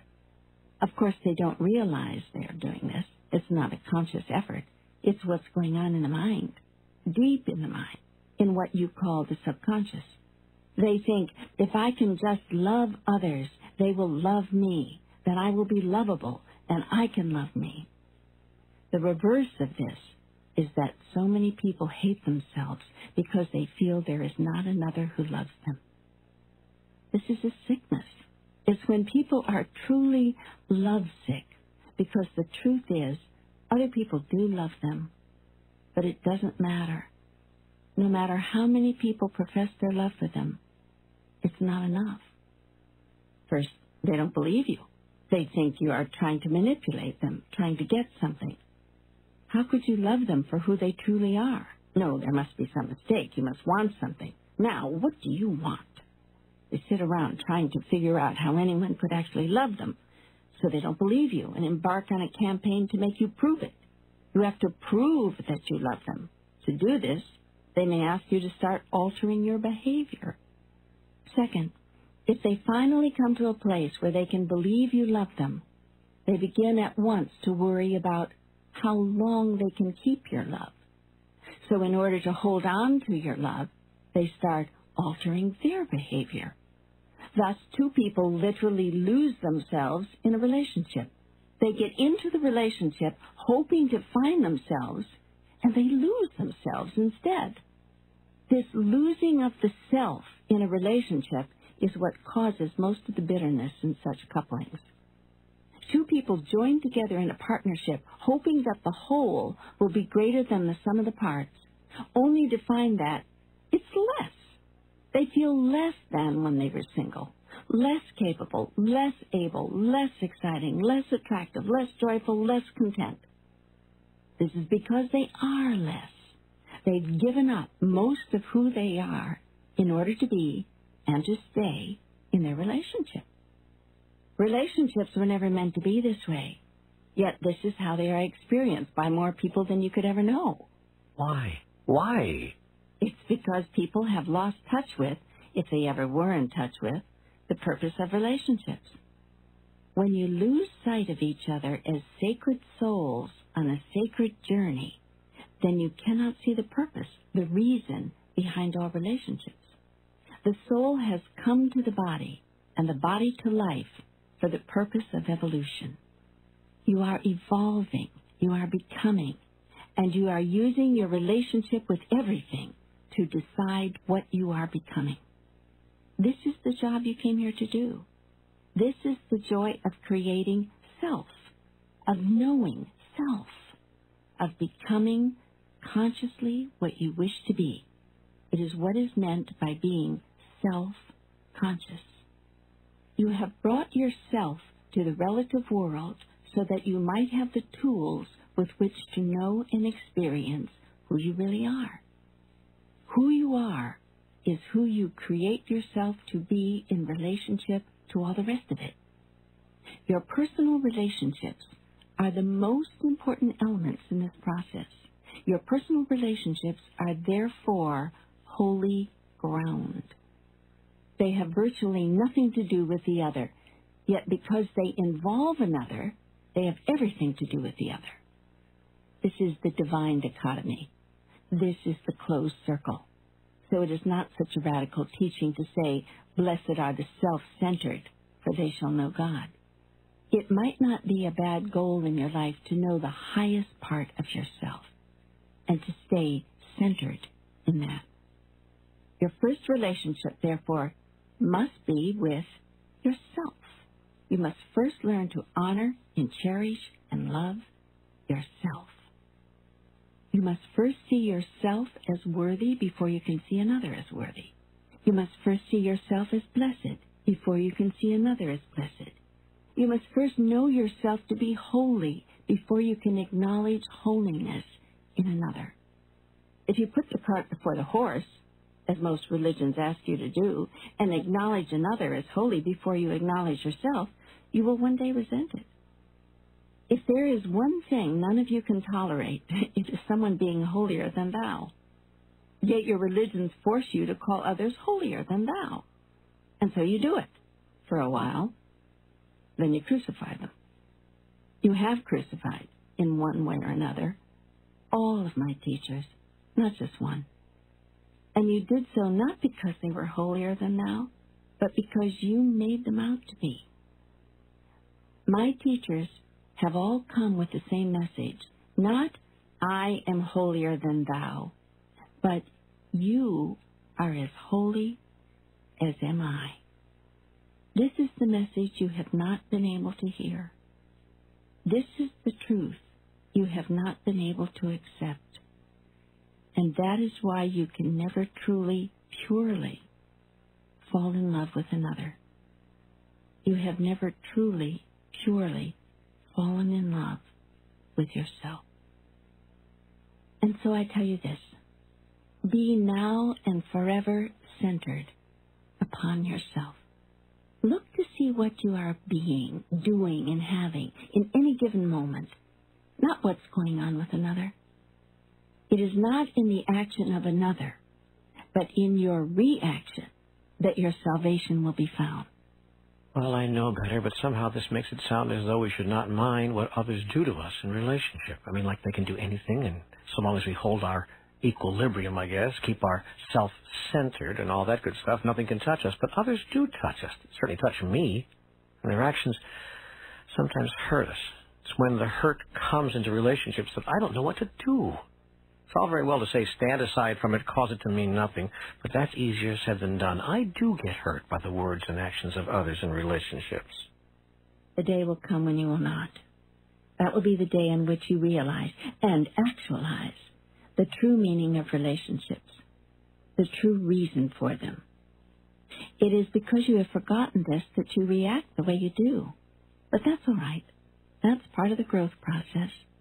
It's part of evolution. It is soul work you are up to in relationship. And that is a grand understanding, a grand remembering. Until you remember this, and remember then also how to use relationship as a tool in the creation of self. You must work at the level at which you are, the level of understanding, the level of willingness, the level of remembrance. And so there are things you can do when you react with pain and hurt to what another is being, saying, or doing. The first is to admit honestly to yourself and to another exactly how you're feeling. This many of you are afraid to do because you think it'll make you look bad. Somewhere deep inside of you, you realize that it probably is ridiculous for you to feel that way. It probably is small of you. You are bigger than that, but you can't help it. You still feel that way. There's only one thing you can do. You must honor your feelings. For honoring your feelings means honoring yourself. And you must love your neighbor as you love yourself. How can you ever expect to understand and honor the feelings of another if you cannot honor the feelings within yourself? The first question in any interactive process with another is, now who am I and who do I want to be in relationship to that? Often you do not remember who you are and do not know who you want to be until you try out a few ways of being. That is why honoring your truest feelings is so important. If your first feeling is a negative feeling, simply having the feeling is frequently all that is needed to step away from it. It is when you have the anger, have the upset, have the disgust, have the rage, own the feeling of wanting to hurt back, that you can disown these first feelings as not who you want to be. The master is one who has lived through enough such experiences to know in advance what her final choices are. She does not need to try out anything. She's worn these clothes before and knows they do not fit. They're not her.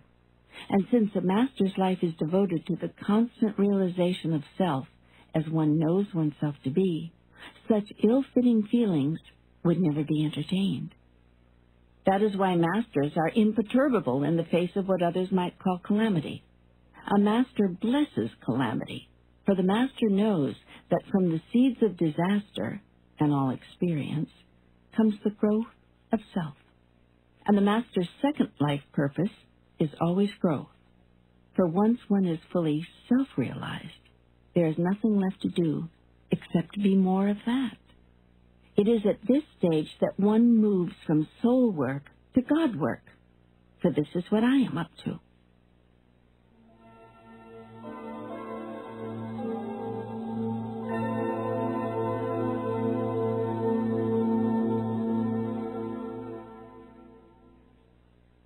I will assume for the purposes of this discussion that you are still up to soul work. You are still seeking to realize, make real, who you truly are.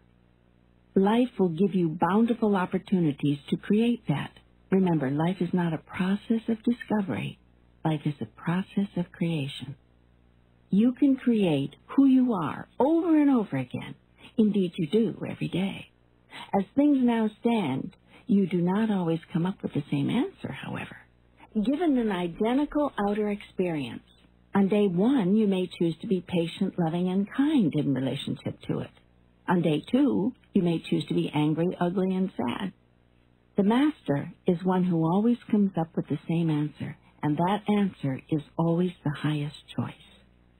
In this, the master is eminently predictable.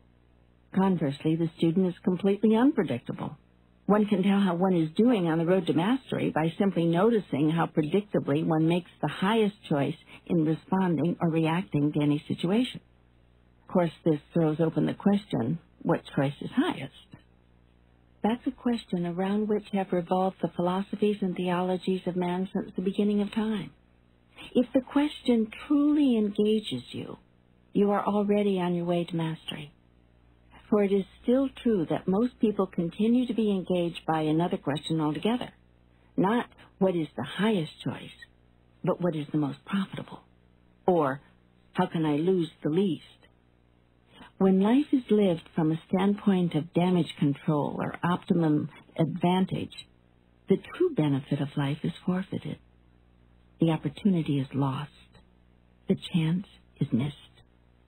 For a life lived thusly is a life lived with fear, and that life speaks a lie about you. For you are not fear. You are love. Love that needs no protection, love that cannot be lost.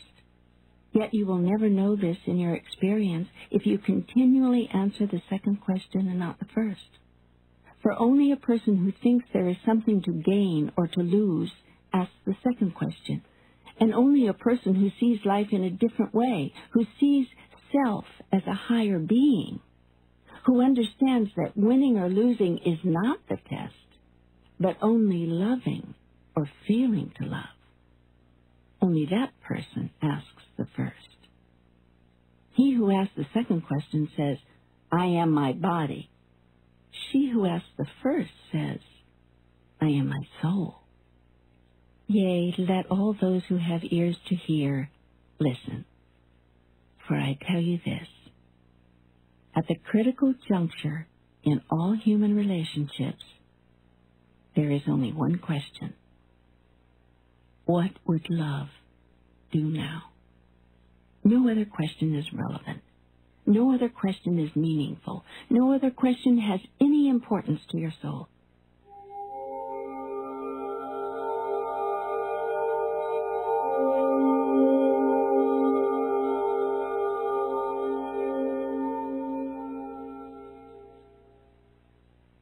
Now we come upon a very delicate point of interpretation. For this principle of love-sponsored action has been widely misunderstood. And it is this misunderstanding which has led to the resentments and angers of life, which in turn have caused so many to stray from the path. For centuries, you have been taught that love-sponsored action arises out of the choice to be, do, and have whatever produces the highest good for another. Yet I tell you this. The highest choice is that which produces the highest good for you. As with all profound spiritual truth, this statement opens itself to immediate misinterpretation. The mystery clears a bit the moment one decides what is the highest good one could do for oneself. And when the absolute highest choice is made, the mystery dissolves. The circle completes itself. And the highest good for you becomes the highest good for another. It may take lifetimes to understand this, and even more lifetimes to implement. For this truth revolves around an even greater one. What you do for yourself, you do for another. What you do for another, you do for the self. This is because you and the other are one. And this is because there is not but you. All the masters who have walked your planet have taught this. Verily, verily, I say unto you, inasmuch as ye have done it unto one of the least of these, my brethren, ye have done it unto me. Yet this has remained for most people merely a grand esoteric truth, with little practical application. In fact, it is the most practically applicable esoteric truth of all time. It is important in relationships to remember this truth for without it, relationships will be very difficult. Let's go back to the practical applications of this wisdom and step away from the purely spiritual, esoteric aspect of it for now. So often, under the old understandings, people, well-meaning and well-intentioned and many very religious, did what they thought would be best for the other person in their relationships. Sadly, all this produced in many cases, in most cases, was continued abuse by the other, continued mistreatment, continued dysfunction in the relationship.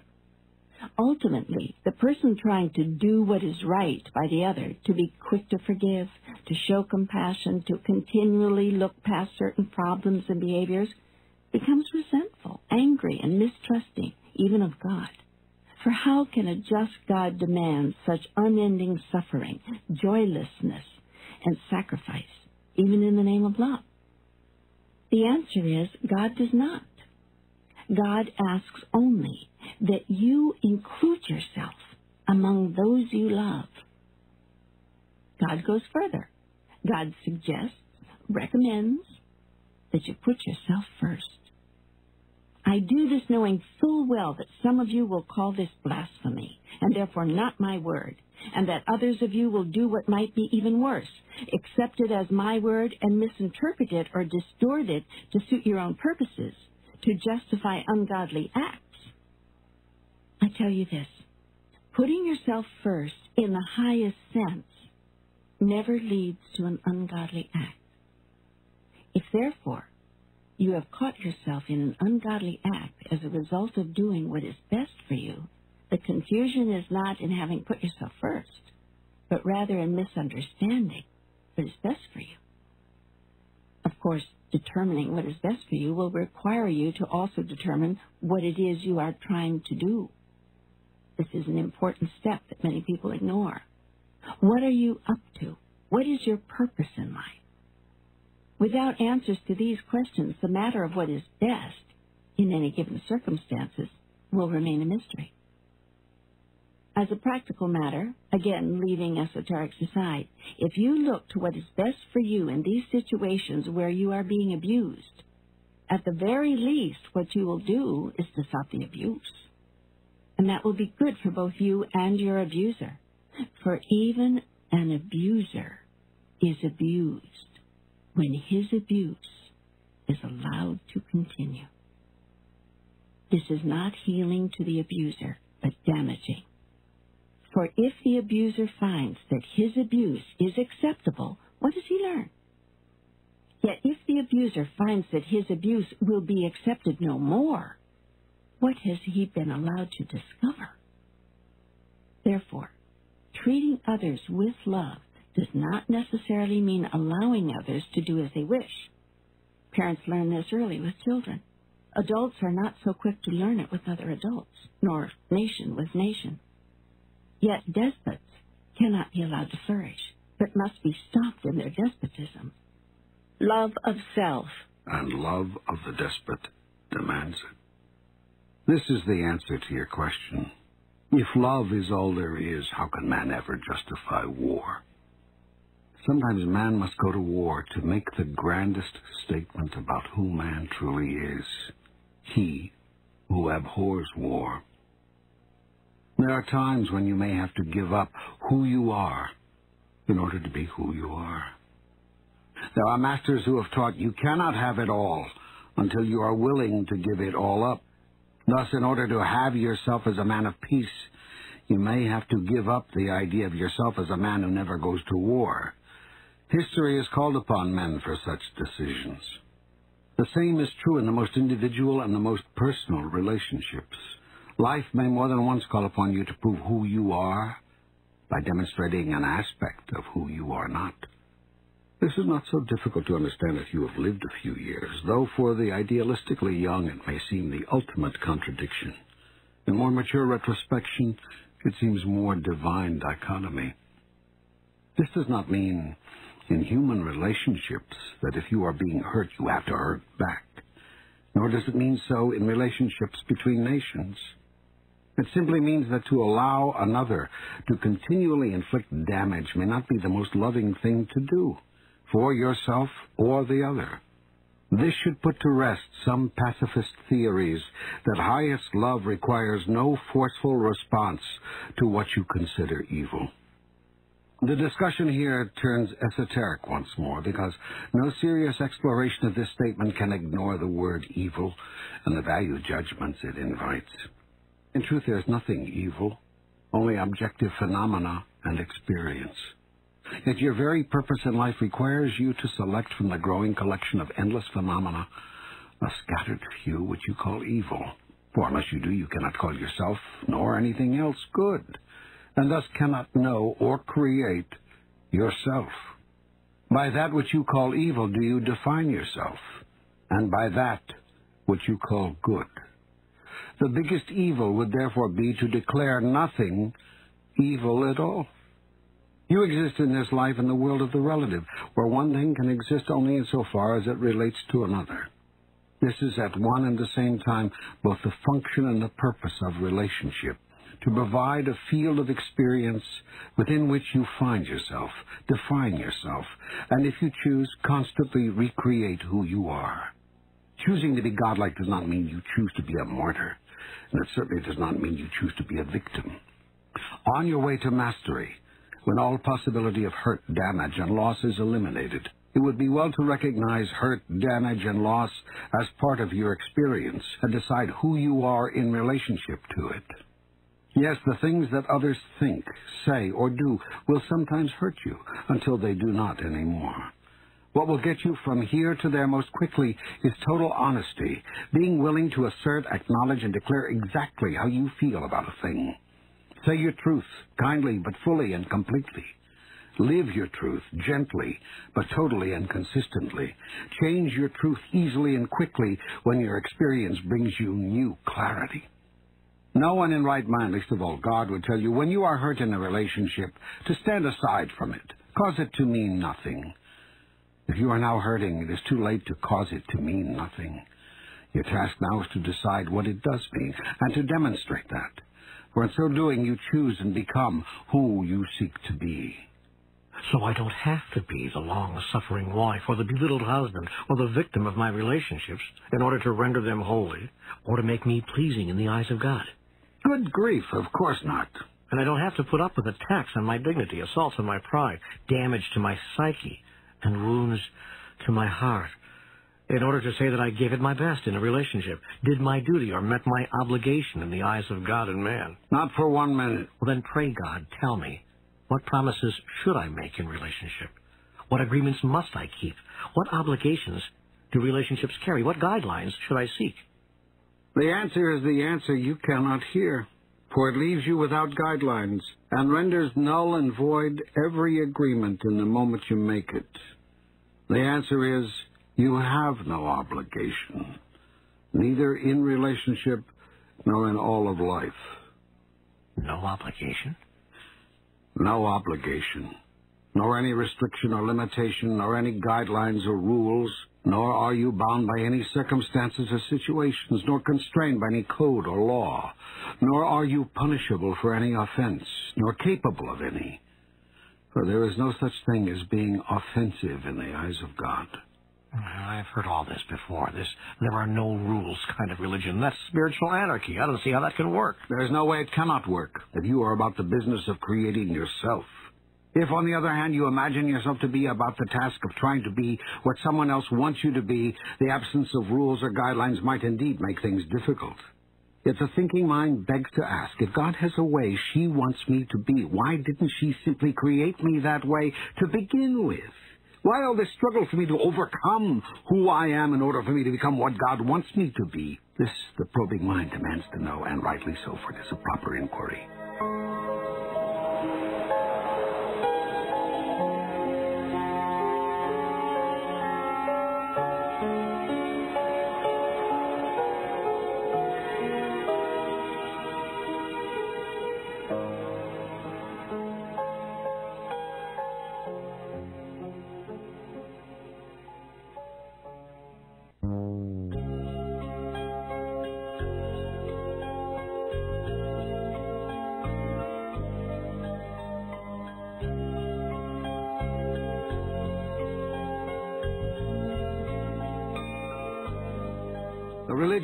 Would have you believe that I created you as less than who I am so that you could have the chance to become as who I am, working against all odds, and I might add, against every natural tendency I am supposed to have given you. Among these so-called natural tendencies is the tendency to sin. You are taught that you were born in sin, that you will die in sin, and that to sin is your nature. One of your religions even teaches you that you can do nothing about this. Your own actions are irrelevant and meaningless. It is arrogant to think that by some action of yours you can get to heaven.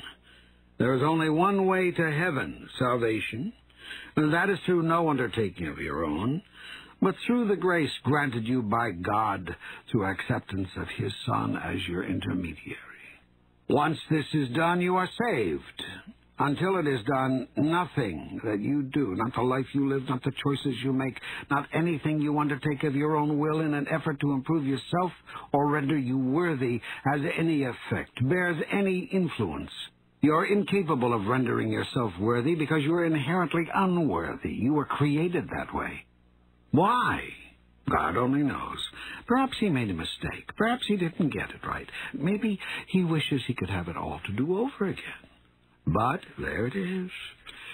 What to do? You're making mock of me. No. You are making mock of me. You're saying that I, God, made inherently imperfect beings, then have demanded of them to be perfect or face damnation. You are saying then that somewhere several thousand years into the world's experience, I relented, saying that from then on you didn't necessarily have to be good. You simply had to feel bad when you were not being good and accept as your Savior the one being who could always be perfect, thus satisfying my hunger for perfection. You are saying that my Son, the one you claim to be the perfect one, has saved you from your own imperfection, the imperfection I gave you. In other words, God's Son has saved you from what his Father did. This is how you, many of you, say I've set it up. Now, who is mocking whom? Well, this is the second time you seem to have launched a frontal attack on fundamentalist Christianity, and I'm surprised. You have chosen the word attack. I am simply engaging the issue. And the issue, by the way, is not fundamentalist Christianity, as you put it. It is the entire nature of God and of God's relationship to man. The question comes up here because we were discussing the matter of obligations in relationships and in life itself. You cannot believe in an obligation-less relationship because you cannot accept who and what you really are. You call a life of complete freedom spiritual anarchy. I call it God's great promise. It is only within the context of this promise that God's great plan can be completed. You have no obligation in relationship. You have only opportunity. Opportunity, not obligation, is the cornerstone of religion, the basis of all spirituality. So long as you see it the other way around, you will have missed the point. Relationship, your relationship to all things, was created as your perfect tool in the work of the soul. That is why all human relationships are sacred ground. It is why every personal relationship is holy. In this, many churches have it right. Marriage is a sacrament, but not because of its sacred obligations rather because of its unequaled opportunity. Never do anything in relationship out of a sense of obligation. Do whatever you do out of a sense of the glorious opportunity your relationship affords you to decide and to be who you really are. I can hear that. Yet over and over in my relationships, I have given up when the going gets tough. The result is I've had a string of relationships where I thought as a kid that I'd have only one. I don't seem to know what it's like to hold on to a relationship. You think I'll ever learn? What do I have to do to make it happen? You make it sound as if holding on to a relationship means it's been a success. Try not to confuse longevity with a job well done. Remember, your job on the planet is not to see how long you can stay in relationship. It's to decide and experience who you really are. This is not an argument for short-term relationships, and neither is there a requirement for long-term ones. Still, while there is no such requirement, this much should be said. Long-term relationships do hold remarkable opportunities for mutual growth, mutual expression, and mutual fulfillment. That has its own reward. I know, I know. I mean, I've always suspected that. So how do I get there? First, make sure you get into a relationship for the right reasons. I'm using the word right here as a relative term. I mean right relative to the larger purpose you hold in your life. As I've indicated before, most people still enter relationships for the wrong reasons. To end loneliness, fill a gap, bring themselves love or someone to love. And those are some of the better reasons. Others do so to salve their ego and their depressions, improve their sex life, recover from a previous relationship, or, believe it or not, to relieve boredom. None of these reasons will work. And unless something dramatic changes along the way, neither will the relationship. I didn't enter into my relationships for any of those reasons. I would challenge that. I don't think you know why you entered your relationships. I don't think you thought about it in this way. I don't think you entered your relationships purposefully. I think you entered your relationships because you fell in love.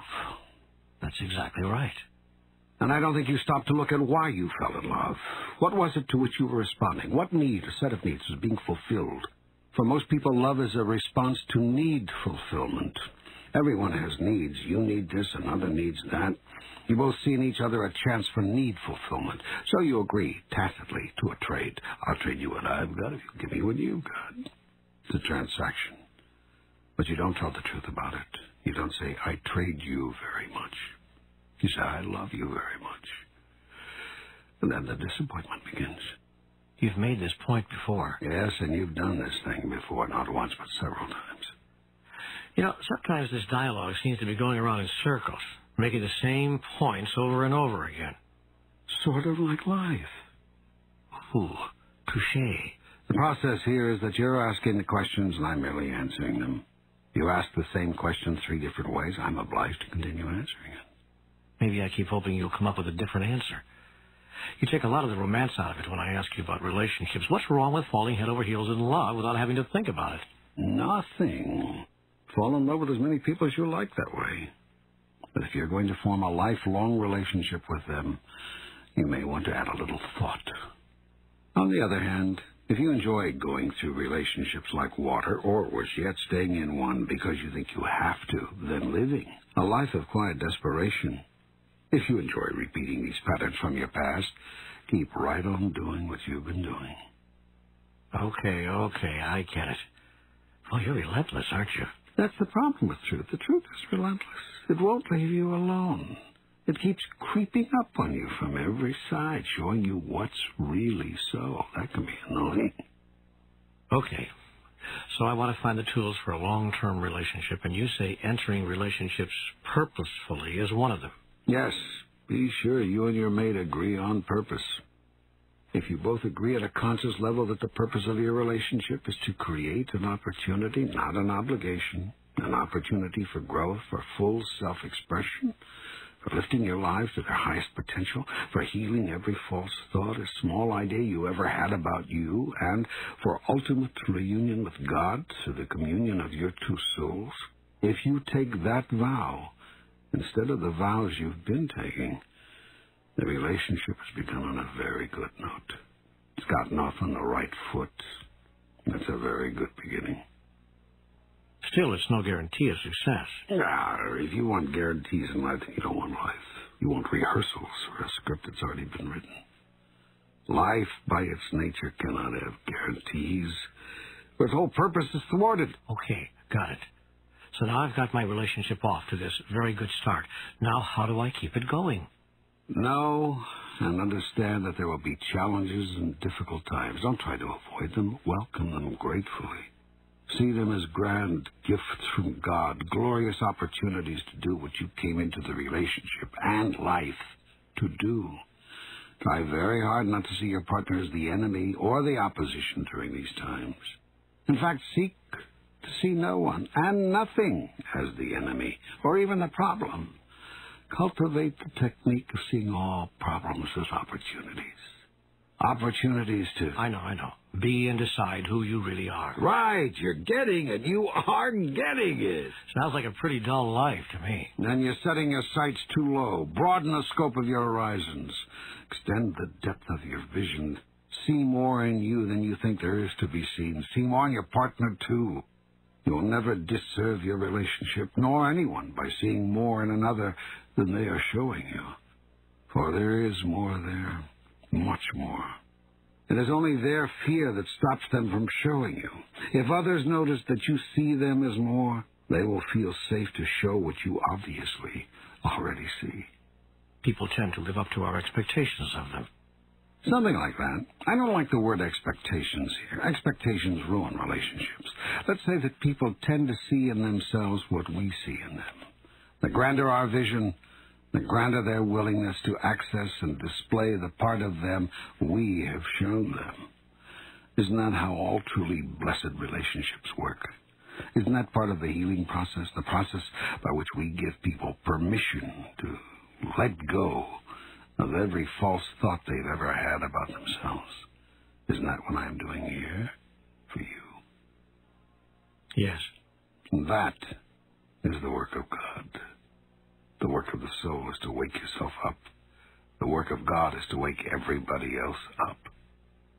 We do this by seeing others as who they are, by reminding them of who they are. This you can do in two ways.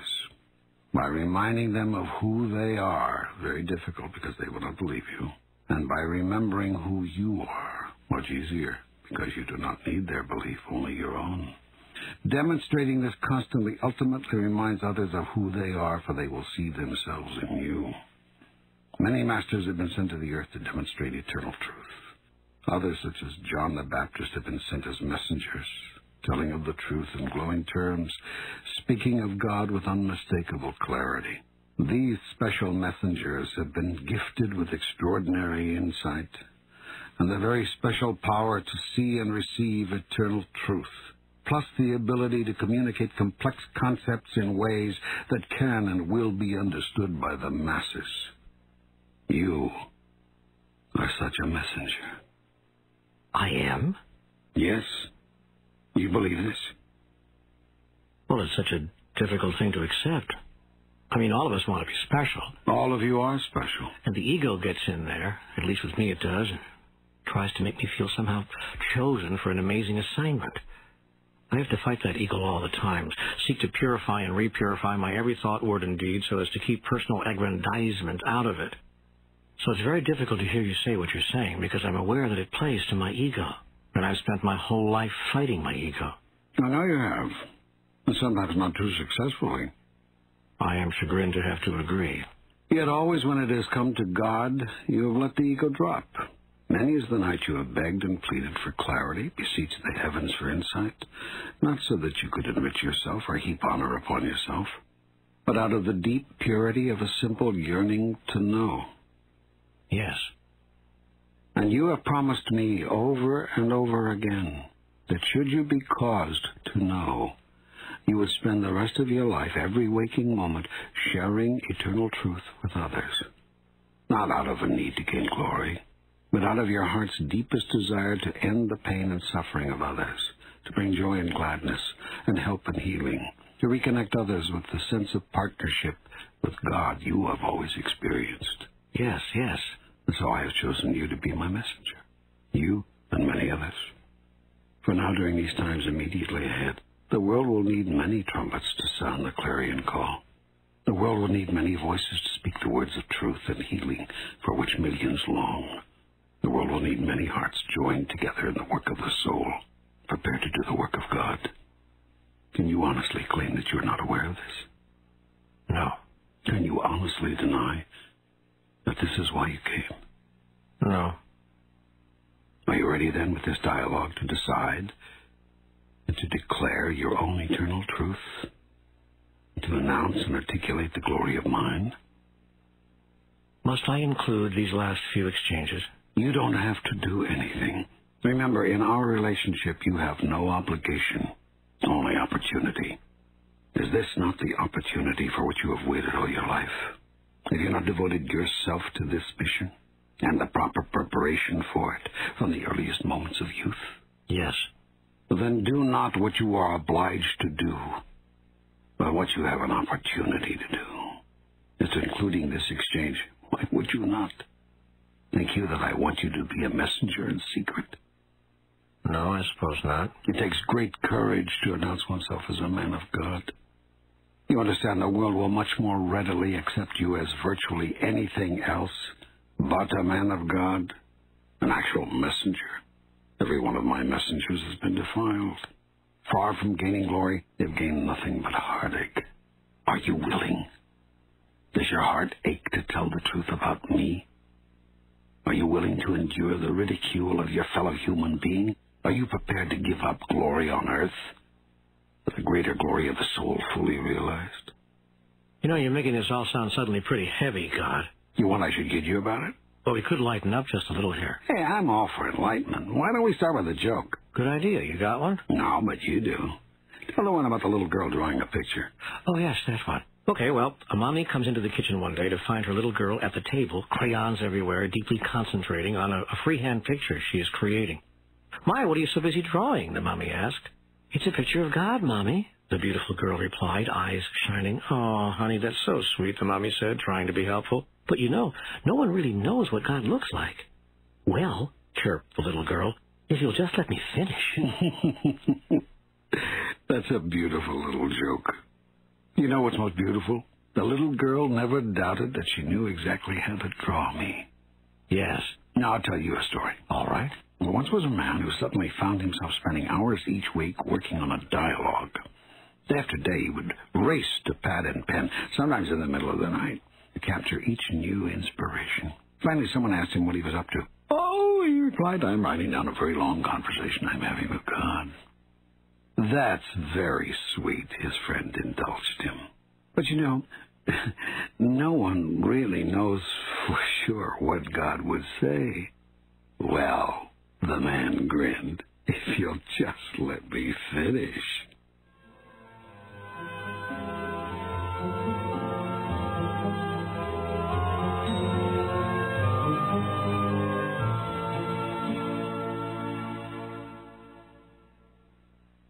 You may think this is easy, this be who you really are business, but it's the most challenging thing you'll ever do in your life.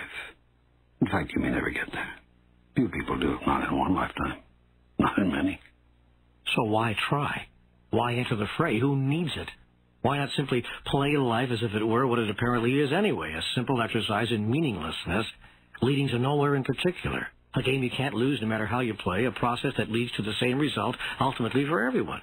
You say there's no hell, there's no punishment, there's no way to lose, so why bother trying to win? What's the incentive, given how difficult it is to get where you say we're trying to go? Why not take our good-natured time and just relax about all this God stuff and being who you really are? My, we are frustrated, aren't we? Well, I get tired of trying, trying, trying, only to have you come in here and tell me how hard it's all going to be and how only one in a million makes it anyway. Yes, I see that you do. Uh, Let, let, let me see if I can help. First, I'd like to point out that you already have taken your good-natured time about it. Do you think this is your first attempt at this? I have no idea. It doesn't seem as if you've been here before. Well, sometimes. Well, you have. Many times. How many times?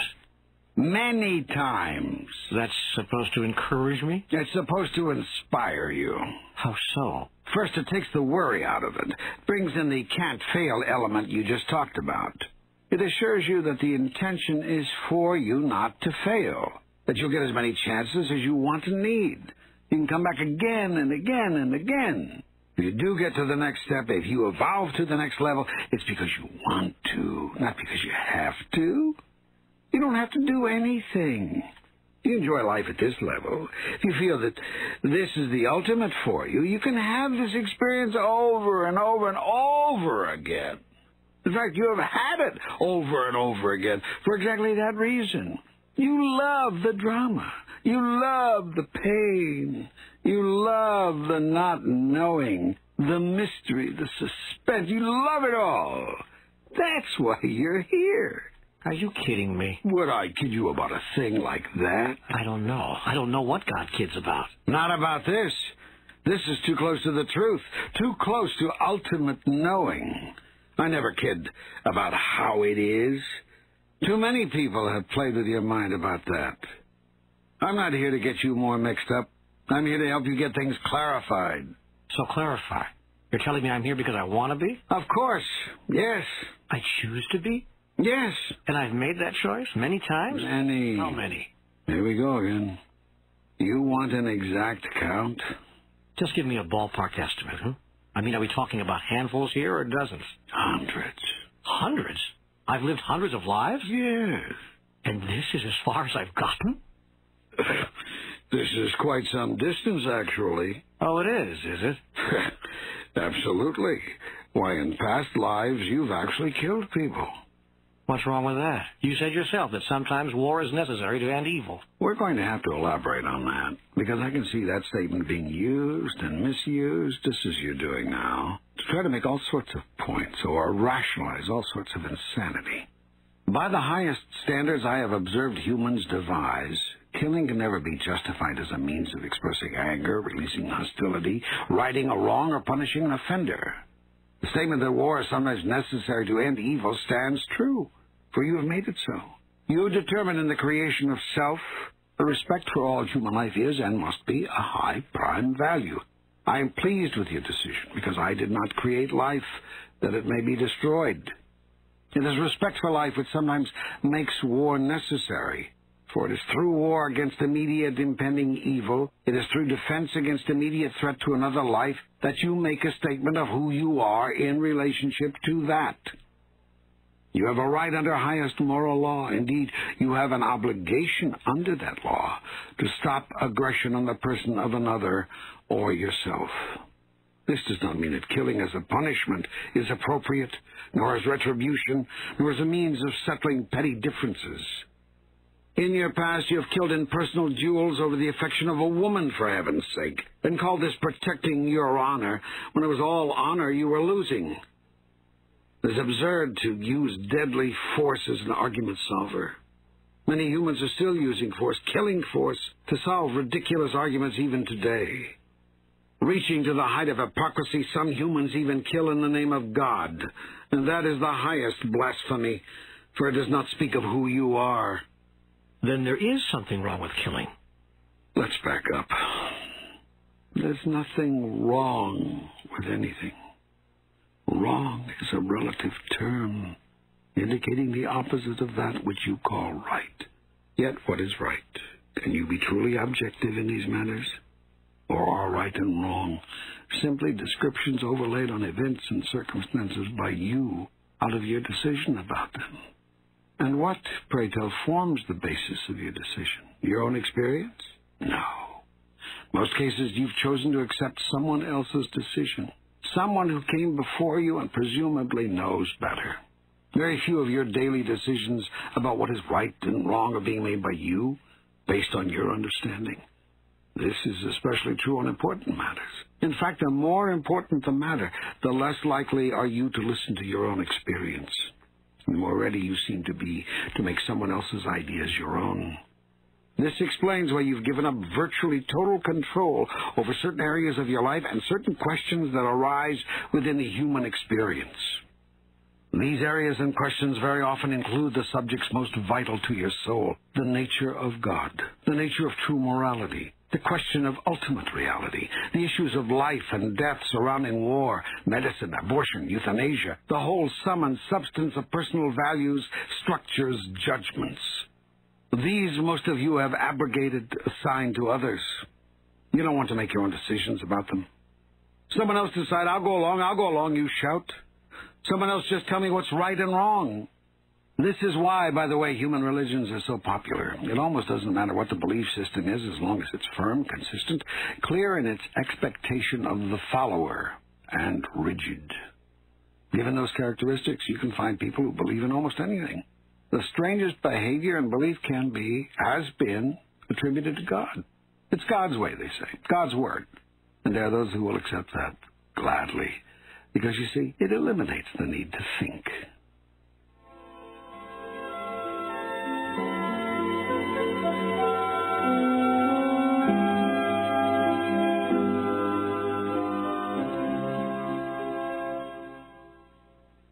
Now let's think about killing. Can there ever be a justifiable reason for killing anything? Think about it. You'll find you need no outside authority to give you direction, no higher source to supply you with answers. If you think about it, if you look to see what you feel about it, the answers will be obvious to you and you will act accordingly. This is called acting on your own authority. It is when you act on the authority of others that you get yourself into trouble. Should states and nations use killing to achieve their political objectives? Should religions use killing to enforce their theological imperatives? Should societies use killing as a response to those who violate behavioral codes? Is killing an appropriate political remedy, spiritual convincer, or societal problem solver? Now, is killing something you can do if someone is trying to kill you? Would you use killing force to defend the life of a loved one? Someone you didn't even know? Is killing a proper form of defense against those who would kill if they're not in some other way stopped? Is there a difference between killing and murder? The state would have you believe that killing to complete a purely political agenda is perfectly defensible. In fact, the state needs you to take its word on this in order to exist as an entity of power. Religions would have you believe that killing to spread and maintain knowledge of and adherence to their particular truth is perfectly defensible. In fact, religions require you to take their word on this in order to exist as an entity of power. Society would have you believe that killing to punish those who commit certain offenses, these have changed through the years, is perfectly defensible. In fact, society must have you take its word for it in order to exist as an entity of power. Do you believe these positions are correct? Have you taken another's word for it? What does yourself have to say? There is no right or wrong in these matters, but by your decisions you paint a portrait of who you are. Indeed, by their decisions, your states and nations have already painted such pictures. By their decisions, your religions have created lasting, indelible impressions. By their decisions, your societies have produced their self-portraits, too. Are you pleased with these pictures? Are these the impressions you wish to make? Do these portraits represent who you are? Be careful of these questions. They may require you to think. Thinking is hard. Making value judgments is difficult. It places you at pure creation because there are so many times you'll have to say, I don't know, I just don't know. And still you'll have to decide. And so you'll have to choose. You'll have to make an arbitrary choice. Such a choice, a decision coming from no previous personal knowledge, is called pure creation. And the individual is aware, deeply aware, that in the making of such decisions is the self created. Most of you are not interested in such important work. Most of you would rather leave that to others. And so most of you are not self-created, but creatures of habit, other created creatures. Then, when others have told you how you should feel, and it runs directly counter to how you do feel, you experience a deep inner conflict. Something deep inside you tells you that what others have told you is not who you are. Now, where to go with that? What to do? The first place you go is to your religionists, the people who put you there in the first place. You go to your priests and your rabbis and your ministers and your teachers, and they tell you to stop listening to yourself. The worst of them will try to scare you away from it, scare you away from what you intuitively know. They'll tell you about the devil, about Satan, about demons and evil spirits and hell and damnation, and every frightening thing they can think of to get you to see how what you were intuitively knowing and feeling was wrong. And how the only place you'll find any comfort is in their thought, their idea, their theology, their definitions of right and wrong, and their concept of who you are. The seduction here is that all you have to do to get instant approval is to agree. Agree and you have instant approval. Some will even sing and shout and dance and wave their arms in hallelujah. That's hard to resist. Such approval, such rejoicing that you've seen the light, that you've been saved. Approvals and demonstrations seldom accompany inner decisions. Celebrations rarely surround choices to follow personal truth. In fact, quite the contrary. Not only many others feel to celebrate, they may actually subject you to ridicule. What? You're thinking for yourself? You're deciding on your own? You're applying your own yardsticks, your own judgments, your own values? Who do you think you are, anyway? And indeed, that is precisely the question you are answering. But the work must be done very much alone, very much without reward, without approval, perhaps without even any notice. And so you ask a very good question. Why go on? Why even start off on such a path? What is to be gained from embarking on such a journey? Where is the incentive? What is the reason? The reason is ridiculously simple. There is nothing else to do. What do you mean? I mean, this is the only game in town. There's nothing else to do. In fact, there's nothing else you can do. You're going to be doing what you are doing for the rest of your life, just as you've been doing it since birth. The only question is whether you'll be doing it consciously or unconsciously. You see, you cannot disembark from the journey. You embarked before you were born. Your birth is simply a sign that the journey has begun. So the question is not, why start off on such a path? You have already started off. You did so with the first beat of your heart. The question is, do I wish to walk this path consciously or unconsciously, with awareness or lack of awareness, as the cause of my experience or as the effect of it? For most of your life, you've lived at the effect of your experiences. Now you're invited to be the cause of them. That is what is known as conscious living. That is what is called walking in awareness. Now, many of you have walked quite some distance, as I've said. You've made no small progress. So you should not feel that after all these lives, you've only come to this. Some of you are highly evolved creatures with a very sure sense of self. You know who you are, and you know what you'd like to become. Furthermore, you even know the way to get from here to there. That's a great sign. That's a sure indication. Of what? Of the fact that you now have very few lives left. Is that good? It is now for you. And that is so because you say it is so. Not long ago, all you wanted to do was stay here. Now all you want to do is leave. That's a very good sign. Not long ago, you killed things bugs, plants, trees, animals, people. Now you cannot kill a thing without knowing exactly what you're doing and why. That's a very good sign. Not long ago, you lived life as though it had no purpose. Now you know it has no purpose, save the one you give it. That's a very good sign. Not long ago, you begged the universe to bring you truth. Now you tell the universe your truth. And that's a very good sign.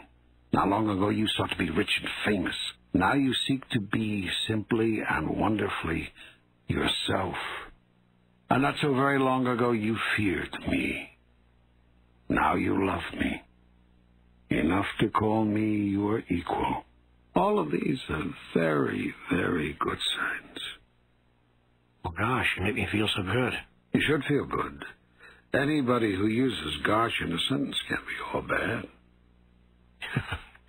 you really do have a sense of humor, don't you? I invented humor. Yes, you've made that point. Okay, so the reason for going on is that there's nothing else to do. This is what's happening here. Precisely. Then may I ask you, does it at least get any easier? oh, my darling friend. It is so much easier for you now than it was three lifetimes ago, I can't even tell you. Yes, yes, it does get easier. The more you remember, the more you're able to experience, the more you know, so to speak. The more you know, the more you remember. It is a circle. So yes, it gets easier, it gets better, it becomes even more joyful. But remember, none of it has been exactly a drudge. I mean, you've loved all of it, every last minute. Oh, it's delicious, this thing called life. It's a scrumptious experience, now? Well, yes, I suppose. You suppose? How much more scrumptious could I have made it? Are you not being allowed to experience everything? The tears, the joy, the pain, the gladness, the exaltation, the massive depression, the win, the lose, the draw. What more is there? A little less pain, perhaps. Less pain without more wisdom defeats your purpose. Does not allow you to experience infinite joy, which is what I am. Be patient. You are gaining wisdom, and your joys are now increasingly available without pain. That, too, is a very good sign. You are learning, remembering how, to love without pain, to let go without pain, to create without pain, to even cry without pain. Yes, you're even able to have your pain without pain, if you know what I mean. I think I do. I think I do. I'm enjoying even my own life dramas more. I can stand back and see them for what they are, even laugh. And you don't call this growth? I suppose I do. So then keep on growing, my son. Keep on becoming. And keep on deciding what you want to become in the next highest version of yourself. Keep on working toward that. Keep on. Keep on. This is God work we're up to, you and I. So keep on. I love you, you know that? I know you do. And I love you.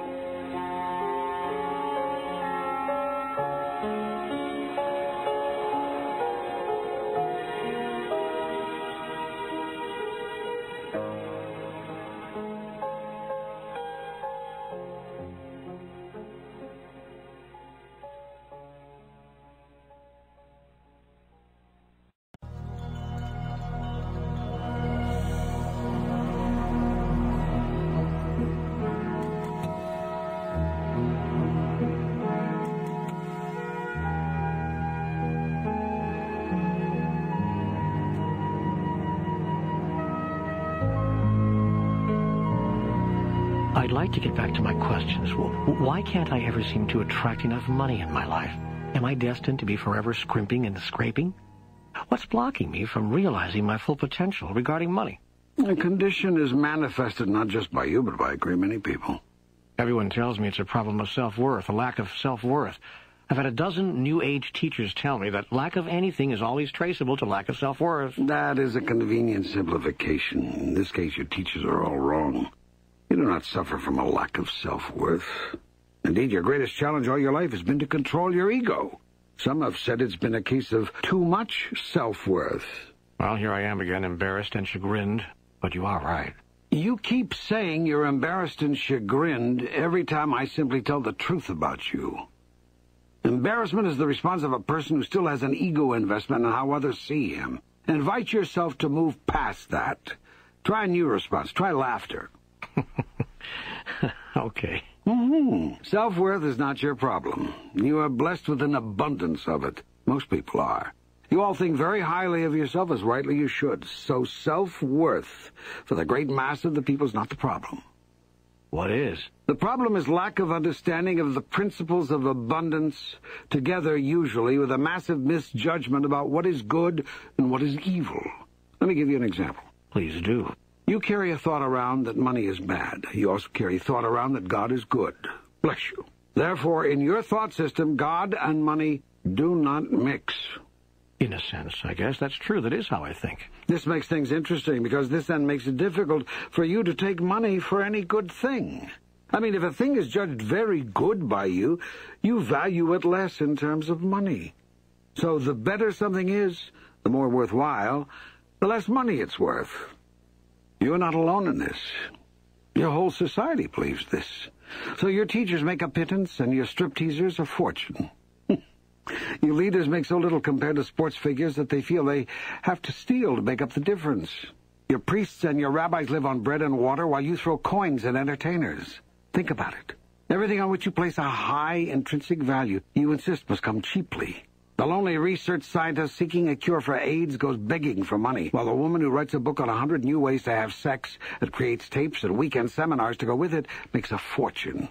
This having it all backwards is a propensity with you, and it stems from wrong thought. The wrong thought is your idea about money. You love it. Yet you say it is the root of all evil. You adore it. Yet you call it filthy lucre. You say that a person is filthy rich. If a person does become wealthy doing good things, you immediately become suspect. You make that wrong. So a doctor had better not make too much money or had better learn to be discreet about it. And a minister, whoa, she'd really better not make lots of money, assuming you'll even let a she be a minister, or there'll surely be trouble.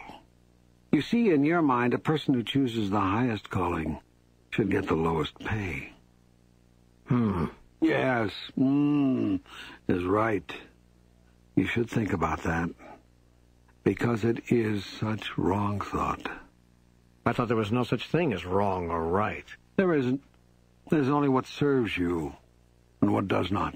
The terms right and wrong are relative terms, and I use them that way when I use them at all. In this case, relative to what serves you, relative to what you say you want, your money thoughts are wrong thoughts. Remember, thoughts are creative.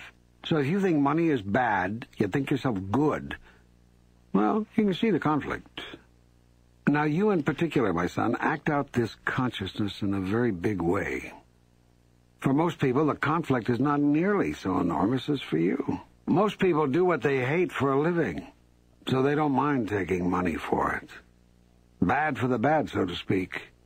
If you love what you do with the days and times of your life, you adore the activities with which you cram them. For you, therefore, to receive large amounts of money for what you do would be, in your thought system, taking bad for the good, and that is unacceptable to you. You'd rather starve than take filthy lucre for pure service, as if some of the service loses its purity if you take money for it. So here we have this real ambivalence about money. Part of you rejects it, and part of you resents not having it. Now, the universe doesn't know what to do about that, as the universe has received two different thoughts from you. So your life with regard to money is going to go in fits and starts because you keep going in fits and starts about money. You don't have a clear focus. You're not really sure what's true for you. And the universe is just a big photocopy machine. It simply produces multiple copies of your thoughts. Now, there's only one way to change all that. You have to change your thought about it. How can I change the way I think? The way I think about something is the way I think about something. My thoughts, my attitudes, my ideas were not created in a minute. I have to guess they're the result of years of experience, a lifetime of encounters. You're right about the way I think about money. But how do I change that? This could be your most interesting question. The usual method of creation for most human beings is a three-step process involving thought, word, and deed or action. First comes thought, the formative idea, the initial concept. Then comes the word. Most thoughts ultimately form themselves into words, which are often then written or spoken. This gives added energy to the thought, pushing it out into the world, where it can be noticed by others. Finally, in some cases, words are put into action, and you have what you call a result a physical world manifestation of what all started with a thought. Everything around you in your man-made world came into being in this way, or some variation of it. All three creation centers were used. But now comes the question. How to change a sponsoring thought? Yes, that is a very good question, and a very important one. For if humans do not change some of their sponsoring thoughts, humankind could doom itself into extinction. The most rapid way to change a root thought or sponsoring idea is to reverse the thought, word, deed process. Explain that. Do the deed that you want to have the new thought about.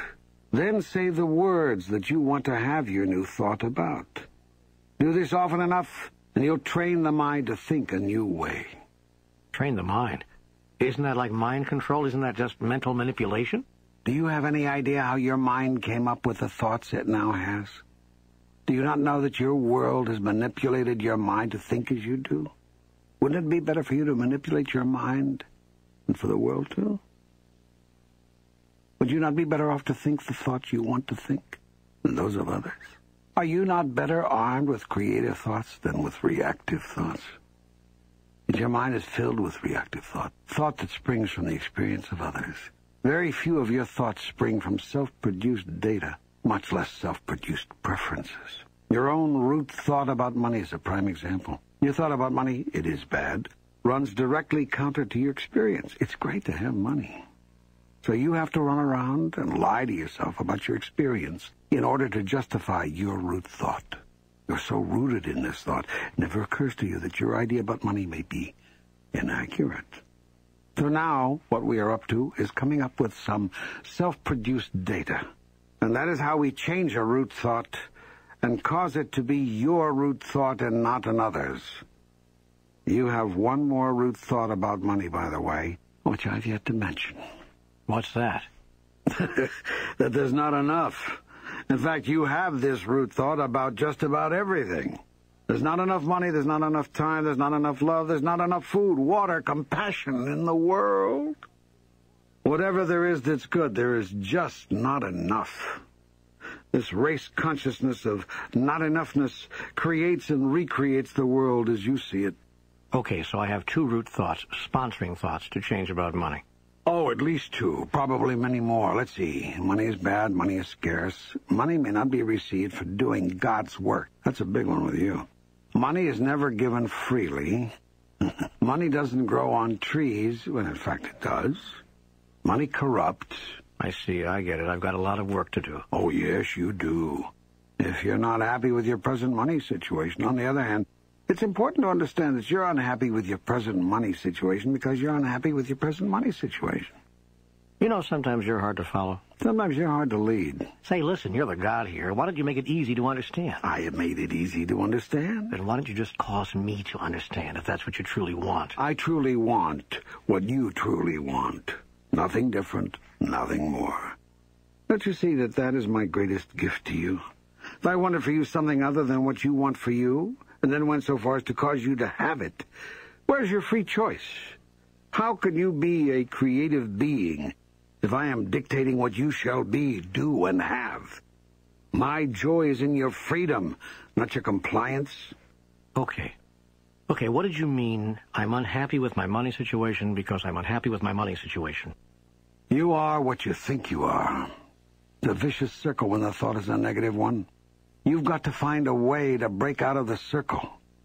So much of your present experience is based on your previous thought. Thought leads to experience, which leads to thought, which leads to experience.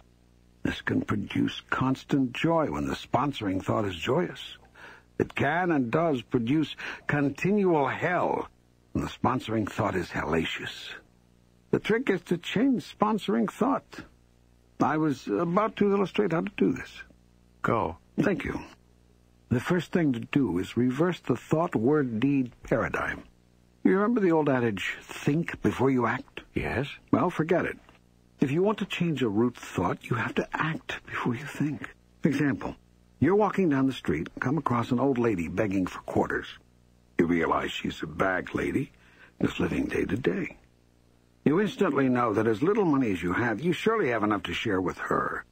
Your first impulse is to give her some change. There's even a part of you that's ready to reach in your pocket for a little folding money. A one or even a five. What the heck? Make it a grand moment for her. Light her up. Then thought comes in. What? Are you crazy? We've only got seven dollars to get us through the day. You want to give her a five?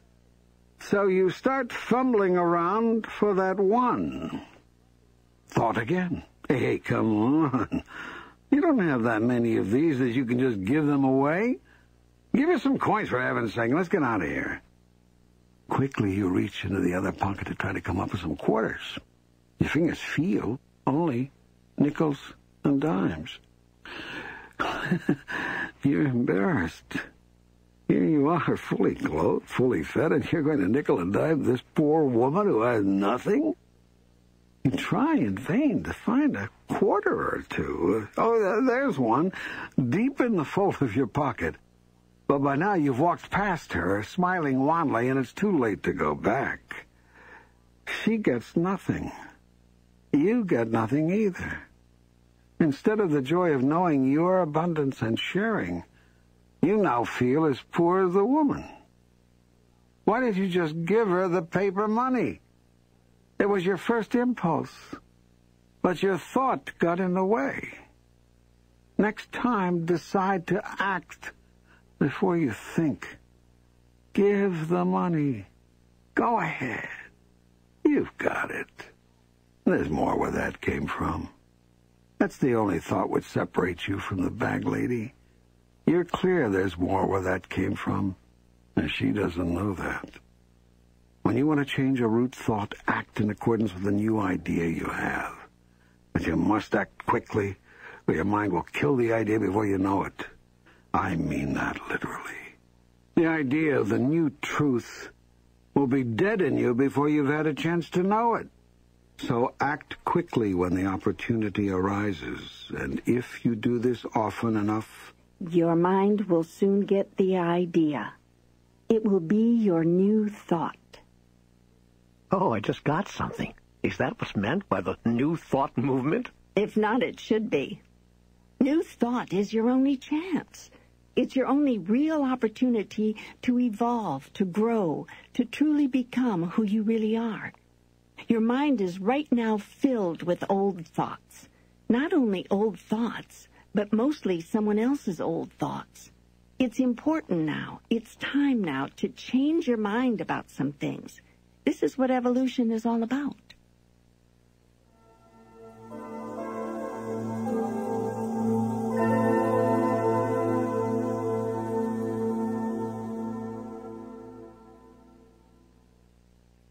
Why can't I do what I really want to do with my life and still make a living? What?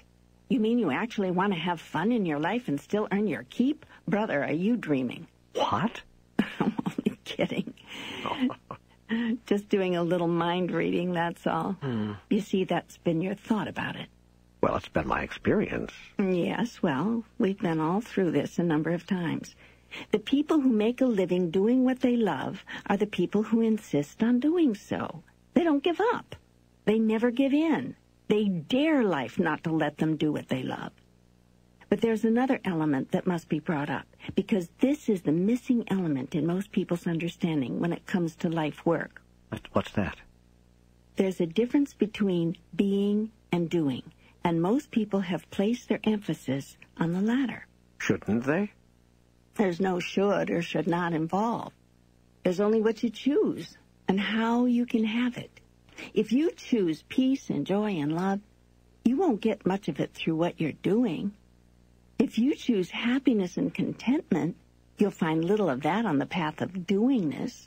If you choose reunion with God, supreme knowing, deep understanding, endless compassion, total awareness, absolute fulfillment, you won't achieve much of that out of what you're doing. In other words, if you choose evolution, the evolution of your soul, you won't produce that by the worldly activities of your body. Doing is a function of the body. Being is a function of the soul. The body is always doing something. Every minute of every day it's up to something. It never stops. It never rests. It's constantly doing something. It's either doing what it's doing at the behest of the soul or in spite of the soul. The quality of your life hangs in the balance. The soul is forever being.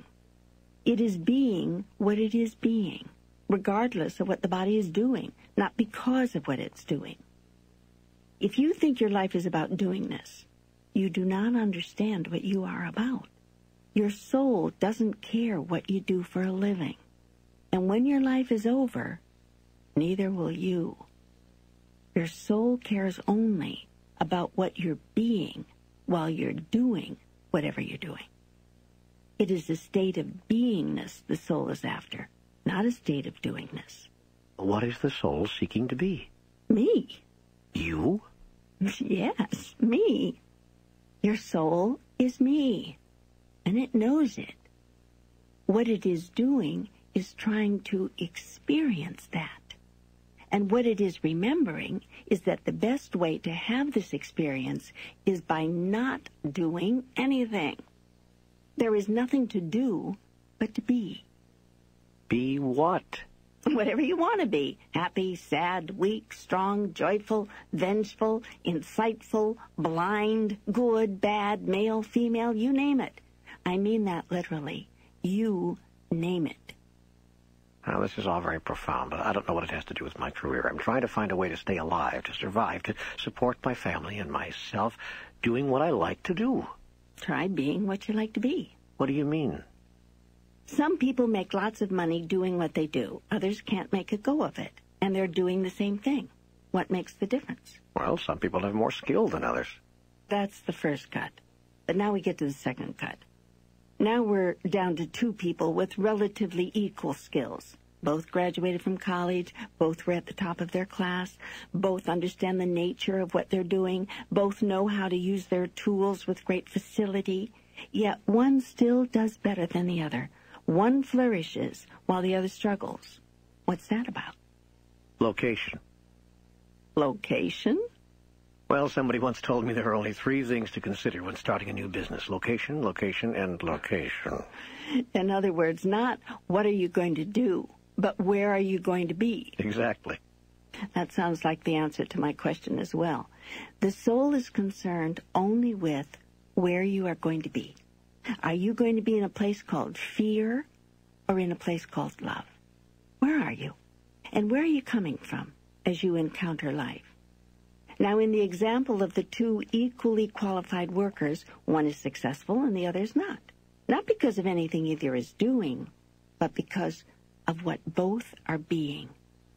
One person is being open, friendly, caring, helpful, considerate, cheerful, confident, even joyful in her work, while the other is being closed, distant, uncaring, inconsiderate, grumpy, even resentful of what she is doing. Now, suppose you were to select even loftier states of beingness. Suppose you were to select goodness, mercy, compassion, understanding, forgiveness, love. What if you were to select godliness? What then would be your experience? I tell you this, beingness attracts beingness and produces experience. You are not on this planet to produce anything with your body. You are on this planet to produce something with your soul. Your body is simply and merely the tool of your soul. Your mind is the power that makes the body go. So what you have here is a power tool used in the creation of the soul's desire. What is the soul's desire? Indeed, what is it? I don't know. I'm asking you. I don't know. I'm asking you. this could go on forever. It has. Wait, wait a minute, wait a minute. A moment ago you said the soul is seeking to be you. So it is. Well, then that's the soul's desire. In the broadest sense, yes. But this me it is seeking to be is very complex, very multidimensional, multisensual, multifaceted, there are a million aspects to me, a billion, a trillion, you see? There is the profane and the profound, the lesser and the larger, the hollow and the holy, the ghastly and the godly. You see? Yes, yes, I do see.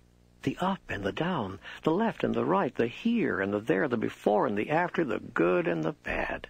Precisely. I am the Alpha and the Omega. That was not just a pretty saying or a nifty concept. That was truth expressed. So, in seeking to be me, the soul has a grand job ahead of it, an enormous menu of beingness from which to choose. And that is what it is doing in this moment, now. Choosing states of being. Yes and then producing the right and perfect conditions within which to create the experience of that. It is therefore true that nothing happens to you or through you that is not for your own highest good. Do you mean my soul is creating all of my experience, including not only the things I'm doing, but the things that are happening to me? Let us say that the soul leads you to the right and perfect opportunities for you to experience exactly what you had planned to experience. What you actually experience is up to you. It could be what you plan to experience, or it could be something else, depending upon what you choose. Well, why would I choose something I don't want to experience? I don't know. Why would you? Do you mean that sometimes the soul wishes one thing and the body or the mind wishes another? What do you think? But how can the body or the mind overrule the soul? Doesn't the soul always get what it wants? The spirit of you seeks in the largest sense that grand moment when you have conscious awareness of its wishes and join in joyful oneness with them. But the spirit will never, ever force its desire on the present conscious physical part of you. The Father will not force his will upon the Son. It is a violation of his very nature to do so, and thus quite literally impossible. The Son will not force his will upon the Holy Spirit. It is against his very nature to do so, and thus, quite literally, impossible. The Holy Spirit will not force His will upon your soul. It is outside of the nature of the Spirit to do so, and thus quite literally impossible. Here is where the impossibilities end. The mind very often does seek to exert its will on the body, and does so. Similarly, the body seeks often to control the mind, and frequently succeeds. Yet the body and the mind together do not have to do anything to control the soul, for the soul is completely without need, unlike the body and the mind, which are shackled with it, and so always allows the body and the mind to have their way all the time. Indeed, the soul would have it no other way. For if the entity which is you is to create, and thus know who it really is, it must be through an act of conscious volition, not an act of unconscious obedience. Obedience is not creation, and thus can never produce salvation. Obedience is a response, while creation is pure choice, undictated, unrequired. Pure choice produces salvation through the pure creation of highest idea in this moment, now. The function of the soul is to indicate its desire, not impose it. The function of the mind is to choose from its alternatives. The function of the body is to act out that choice when body, mind, and soul create together in harmony and in unity, God is made flesh. Then does the soul know itself in its own experience. Then do the heavens rejoice. Right now, in this moment, your soul has again created opportunity for you to be do, and have what it takes to know who you really are. Your soul has brought you to the words you are listening to right now, as it has brought you to words of wisdom and truth before. What will you do now? What will you choose to be? Your soul waits and watches with interest as it has many times before. Do I understand you to, to say that it is out of the state of beingness I select my worldly success? I'm still trying to talk about my career here, and, and, and how that'll be determined? I'm not concerned about your worldly success, only you are. It's true that when you achieve certain states of being over a long period of time, success in what you are doing in the world is very difficult to avoid. Yet you are not to worry about making a living. True masters are those who have chosen to make a life rather than a living. From certain states of being will spring a life so rich, so full, so magnificent, and so rewarding that worldly goods and worldly success will be of no concern to you. Life's irony is that as soon as worldly goods and worldly success are of no concern to you, the way is open for them to flow to you. Remember, you cannot have what you want, but you may experience whatever you have. I can't have what I want? No. I thought you've been telling me that I could have whatever I want. As you think, as you believe, so shall it be done unto you and all that. The two statements are not inconsistent with each other? They aren't. They sure as hell feel inconsistent to me. That's because you lack understanding. Well, I, I admit that. That's why I'm talking with you. I will then explain. You cannot have anything you want. The very act of wanting something pushes it away from you. You're losing me fast. Fight to keep up. I'll go over it again in greater detail. Try to stay with it now. Let's go back to a point you do understand. Thought is creative, okay? Okay. Word is creative. Got it? Got it. Action is creative. Thought, word, and deed are the three levels of creation. Still with me? Right there. Good. Now, let's take worldly success as our subject for the moment, since that's what you've been talking about, asking about. Terrific. Now, do you have a thought, I want worldly success? Sometimes, yes.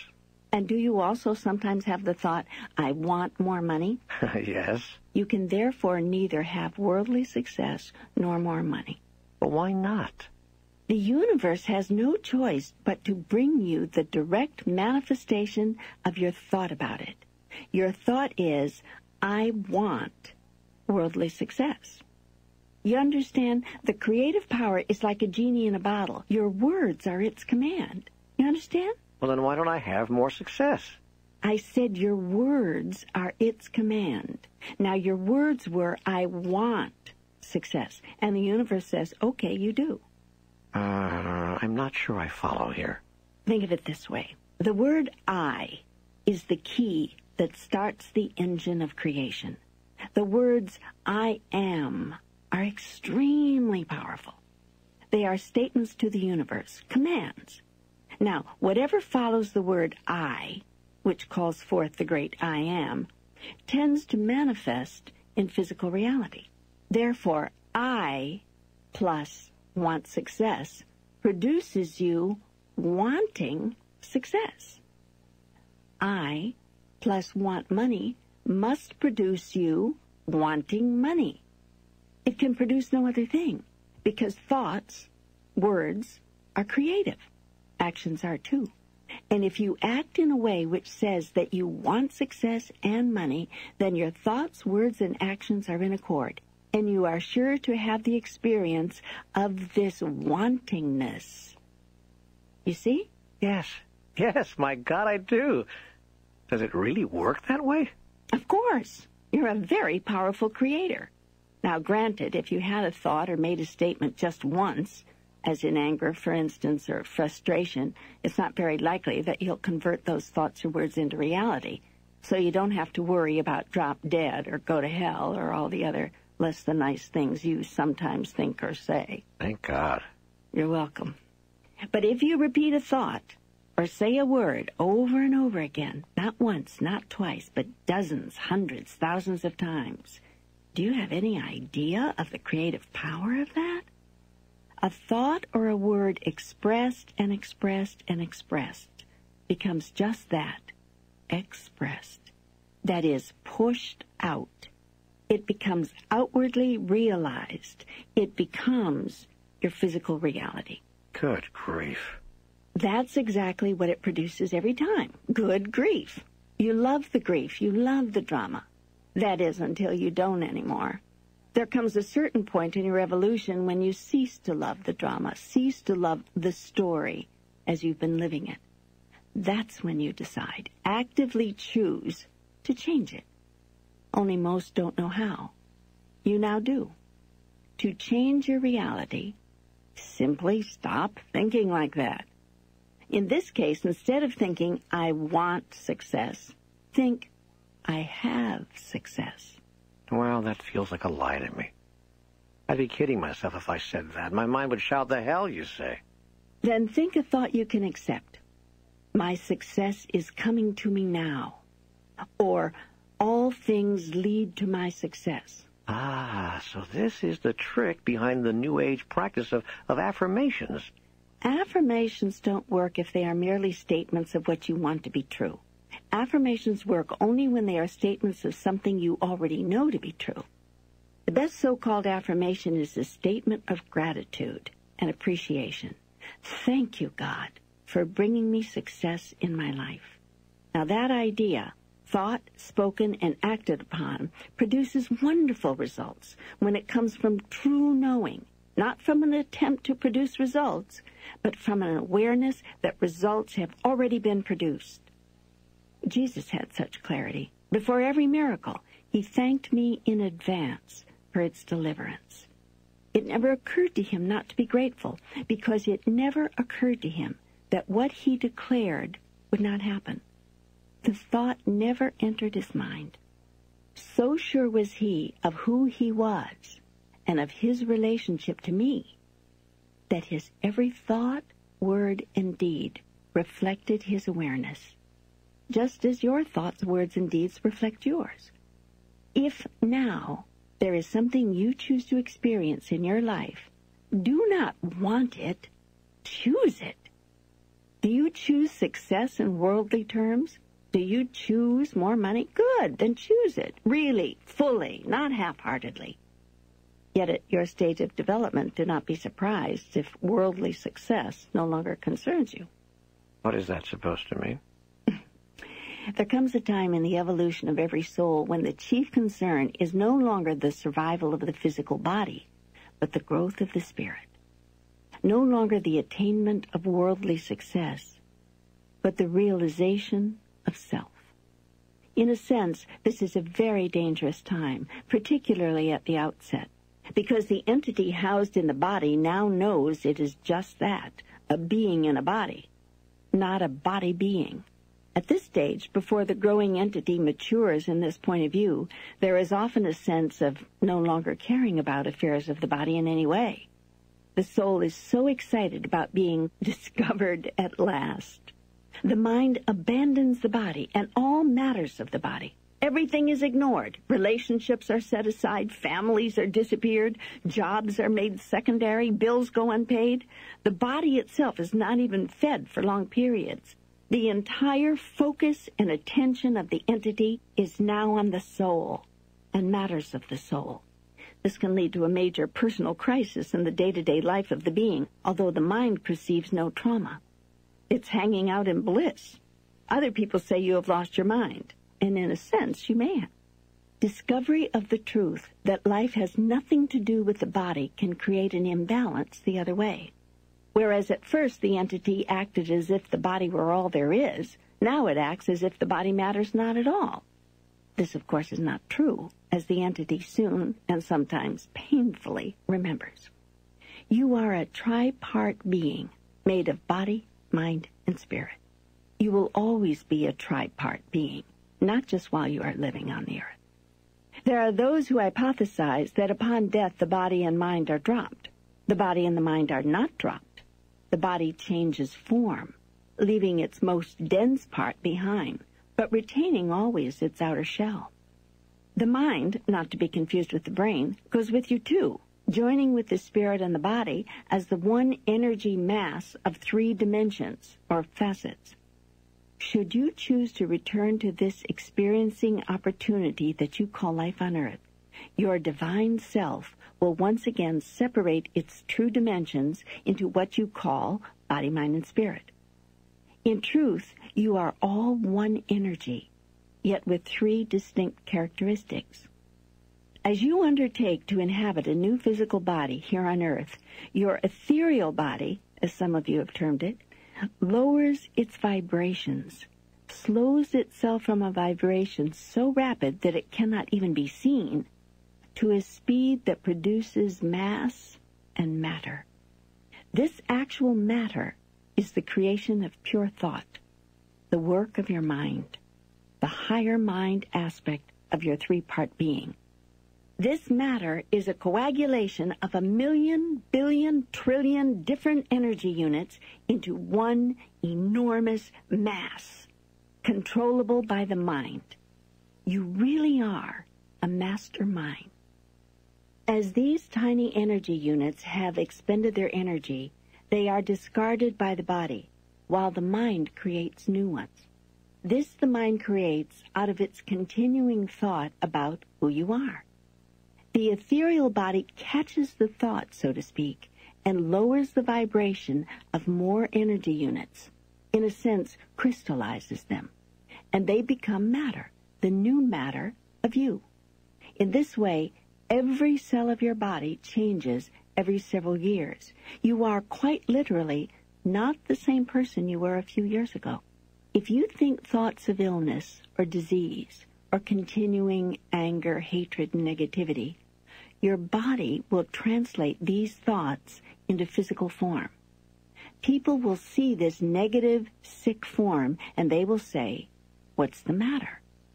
They will not know how accurate their question is.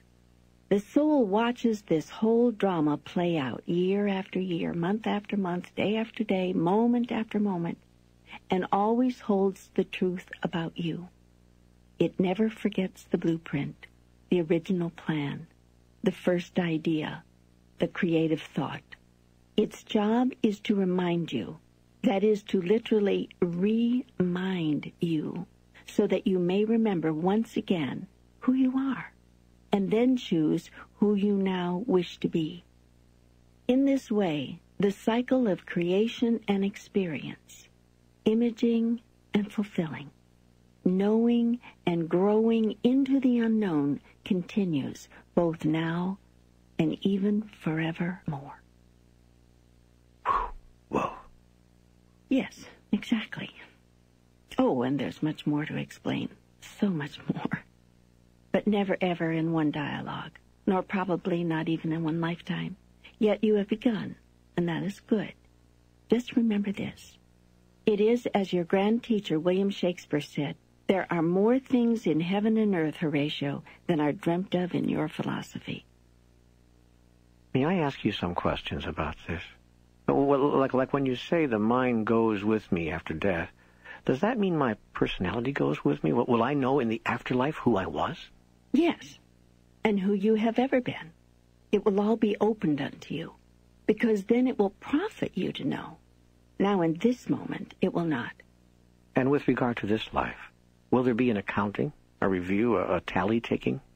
There is no judgment in what you call the afterlife. You will not even be allowed to judge yourself, for you would surely give yourself a low score given how judgmental and unforgiving you are with yourself in this life. No, there is no accounting, no one giving thumbs up or thumbs down. Only humans are judgmental. And because you are, you assume that I must be. Yet I am not. And that is a great truth you cannot accept. Nonetheless, while there will be no judgment in the afterlife, there will be opportunity to look again at all you have thought, said, and done here, and to decide if that is what you would choose again, based on who you say you are and who you want to be. There's an Eastern mystical teaching uh, surrounding a doctrine called Kamaloka. According to this teaching, at the time of our death, each person is given the opportunity to relive every thought ever entertained, every word ever spoken, every action ever taken not from our standpoint, but from the standpoint of every other person affected. In other words, we've already experienced what we felt, thinking, saying, and doing what we did, and now we're given the experience of feeling what the other person felt in each of these moments. And it is by this measure that we decide whether we'll think, say, or do those things again. Any comment on that? What occurs in your life after this is far too extraordinary to describe it here in terms you could comprehend, because the experience is other dimensional.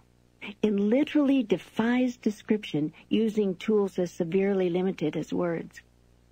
It's enough to say that you will have the opportunity to review again this, your present life, without pain or fear or judgment for the purpose of deciding how you feel about your experience here and where you want to go from there. Many of you will decide to come back here, to return to this world of density and relativity for another chance to experience out the decisions and choices you make about yourself at this level. Others of you, a select few, will return with a different mission. You will return to density and matter for the sole purpose of bringing others out of density and matter. Always there are on the earth those among you who have made such a choice. You can tell them apart at once. Their work is finished. They have returned to earth simply and merely to help others. This is their joy. This is their exaltation. They seek naught but to be of service. You cannot miss these people. They are everywhere. There are more of them than you think chances are you know one, or know of one. Am I one? No. If you have to ask, you know you're not one. One such as this asks questions of no one. There's nothing to ask.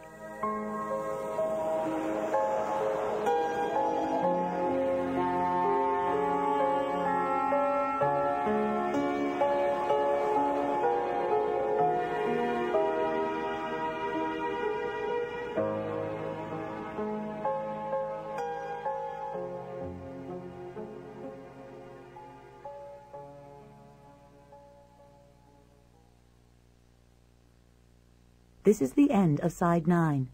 Please fast forward the tape to the end to cue up side 10 for your listening.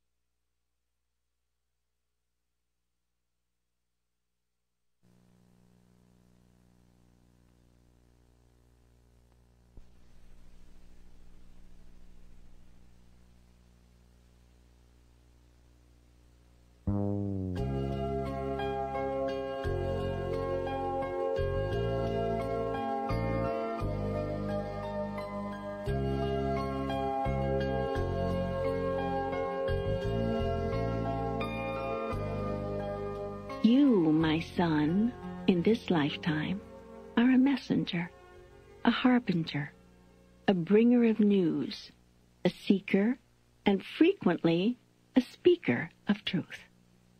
That is enough for one lifetime. Be happy. Oh, I am, I am. But I could always hope for more. Yes, and you will. Always you will hope for more. It is in your nature.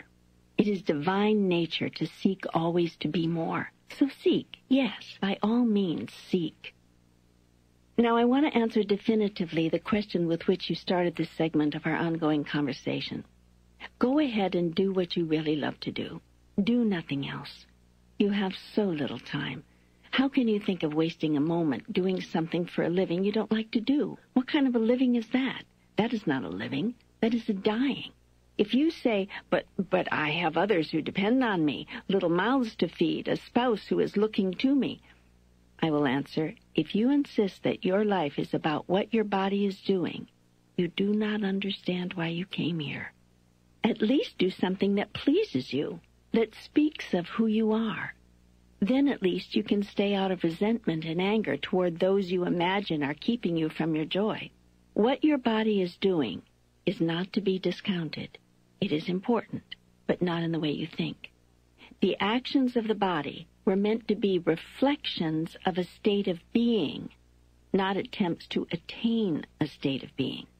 In the true order of things, one does not do something in order to be happy. One is happy, and hence does something. One does not do some things in order to be compassionate. One is compassionate and hence acts in a certain way. The soul's decision precedes the body's action in a highly conscious person. Only an unconscious person attempts to produce a state of the soul through something the body is doing. This is what is meant by the statement, your life is not about what your body is doing. Yet it is true that what your body is doing is a reflection of what your life is about. It is another divine dichotomy. Yet know this, if you understand nothing else. You have a right to your joy. Children or no children, spouse or no spouse. Seek it, find it, and you will have a joyful family no matter how much money you make or don't make. And if they aren't joyful and they get up and leave you, then release them with love to seek their joy. If, on the other hand, you have evolved to the point where things of the body are not of concern to you, then you are even more free to seek your joy on earth as it is in heaven. God says it's okay to be happy. Yes, even happy in your work. Your life work is a statement of who you are. If it is not, then why are you doing it? Do you imagine that you have to? You don't have to do anything. If man who supports his family at all costs, even his own happiness, is who you are, then love your work because it is facilitating your creation of a living statement of self.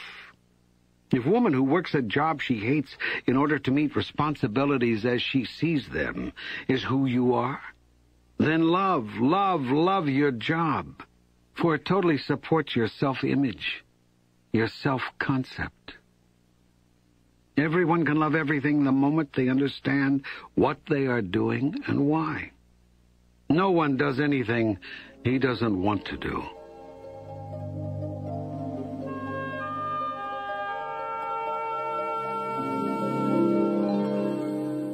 How can I solve some of the health problems I face? I've been the victim of enough chronic problems to last three lifetimes. Why am I having them all now in this lifetime? First, let's get one thing straight. You love them. Most of them, anyway. You use them admirably to feel sorry for yourself and to get attention for yourself. On the few occasions when you haven't loved them, it's only because they've gone too far. Farther than you thought they ever would when you created them. Now let's understand what you already know. All illness is self-created. Even conventional medical doctors are now seeing how people make themselves sick. Most people do so quite unconsciously. They don't even know what they're doing. So when they get sick, they don't know what hit them. It feels as though something has befallen them, rather than that they did something to themselves. This occurs because most people move through life not simply health issues and consequences unconsciously. People smoke and wonder why they get cancer. People ingest animals and fat and wonder why they get blocked arteries. People stay angry all their lives and wonder why they get heart attacks. People compete with other people mercilessly and under incredible stress and wonder why they have strokes. The not so obvious truth is that most people worry themselves to death. Worry is just about the worst form of mental activity there is, next to hate, which is deeply self-destructive. Worry is pointless. It is wasted mental energy. It also creates biochemical reactions which harm the body, producing everything from indigestion to coronary arrest, and a multitude of things in between. Health will improve almost at once when worrying ends. Worry is the activity of a mind which does not understand its connection with me. Hatred is the most severely damaging mental condition. It poisons the body, and its effects are virtually irreversible. Fear is the opposite of everything you are, and so has an effect of opposition to your mental and physical health. Fear is worry magnified. Worry, hate, fear, together with their offshoots, anxiety, bitterness, impatience, avarice, unkindness, judgmentalness, and condemnation, all attack the body at the cellular level.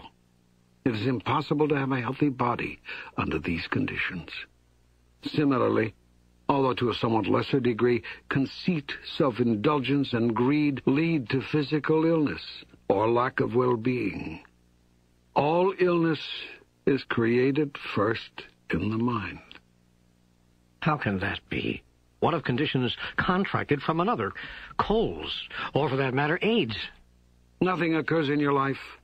Nothing which is not first a thought. Thoughts are like magnets, drawing effects to you. The thought may not always be obvious and thus clearly causative, as in, I'm going to contract a terrible disease. The thought may be, and usually is, far more subtle than that. I am not worthy to live. My life is always a mess. I am a loser. God is going to punish me. I am sick and tired of my life. Thoughts are a very subtle, yet extremely powerful form of energy. Words are less subtle, more dense. Actions are the most dense of all. Action is energy in heavy physical form, in heavy motion.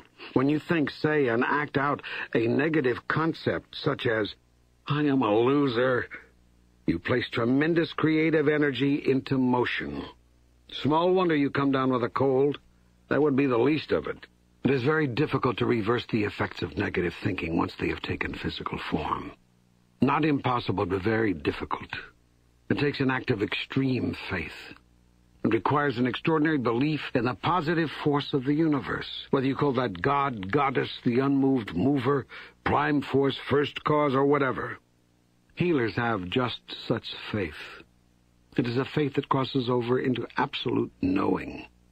They know that you are meant to be whole, complete, and perfect in this moment now.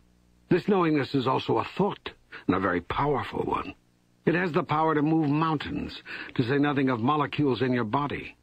That is why healers can heal, often even at a distance. Thought knows no distance. Thought travels around the world and traverses the universe faster than you can say the word. Say but the word, and my servant shall be healed. And it was so in that self-same hour, even before his sentence was finished. Such was the faith of the centurion. Yet you are all mental lepers. Your mind is eaten away with negative thoughts. Some of these are thrust upon you. Many of these you actually make up, conjure up yourselves, and then harbor and entertain for hours, days, weeks, months, even years. Then you wonder why you are sick. You can solve some of the health problems, as you put it, by solving the problems in your thinking. Yes, you can heal some of the conditions you have already acquired, given yourself, as well as prevent major new problems from developing. And you can do this all by changing your thinking. Also, and I hate to suggest this because it sounds so mundane coming as it were from God, but for God's sake, take better care of yourself. You take rotten care of your body, paying it little attention at all until you suspect something's gone wrong with it. You do virtually nothing in the way of preventive maintenance. You take better care of your car than you do of your body, and that's not saying much. Not only do you fail to prevent breakdowns with regular checkups, once a year physicals, and use of the therapies and medicines you've been given, why do you go to the doctor, get her help, then not use the remedies she suggests? Can you answer me that one? You also mistreat your body terribly between these visits, about which you do nothing. You do not exercise it, so it grows flabby and, worse yet, weak from non-use. You do not nourish it properly, thereby weakening it further. Then you fill it with toxins and poisons and the most absurd substances posing as food. And still it runs for you, this marvelous engine. Still it chugs along, bravely pushing on in the face of this onslaught. It's horrible. The conditions under which you ask your body to survive are horrible. But you will do little or nothing about them. You will hear this, nod your head in regretful agreement, and go right back to the mistreatment. And do you know why? I'm afraid to ask. Because you have no will to live. That seems a harsh indictment. It's not meant to be harsh, nor is it meant as an indictment. Harsh is a relative term, a judgment you have laid on the words. Indictment connotes guilt, and guilt connotes wrongdoing. There is no wrongdoing involved here, hence no guilt and no indictment. I've made a simple statement of truth. Like all statements of truth, it has the quality of waking you up. Some people don't like to be awakened. Most do not. Most would rather sleep. The world is in the condition that it's in because the world is full of sleepwalkers. With regard to my statement, what about it seems untrue? You have no will to live. At least you have had none until now. If you tell me you've had an instant conversion, I will reassess my prediction of what you will now do. I acknowledge that my prediction is based on past experience. It was also meant to wake you up. Sometimes, when a person is really deeply asleep, you have to shake him a little. I've seen in the past that you have had little will to live. Now, you may deny that, but in this case, your actions speak louder than your words. If you ever lit a cigarette in your life, much less smoked a pack a day for 20 years as you have, you have very little will to live. You don't care what you do to your body. But I stopped smoking ten years ago. Only after 20 years of grueling physical punishment. And if you've ever taken alcohol into your body, you have very little will to live. I drink very moderately. The body was not meant to intake alcohol. It impairs the mind. But Jesus took alcohol. He went to the wedding and turned water into wine. So who said Jesus was perfect? Oh, for God's sake. Say, are you becoming annoyed with me? Well, far be it from me to become annoyed with God. I mean, that would be a bit presumptuous, wouldn't it? But I do think we can carry this a bit too far. My father taught me all things in moderation. I think I've stuck to that where alcohol is concerned. The body can more easily recover from only moderate abuse. The saying is therefore useful. Nevertheless, I'll stick to my original statement. The body was not meant to intake alcohol. But even some medicines contain alcohol. I have no control over what you call medicine. I'll stay with my statement. You really are rigid, aren't you? Look, truth is truth. Now, if someone said a little alcohol won't hurt you, and placed that statement in the context of life as you now live it, I would have to agree with them. That does not change the truth of what I've said. It simply allows you to ignore it. Yet consider this. Currently, you humans wear your bodies out typically within 50 to 80 years. Some last longer, but not many. Some stop functioning sooner, but not the majority. Can we agree on that? Yes, okay. All right. So we have a good starting point for discussion. Now, when I said I could agree with the statement, a little alcohol won't hurt you, I qualified that by adding, in the context of life as you now live it. You see, you people seem satisfied with life as you now live it. But life, it may surprise you to learn, was meant to be lived a whole different way. And your body was designed to last a great deal longer. It was? Yes. How much longer? Infinitely longer. What does that mean? It means, my son, your body was designed to last forever. Forever? Yes, forever more. You mean that we're that we are never supposed to die? You never do die. Life is eternal. You are immortal. You never do die. You simply change form. You didn't even have to do that. You decided to do that. I didn't. I made you bodies that would last forever. Do you really think the best God could do, the best I could come up with, was a body that could make it 60, 70, maybe 80 years before falling apart? Is that, do you imagine, the limit of my ability? I never thought of putting it that way exactly. I designed your magnificent body to last forever. And the earliest of you did live in the body, virtually pain-free and without fear of what you now call death. In your religious mythology, you symbolize your cellular memory of these first version humans by calling them Adam and Eve. Actually, of course, there were more than two. At the outset, the idea was for you wonderful souls to have a chance to know yourselves as who you really are through experiences gained in the physical body, in the relative world, as I have explained repeatedly here. This was done through the slowing down of the unfathomable speed of all vibration, thought form, to produce matter, including that matter you call the physical body. Life evolved through a series of steps in the blink of an eye that you now call billions of years. And in this holy instant came you, out of the sea, the water of life, onto the land, and into the form you now hold. Then the evolutionists are right. I find it amusing, a source of continual amusement, actually, that you humans have such a need to break everything down into right and wrong. It never occurs to you that you've made those labels up to help you define the material and yourself. It never occurs to you, except to the finest minds among you, that a thing could be both right and wrong, that only in the relative world are things one or the other. In the world of the absolute, of time, no time, all things are everything.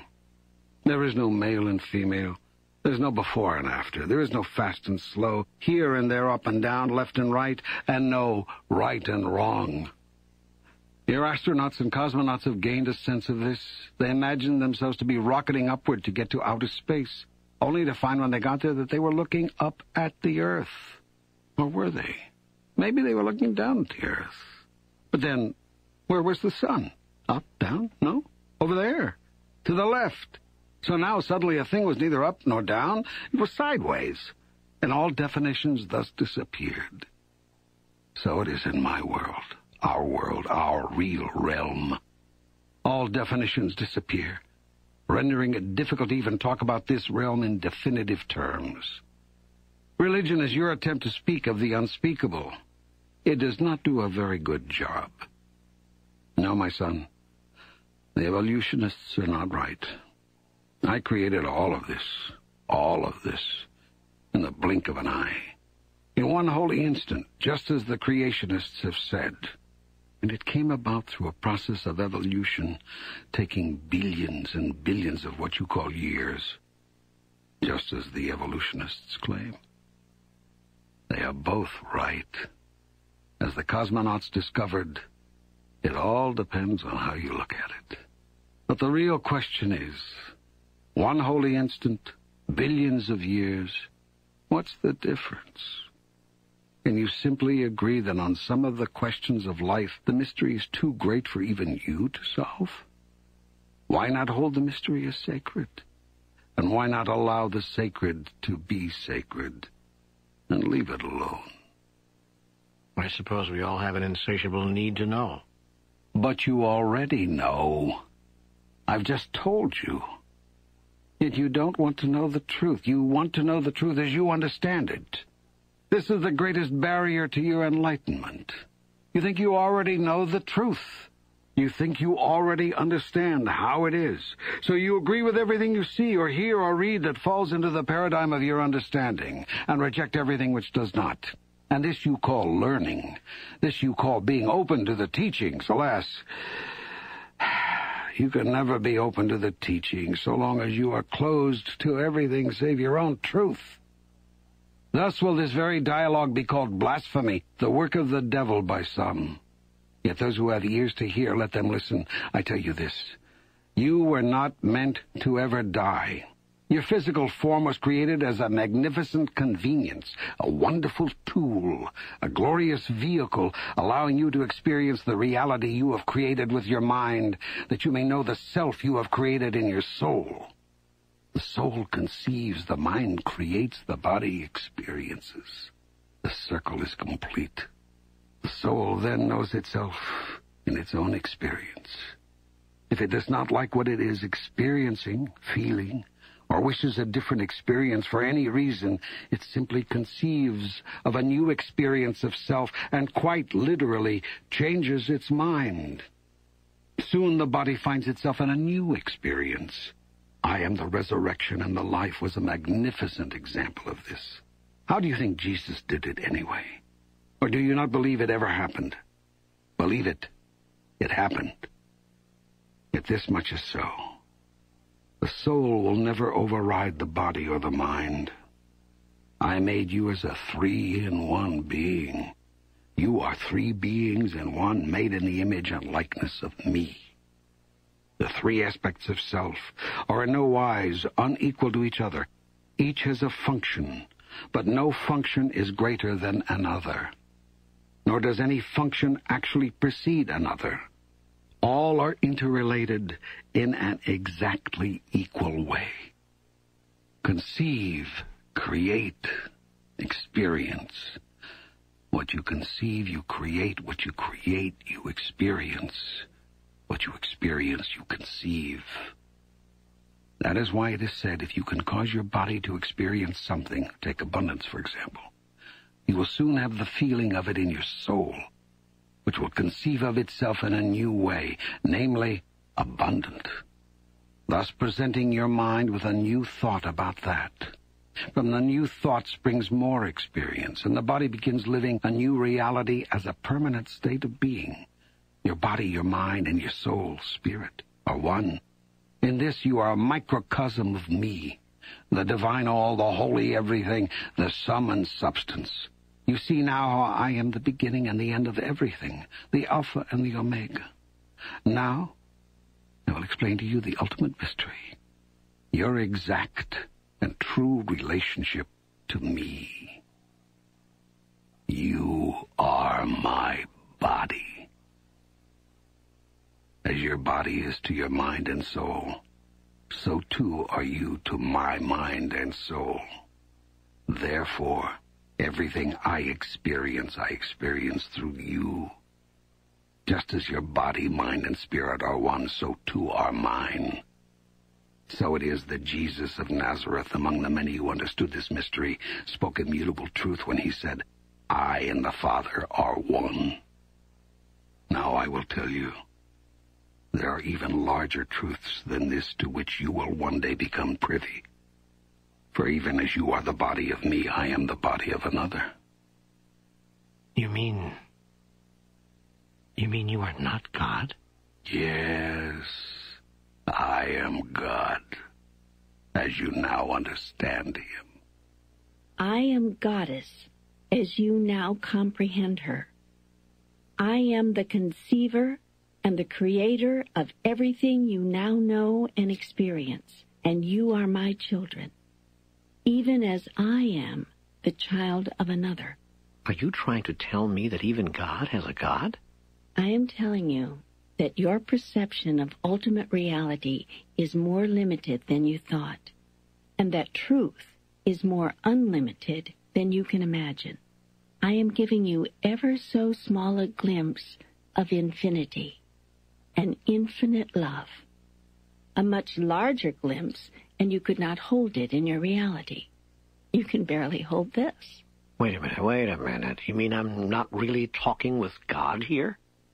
I've told you, if you conceive of God as your creator and master, even as you are the creator and master of your own body, I am the God of your understanding. And you are talking with me, yes. It's been a delicious conversation, no? Well, delicious or not, I thought I was talking with the real God, the God of gods. You know, the top guy, the chief honcho.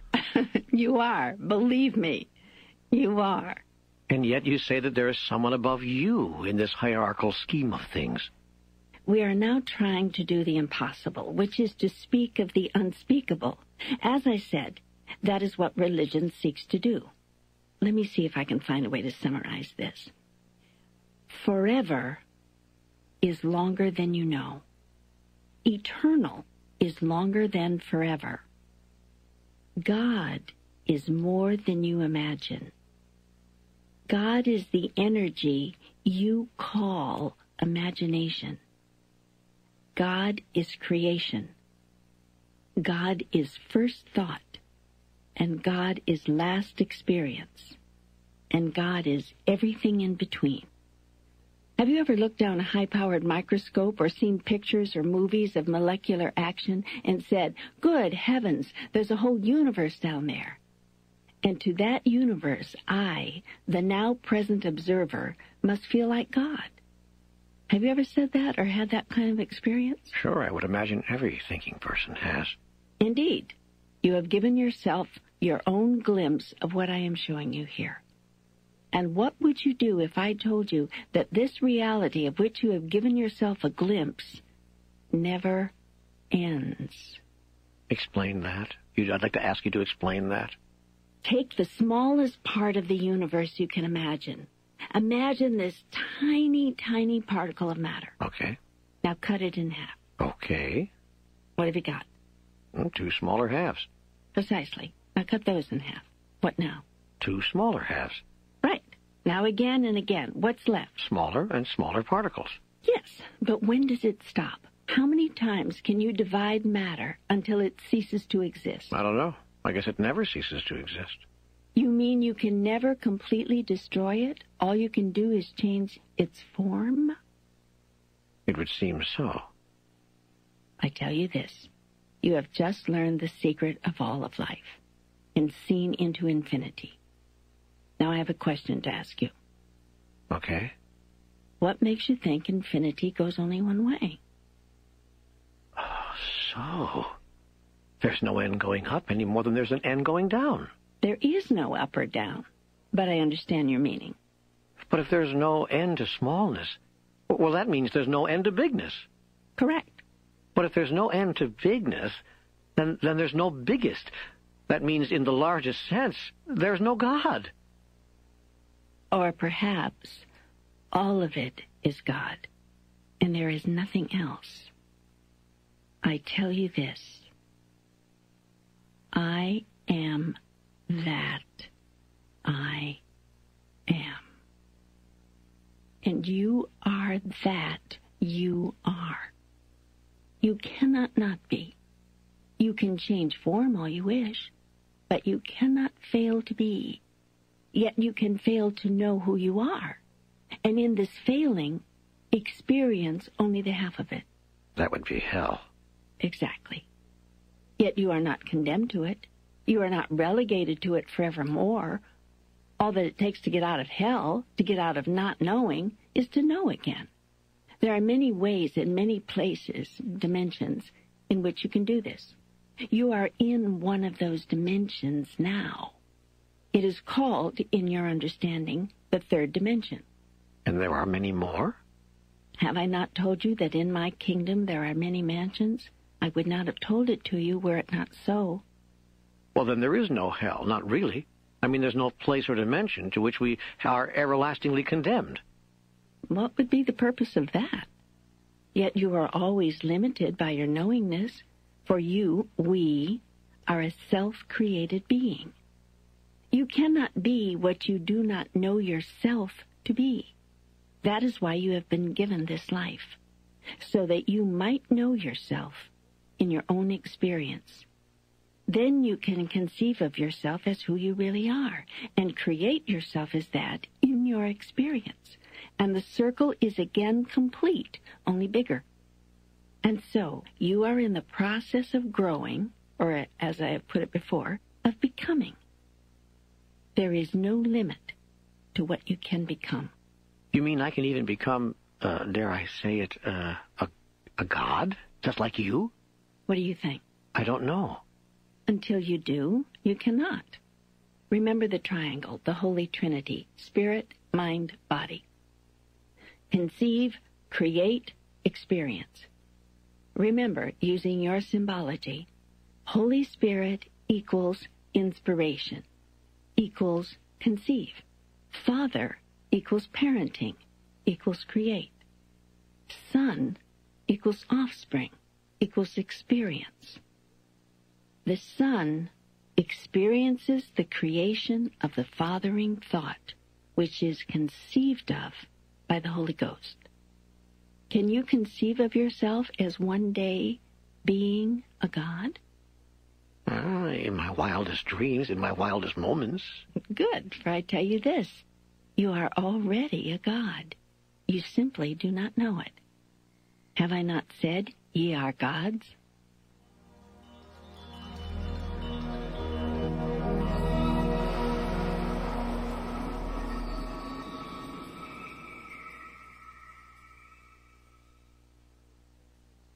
There now. I have explained it all for you. Life, how it works, its very reason and purpose. How else can I serve you? There's nothing more I could ask. I'm filled with thanks for this incredible dialogue. It's been so far-reaching, so so encompassing. You know, I had more questions to ask, but somehow these discussions make those questions seem irrelevant. Yes. Still, you wanted to ask them. Let's just quickly answer the remainder of them one by one, now that we're moving this rapidly through the material. What material? The material I brought you here to expose you to. Now that we're moving through the material, let's just take those remaining questions and deal with them quickly. All right, what is the karmic lesson I'm supposed to be learning here? What am I trying to master? You are learning nothing here. You have nothing to learn. You have only to remember. That is, remember me. What are you trying to master? You are trying to master mastering itself. Is there such a thing as reincarnation? How many past lives have I had? What was I in them? Is karmic debt a reality? It's difficult to believe there is still a question about this. I find it hard to imagine. There have been so many reports from thoroughly reliable sources of past life experiences. Some of these people have brought back strikingly detailed descriptions of events and such completely verifiable data as to eliminate any possibility that they were making it up or had contrived to somehow deceive researchers and loved ones. You have had 647 past lives, since you insist on being exact. This is your 648th. You were everything in them a king, a queen, a serf, a teacher, a student, a master, a male, a female, a warrior, a pacifist, a hero, a coward, a killer, a savior, a sage, a fool. You've been all of it. No, there is no such thing as karmic debt. Not in the sense that you mean in this question. A debt is something that must or should be repaid. You are not obligated to do anything. Still, there are certain things that you want to do, choose to experience, and some of these choices hinge on the desire for them has been created by what you have experienced before. And that is as close as words can come to this thing you call karma. If karma is the innate desire to be better, to be bigger, to evolve and to grow and to look at past events and experiences as a measure of that, then yes, karma does exist. But it does not require anything. Nothing is ever required. You are, as always you have ever been, a being of free choice. I sometimes feel very psychic. Is there such a thing as being psychic? And, and am I that? Are people who claim to be psychic trafficking with the devil? Yes, there is such a thing as being psychic. You are that. Everyone is that. There is not a person who does not have what you call psychic ability. There are only people who do not use it. Using psychic ability is nothing more than using your sixth sense. Obviously, this is not trafficking with the devil, or I would not have given the sense to you. And of course, there is no devil with whom to traffic. Is sex okay? Come on, what is the real story behind this human experience? Is sex purely for procreation, as some religions say? Is true holiness and enlightenment achieved through denial or transmutation of the sexual energy? Is it okay to have sex without love? Is just the physical sensation of it okay enough as a reason? Of course sex is okay. Again, if I didn't want you to play certain games, I wouldn't have given you the toys. Do you give your children things you don't want them to play with? Play with sex. Play with it. It's wonderful fun. Why, it's just about the most fun you can have with your body if you're talking of strictly physical experiences alone.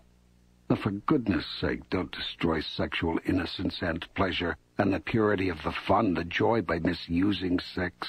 Don't use it for power or hidden purpose, for ego gratification or domination, for any purpose other than the purest joy and the highest ecstasy given and shared, which is love and love recreated, which is new life. Have I not chosen the delicious way to make more of you? With regard to denial, I've dealt with that before. Nothing holy has ever been achieved through denial. Yet desires change as even larger realities are glimpsed. It is not unusual, therefore, for people to simply desire less or even no sexual activity. Or for that matter, any of a number of activities of the body. For some, the activities of the soul become foremost, and by far the more pleasurable. Each to his own without judgment. That is the motto. The end of your question is answered this way. You don't need to have a reason for anything. Just be cause. Be the cause of your experience. Remember, experience produces concept of self. Conception produces creation. Creation produces experience. You want to experience yourself as a person who has sex without love? Go ahead. You'll do that until you don't want to anymore. And the only thing that will, that could ever, cause you to stop this or any behavior is your newly emerging thought about who you are. It's as simple and as complex as that. Why did you make sex so good, so spectacular, so powerful a human experience if all we're supposed to be doing is staying away from it as much as we can? What gives? And for that matter, why are all fun things either immoral, illegal, or fattening? I've answered the end of this question with what I've just said. All fun things are not immoral, illegal, or fattening. Your life is, however, an interesting exercise in defining what fun is. To some, fun means sensations of the body. To others, fun may be something entirely different. It all depends on who you think you are and what you are doing here. There is much more to be said about sex than is being said here, but nothing more essential than this. Sex is joy and many of you have made sex everything else but. Sex is sacred, too. Yes, but joy and sacredness do mix. They are, in fact, the same things, and many of you think they do not. Your attitudes about sex form a microcosm of your attitudes about life. Life should be a joy, a celebration, and it has become an experience of fear, anxiety, not enoughness, envy, rage, and tragedy. The same can be said about sex. You have repressed sex, even as you have repressed life, rather than fully self-expressing with abandon and joy. You have shamed sex, even as you have shamed life, calling it evil and wicked, rather than the highest gift and the greatest pleasure. Before you protest that you have not shamed life, look at your collective attitudes about it. Four-fifths of the world's people consider life a trial, a tribulation, a time of testing, a karmic debt that must be paid, a school with harsh lessons that must be learned, and in general, an experience to be endured while awaiting the real joy, which is after death. It's a shame that so many of you think this way. Small wonder you have applied shame to the very act which creates life. The energy which underscores sex is the energy which underscores life, which is life. The feeling of attraction and the intense and often urgent desire to move toward each other, to become one, is the essential dynamic of all that lives. I have built it into everything. It is inbred, inherent, inside all that is. The moral codes, religious constrictions, social taboos, and emotional conventions you have placed around sex, and by the way, around love and all of life, have made it virtually impossible for you to celebrate your being. From the beginning of time, all man has ever wanted is to love and be loved. And from the beginning of time, man has done everything in his power to make it impossible to do that. Sex is an extraordinary expression of love. Love of another, love of self, love of life. You ought to therefore love it. And you do. You just can't tell anyone you do. You don't dare show how much you love it, or you, you'll be called a pervert. Yet this is the idea that is perverted. For you personally, simply know this. I have given you nothing shameful, least of all your very body and its functions.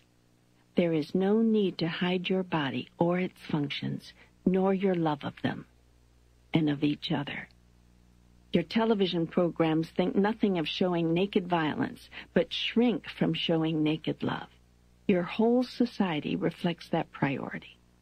Is there life on other planets? Have we been visited by it? Are we being observed now?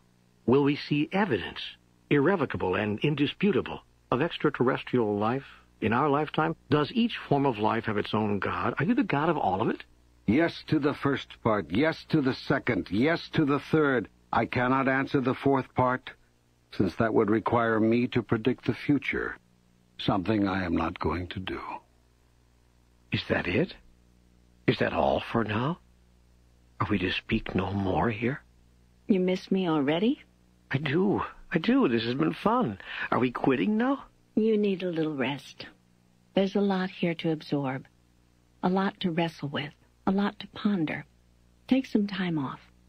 Reflect on this. Ponder it. Don't feel abandoned. I'm always with you. If you have questions, day-to-day questions, as I know you do even now and will continue to, know that you can call on me to answer them. This is not the only way I speak to you. Listen to me in the truth of your soul. Listen to me in the feelings of your heart. Listen to me in the quiet of your mind. Hear me everywhere. Whenever you have a question, simply know that I have answered it already. Then open your eyes to your world. My response could be in an article already published, in the sermon already written and about to be delivered, in the movie now being made, in the song just yesterday composed, in the words about to be said by a loved one, in the heart of a new friend about to be made. My truth is in the whisper of the wind, the babble of the brook, the crack of the thunder, the tap of the rain. It is the feel of the earth, the fragrance of the lily, the warmth of the sun, the pull of the moon. My truth, and your surest help in time of need, is as awesome as the night sky, and as simply, incontrovertibly trustful as a baby's gurgle. It is as loud as a pounding heartbeat and as quiet as a breath taken in unity with me. I will not leave you. I cannot leave you, for you are my creation and my product, my daughter and my son, my purpose and my self. Call on me, therefore, wherever and whenever you are separate from the peace that I am. I will be there. With truth. And light.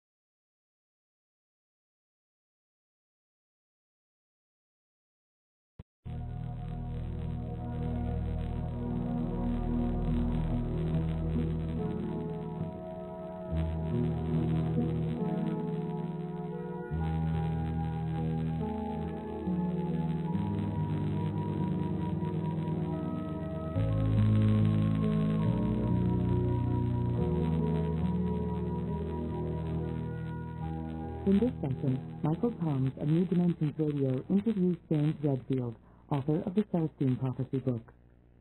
James, one of the aspects of this book is that a lot of the words of God, as they're portrayed here in Conversations with God, are at odds with the religious doctrine and dogma of many of the religious institutions. What about that, that dichotomy? Well, I, I think that um, it, it's really just indicative of where we are. I think that for so long, uh, spiritual thought has been held in dogma. Maybe uh, the culture could not hold it any other way. But I think at this point we are shifting away from the dogma. Uh, the uh, uh, the germ of truth is moving uh, away from some of the, the older, more fundamental uh, institutions of religion and in, into the the great dialogue that we're having, the great conversation, in my view, uh, where we're testing out for ourselves what to believe about spirituality because we will uh, find the uh, the evidence for it uh, experientially. In the face of this grand conversation and the energy shifting over into the conversation, the uh, the religious institutions then have to evolve themselves uh, and shift the dogma uh, back toward the truth that I think is being defined popularly. James, there's a quote in the book I want to recite here for you and get your comment on it. The deepest secret is that life is not a process of discovery, but a process of creation. Do you agree with that? Uh, yeah, I think there's there's a uh, semantic problem uh, right there. Uh, but essentially, I think what what uh, is being conveyed in, in the conversations with God is that this is nothing that we're to discover as though uh, we did not uh, did not already have it. Uh, in other words, uh, the, living the spiritual life is really creating, in the sense of of, of uh, engaging the experience. Uh, and, and, I think in, in, that sense, it's very, very true. Uh, I think that in another way, it feels like discovery. It feels like self-discovery. but I think we do have to keep in mind that it's uh, that we're really not just discovering, we're remembering. Uh, we're trying to open up to that which we uh, always have been. Taking that a little further, one of the things that permeates conversations with God is the idea and the concept of we create our own reality. You create your own reality. What is your perspective? Do we create our own reality? Well, I think that uh, I really think what's being said here is that uh, we all create uh, the reality, uh, and so there's while while we personally are responsible for much of what happens to us personally, uh, also what happens to us personally is a result of what everybody else is creating out there and all the interfaces that happen. Uh, and I definitely think that that's true. Uh, that's why to say that you're absolutely creating everything that happens to you uh, uh, is, uh, to me, uh, too strict. Uh, but to say that you are involved, you're co-creating everything that happens to you, I think is is uh, is very close to the truth. Uh, but the main point in that, I think, is that uh, it's not so much what happens to us, it's how we react to what happens to us, because that's uh, uh, that way we can uh, make sure that if we react positively uh, from a sense of love, then we are doing everything we can to keep our path on, on a positive track. I think you brought out a salient point here that it's not only recreating our own reality, but creating our own reality in the midst of many other realities being created by others.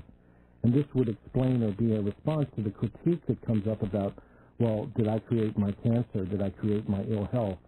Uh, you know, what about that? I mean, isn't that true? Uh, yeah, I think so. I mean, it, it, you know, uh, we have to take responsibility for our part of it always.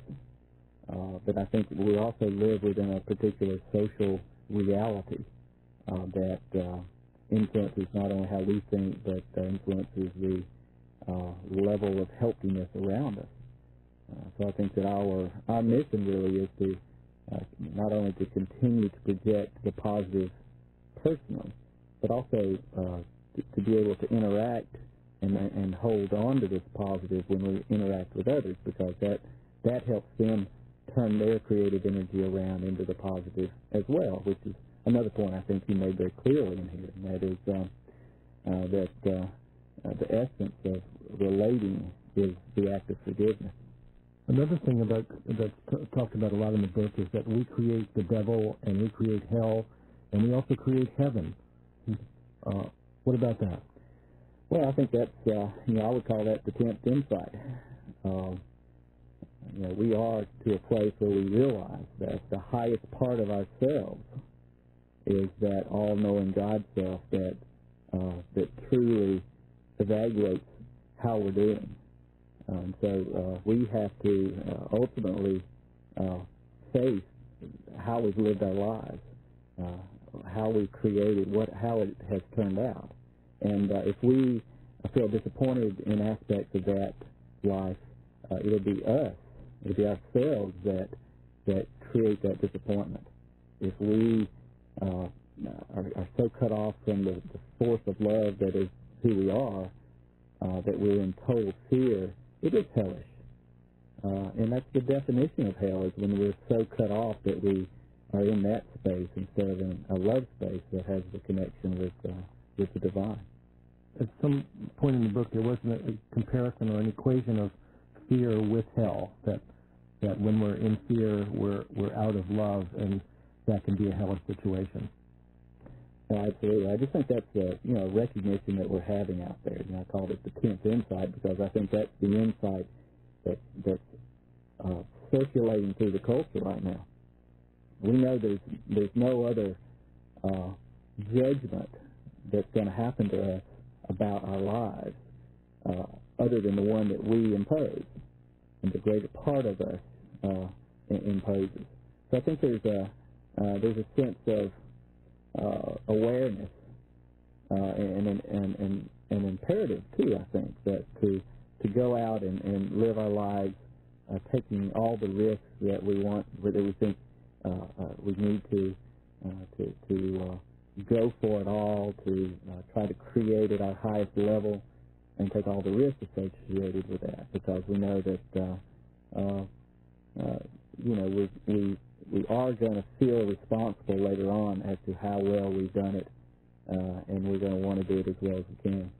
James, one of the questions that came up for me was the reference to feelings as an indicator and a channel for truth. And uh, I'm wondering about, are we talking about levels of feelings? Because feelings have been the cause of wars and conflicts for millennia. And uh, so what about that idea of feelings being a channel for the truth? Well, you know, I, I, I took that to mean that that uh, uh, uh, inwardly, once we get past the uh, the, the negative feelings that maybe distract us. Uh, but that, that, that once we get clear, that, that we have an inward feeling as to what is truth and what is not truth. Uh, and of course, that's somewhat relative to our own situation, but uh, each of us, I think, knows intuitively uh, which move to make at any juncture in our lives. Now, we don't always do it because we rationalize it or we fall into fear about it and we, we can't really make the move, but at our highest level, uh, if we can get to that, we know what to do uh, and when to do it and what to say in every circumstance. Uh, we're guided, I mean, we have that higher self intuitive guidance at that level uh, uh, once we can uh, find it within our own experience. So, in some sense, when you're talking about inward, you're really talking about going deeper to the deep, deeper level of our feelings, right? That's that's the way I would look at it. Yes, that that uh, uh, you know the, the there are all kinds of emotions uh, that run uh, run through our experience. It can be you know, jealousy and irritation and hatred and all the rest. Um, but I think that those we know now are uh, come from a place of fear and not a place of love. And if there's something we know, I think here in the 90s, uh, if we're really going to is this: if we're really going to live our uh, true spirituality, uh, we have to stay in a space of love. First of all, we have to find that for ourselves and define it, and then we always have to come back to this space uh, of love, this this uh, be, this state of being that we that we know as love. Uh, and uh, that's uh, you know you can abstractly debate philosophy and religion and dogma all you want to, but nothing matters except coming back to that state and that space of love. And I think that's one thing that uh, has come into popular consciousness at this point. So there's a quote in the book that follows up on what you just said. The highest thought is always that thought which contains joy. The clearest words are those words which contain truth. The grandest feeling is that feeling which you call love, joy, truth, and love. That's pretty much echoing what you just said. Yeah, absolutely. I think that uh, that that we really know now that, that there is an experience out there that that's available to us, uh, and uh, we don't want to just talk about it. We don't want to think about it. We don't want to just debate about it. We want to, to go for it and experience that ourselves. And that's going to change everything because we are finally getting to a level of experience with all this. Uh, I always like to say that we've, we've got a new image that's emerging out in the culture of what the good life is. The good life is to find that space of love, that space of joy, uh, that space of euphoria almost. Uh, because from that comes all the other things that we associate with fulfillment, uh, like a sense of mission, uh, a sense of making the world a better place, a sense of having good, positive relationships, uh, uh, knowing how to parent, all the rest. It all flows from staying in that space, and I think we know that now.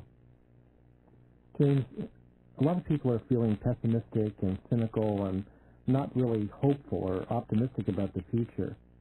And one of the quotes in the book that I'd like you to comment on is, I tell you this, all you see in your world is the outcome of your idea about it. What is your comment on that, that statement? I think that's, that's absolutely true and, and of so uh, immense importance right now. The ideas we have about how we can um, uh, turn the course of the world around, how we can uh, make it more positive, how, how we can solve our uh, social uh, and, and uh, environmental problems. Um, the, the, ideas that we project about that are going to create uh, the state of the future. And, uh, you know, I think that, that we, we've reached a point where we now know how powerful we are in terms of our ideas and our visualization of the future. and I think it's, it's, it's got to be that understanding that carries us through right now. We cannot uh, just fall back into this fear reaction that the world is doomed, uh, that can't be saved, because I, I really believe that all the heroes are, are in place, as I've said many times, that uh, that we can, all the people who, are, who need to intervene in all our social problems uh, are already there. Uh, all, all we have to do is connect with this uh, the, the divine guidance and, and the courage uh, and um, uh, just everybody making a move at once can change the world literally overnight. What was the most impressive aspect of conversations with God for you? Well, I I really liked the uh, the the foundation it was it was built upon, uh, the basic uh, principles uh, that uh, uh, were voiced in the book. You know, um, a couple of sentences that that I really loved is had to do with uh, heaven, and I think the answer that God gave was there is no such thing as getting to heaven. There's only a knowing that you're already there. And uh, you know this whole uh, the whole uh, theme of remembering, uh, I think, is just so uh, uh, important for us at this time. It's, it's something that, again that I believe is, is emerging in the culture now. This awareness that hey, we are spiritual beings. We always have been, and all we have to do is open up to it and remember it, uh, and then our lives can can change uh, very very dramatically. So, if you had something to share with people as to what they could do in these times, what would it be, James? Well, I, I think uh, what I like to say is is that each of us has to find our own experience of the divine. You know, we have to have that experience uh, whereby we become more than uh, than we were. We have a transcendent experience where our bodies feel different. Uh, we feel uh, like a like a full or more complete person. Uh, we are imbued with a kind of energy that the mystics have always talked about uh, as being transforming. And people find that in different ways. They find it in the churches and synagogues, in prayer. They find it in meditation. But we also find it in dance and in uh, uh, body work and in uh, uh, the martial arts. And, uh, and we find it uh, in visiting sacred sites on this planet. You know, there's, a, there's an inspiring energy that uh, certain lo- locations can give us. Uh, and I think uh, I, I would say that, that uh, the first uh, chore in the 90s is to go out and find that transcendent experience uh, because everything else springs from uh, that sense of being part of, of the divine and having uh, uh, the source within that the mystics have always talked about. James, thank you for being with us today. Appreciate you taking the time. Thank you, Michael.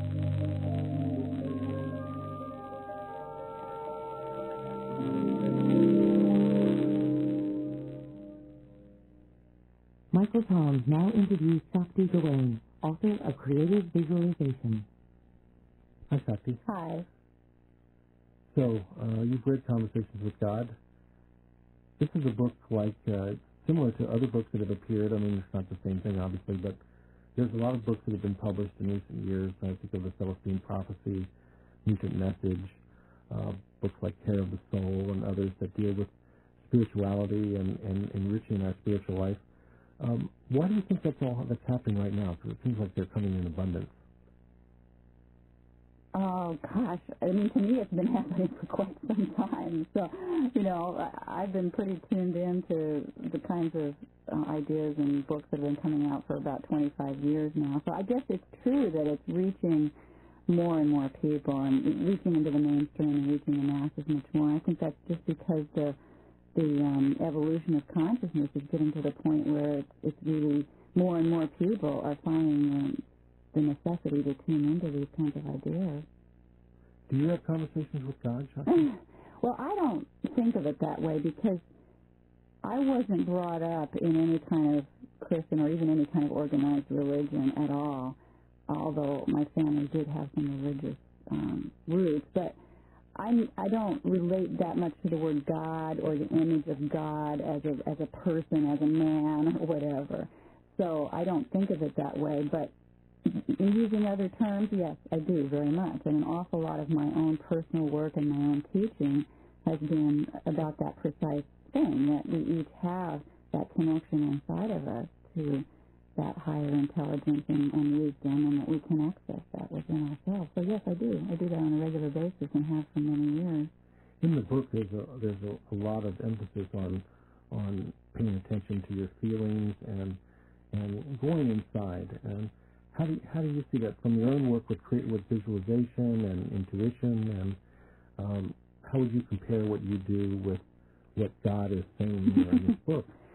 Um, well, this particular God, um, the way it he she is expressing, is coming through with a pretty strong Christian orientation. Uh, I mean, counteracting a lot of the misunderstandings and limitations in the way that people commonly practice and understand Christianity, and, and I think in a very wonderful way, actually, um, explaining what the real meaning of a lot of that is.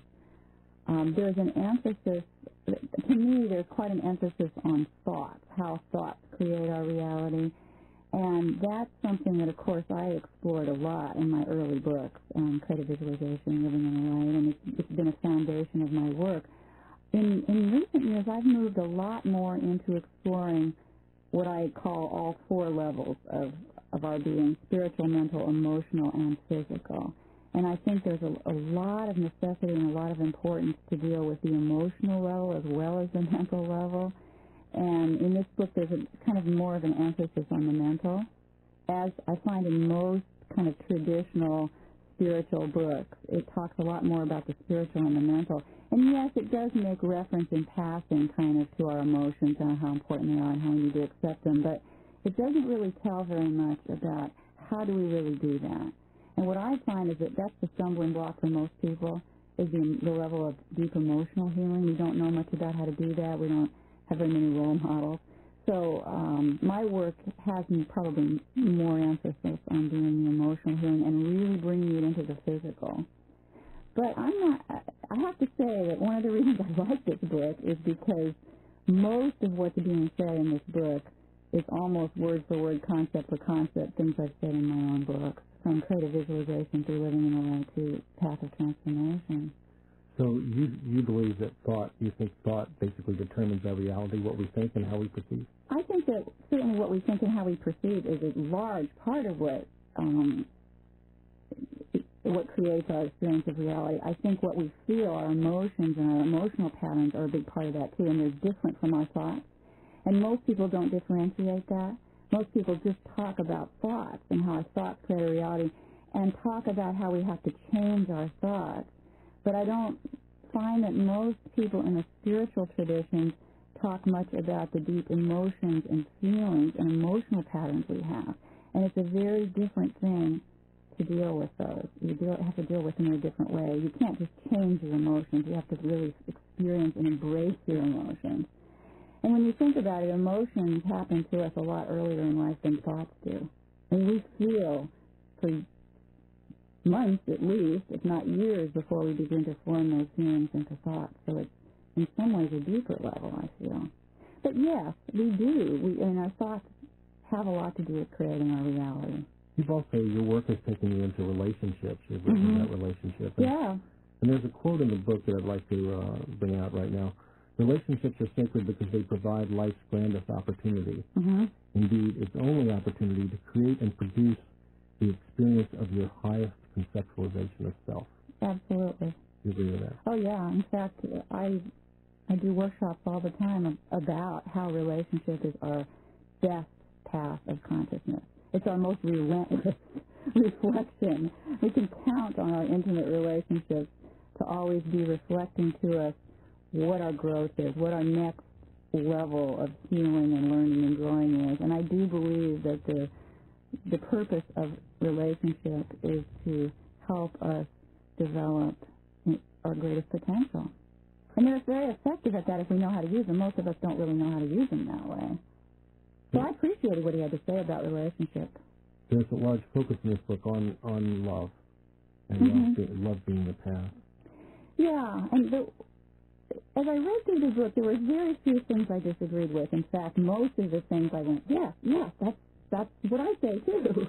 Um, there were a couple of places. One of the things I felt a little uncomfortable with is See, I, I really believe that this is a plane of duality, of polarities, in which our task is to learn to truly honor and embrace all opposites, all polarities, that one isn't better than another, but that in fact all the aspects of life are equally valuable and blessed.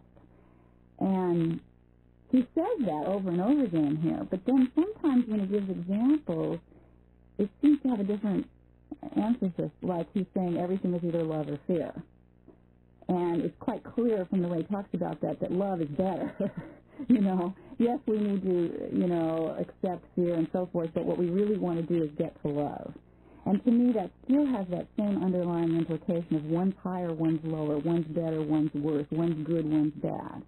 It felt that way as I was reading it. And see, to me, fear is, is a way we characterize the emotional state of contraction. Love is the emotional state of expansion. We need both expansion and contraction in the physical world. If we just expanded all the time, you know, there would be no boundaries, there would be no individuation. One isn't better than the other. But somehow, perhaps you have to experience fear, just like you have to experience suffering, in order to understand the, dimen- the deep dimensions of life and to understand love. You have well, to and there's fear. a purpose for fear in the physical world. I mean, we feel fear, valid fear, when there's danger, when we need to protect ourselves, when we need to pull back physically from something that's dangerous to us or emotionally. So I just that was the only thing that I, you know, or one of the only things that I kind of reacted to, and I, I'm there aren't very many other people I ever hear saying what I'm saying here. I mostly hear people saying this, but let's choose love. Let's let go of fear. Let's get rid of fear and choose love because love is the higher. And I know what they mean. I mean, it feels much better to love than to fear. Yet there, I don't know. I just think that there's a place for both, and they're both appropriate. You know, my way of thinking of it is that on a spiritual level, love is what we are. Unconditional love is our experience on a spiritual level. And whenever we are we get the opportunity to touch into that level, we get that wonderful feeling of unconditional love.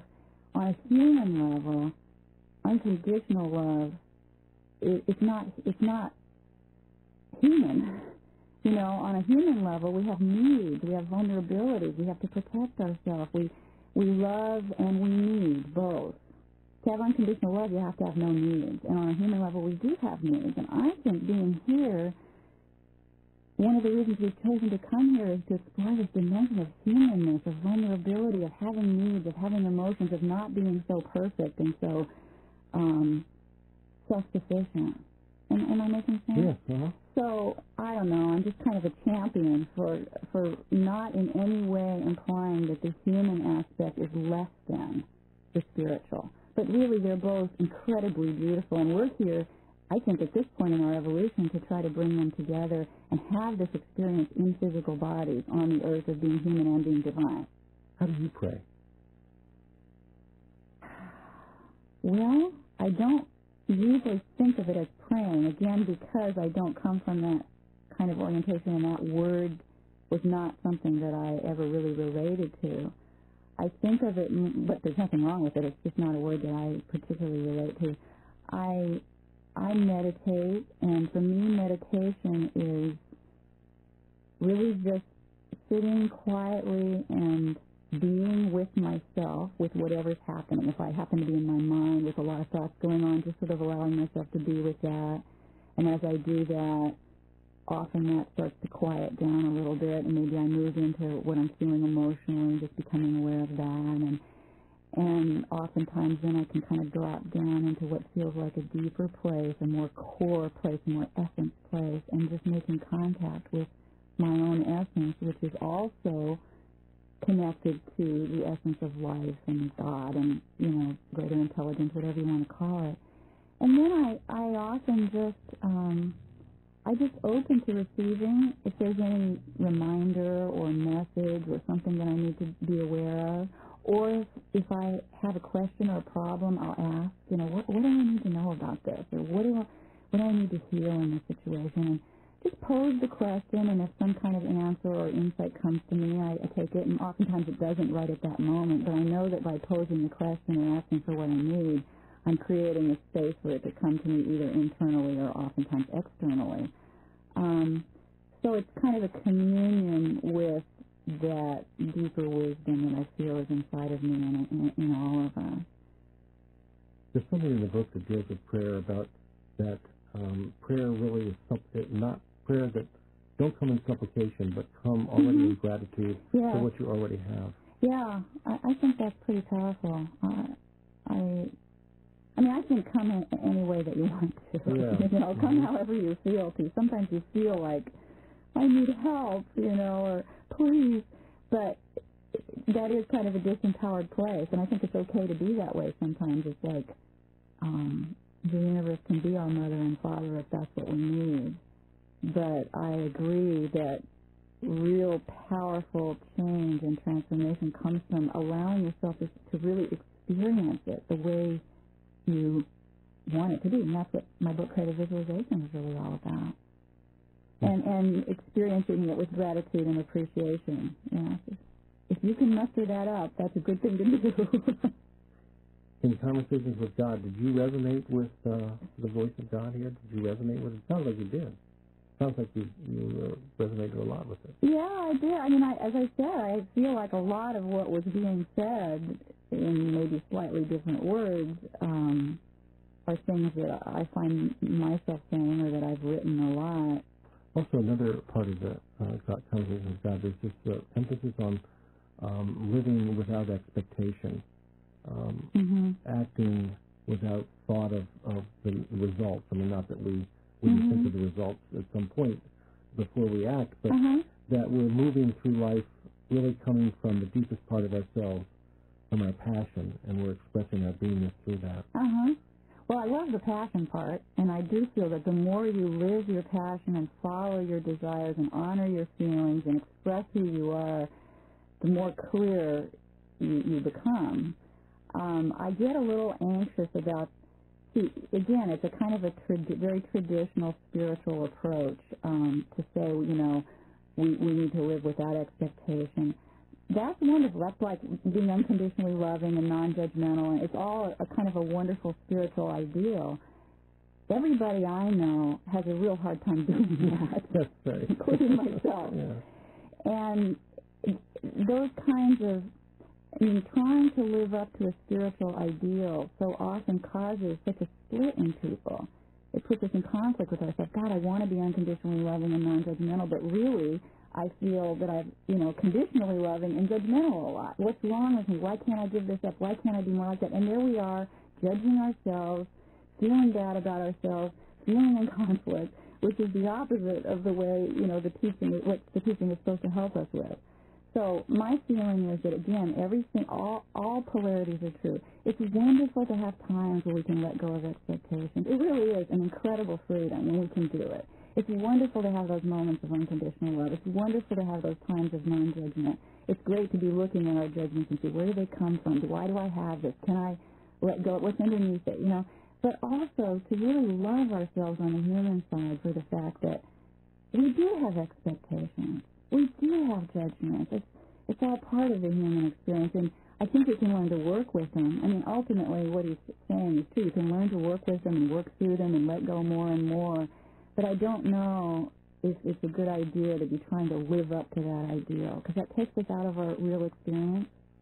Well, at times it just reminds me during the book, Conversation with God, that sometimes the author apologizes or says, oh, you know, and God says, don't worry about yeah. it. Forgive yourself. It's okay. Uh-huh. Move on. And so there's this, this mm-hmm. constant theme that comes through forgiving yourself. Yeah. We well, need to forgive ourselves more often. Absolutely, but you know it's hard to forgive yourself when you've got a spiritual ideal that says you you know really. See, I do hear a little bit of this message in this book, and it's the only part that I don't really resonate with, and it's it's the part that I don't resonate with in most traditional spiritual um, writings or teachings from either the Eastern or the Western or the New Age tradition, um, where it, it's like it's all being said, yes, we must accept all of it and it's all wonderful, but at the same time, there seems to be this double message that's saying it's all wonderful, but this is better. mm. If only we could be, you know, self-sufficient and um, non-judgmental and not have expectations, then it would, that would be even better, you know. And that makes it hard to really accept fully what the human experience is. There's another aspect that comes up in what you're saying, and that is that um, in conversation with God, God does say that, that, and kind of repeating what Jesus said in the Gospel of Thomas, Mm-hmm. uh, which is one of the later scriptures they found in Nag Hammadi scriptures, uh, where the kingdom, where is the kingdom, Lord? And he says, the kingdom's before you. It's right here before you. Mm-hmm. close to you. Mm-hmm. And God in this conversation also says that that's true. Yes. It's, it's become quite clear to me in my own life experience that heaven and hell are definitely right here all the time. I mean, I experience myself sometimes as being in hell. You know, when I just feel miserable and I feel blocked and I'm in confusion and life just feels terrible and I know at those moments, oh, this is what hell is all about. This is where the concept of hell came from. We we create it, we experience it right here, right now, at certain times and in certain ways. And similarly, I have moments of feeling incredible bliss and everything's perfect and it's all this wonderful flow and it's just heaven. So yeah, it seems very clear to me that those are both aspects of of our experience. Shakti, thanks for joining us today. Oh, my pleasure.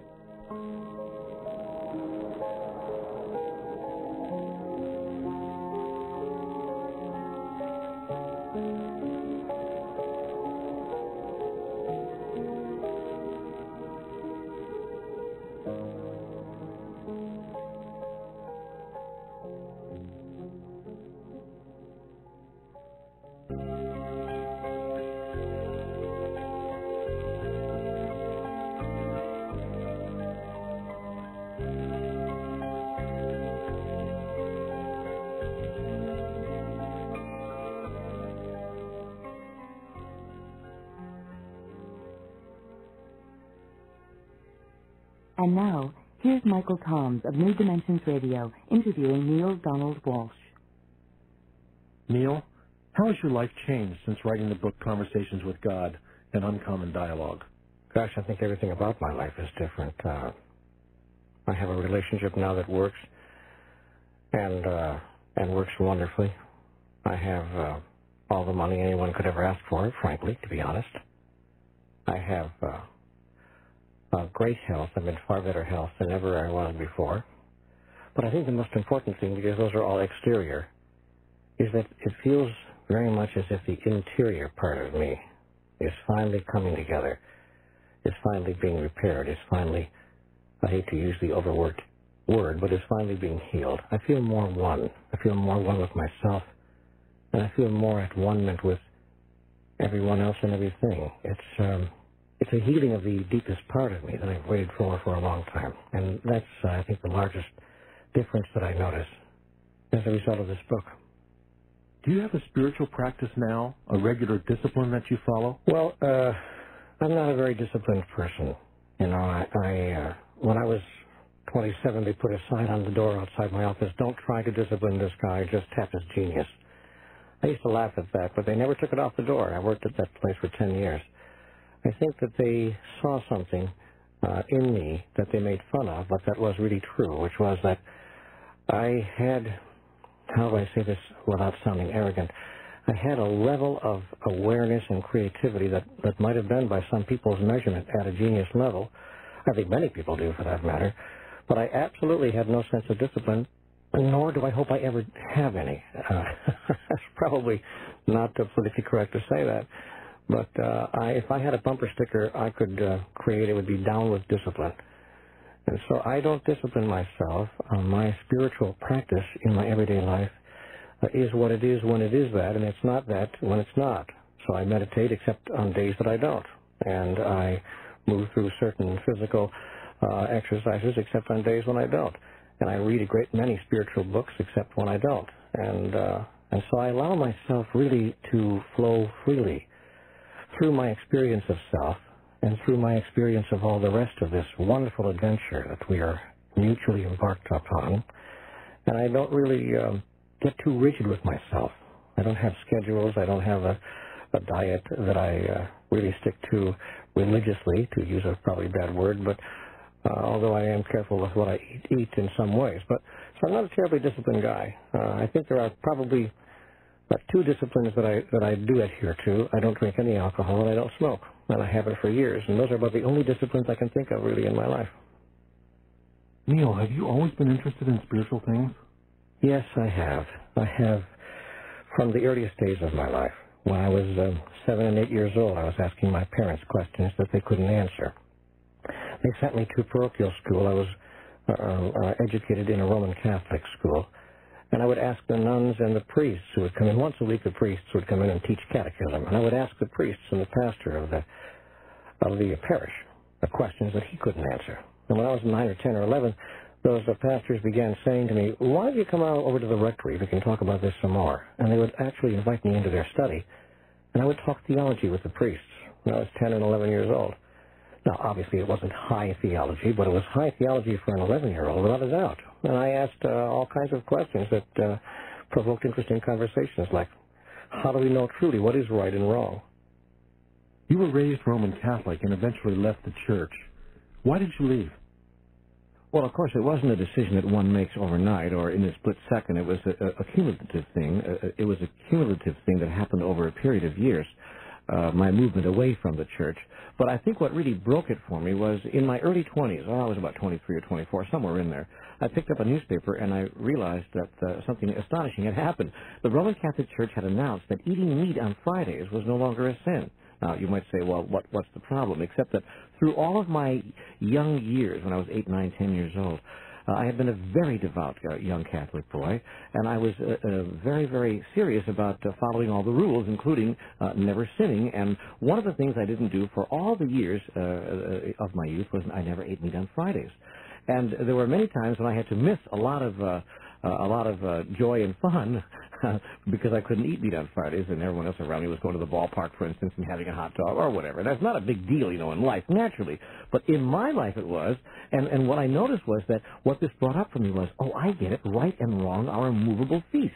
Right and wrong. Even the Roman Catholic Church changes its mind about what is or is not a sin.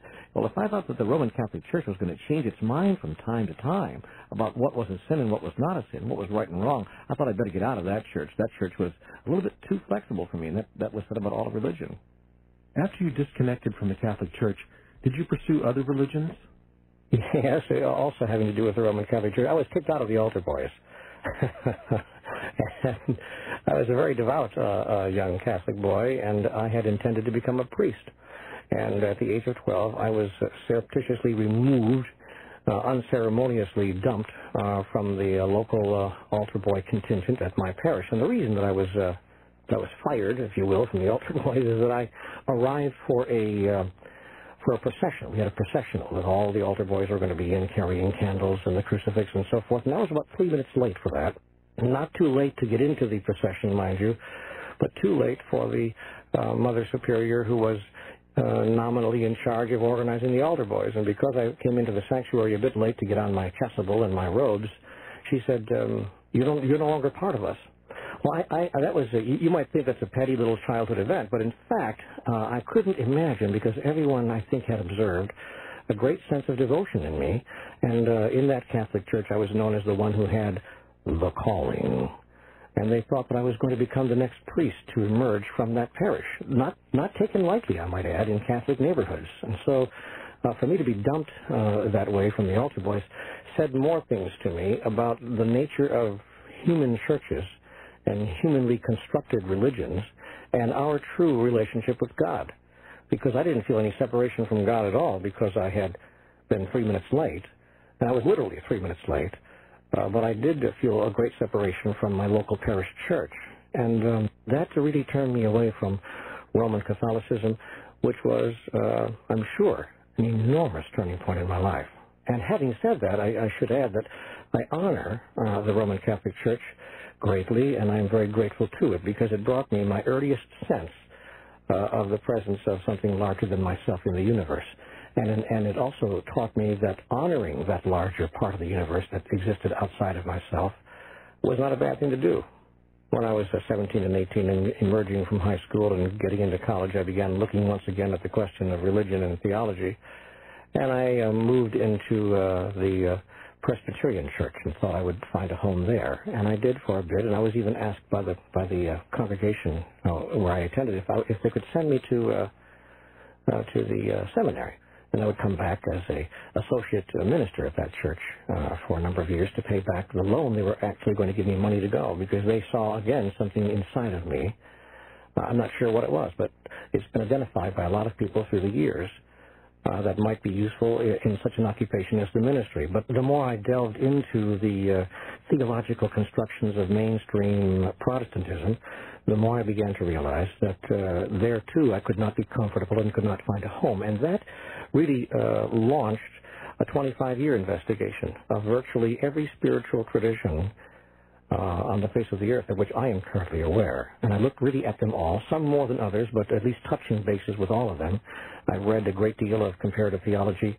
I spent uh, days and weeks and months in the libraries uh, around the country where I began moving because of my career. And I looked uh, very deeply. I even had long conversations. I would sit down with uh, with rabbis and with. Uh, I, sat down once for uh, two days for a weekend with a man from the Middle East, and he explained a great many of the Middle Eastern uh, Orthodox um, theologies. And uh, so I, I, began to get uh, my mind deeply involved in the question of uh, how human beings experience the gods, the various gods of their understandings, and if any one of those ways would be comfortable for me. And I have to say uh, that I could find a complete comfort uh, in none of those constructions. Where were you in your life when you began writing Conversations with God? Were you at a low point?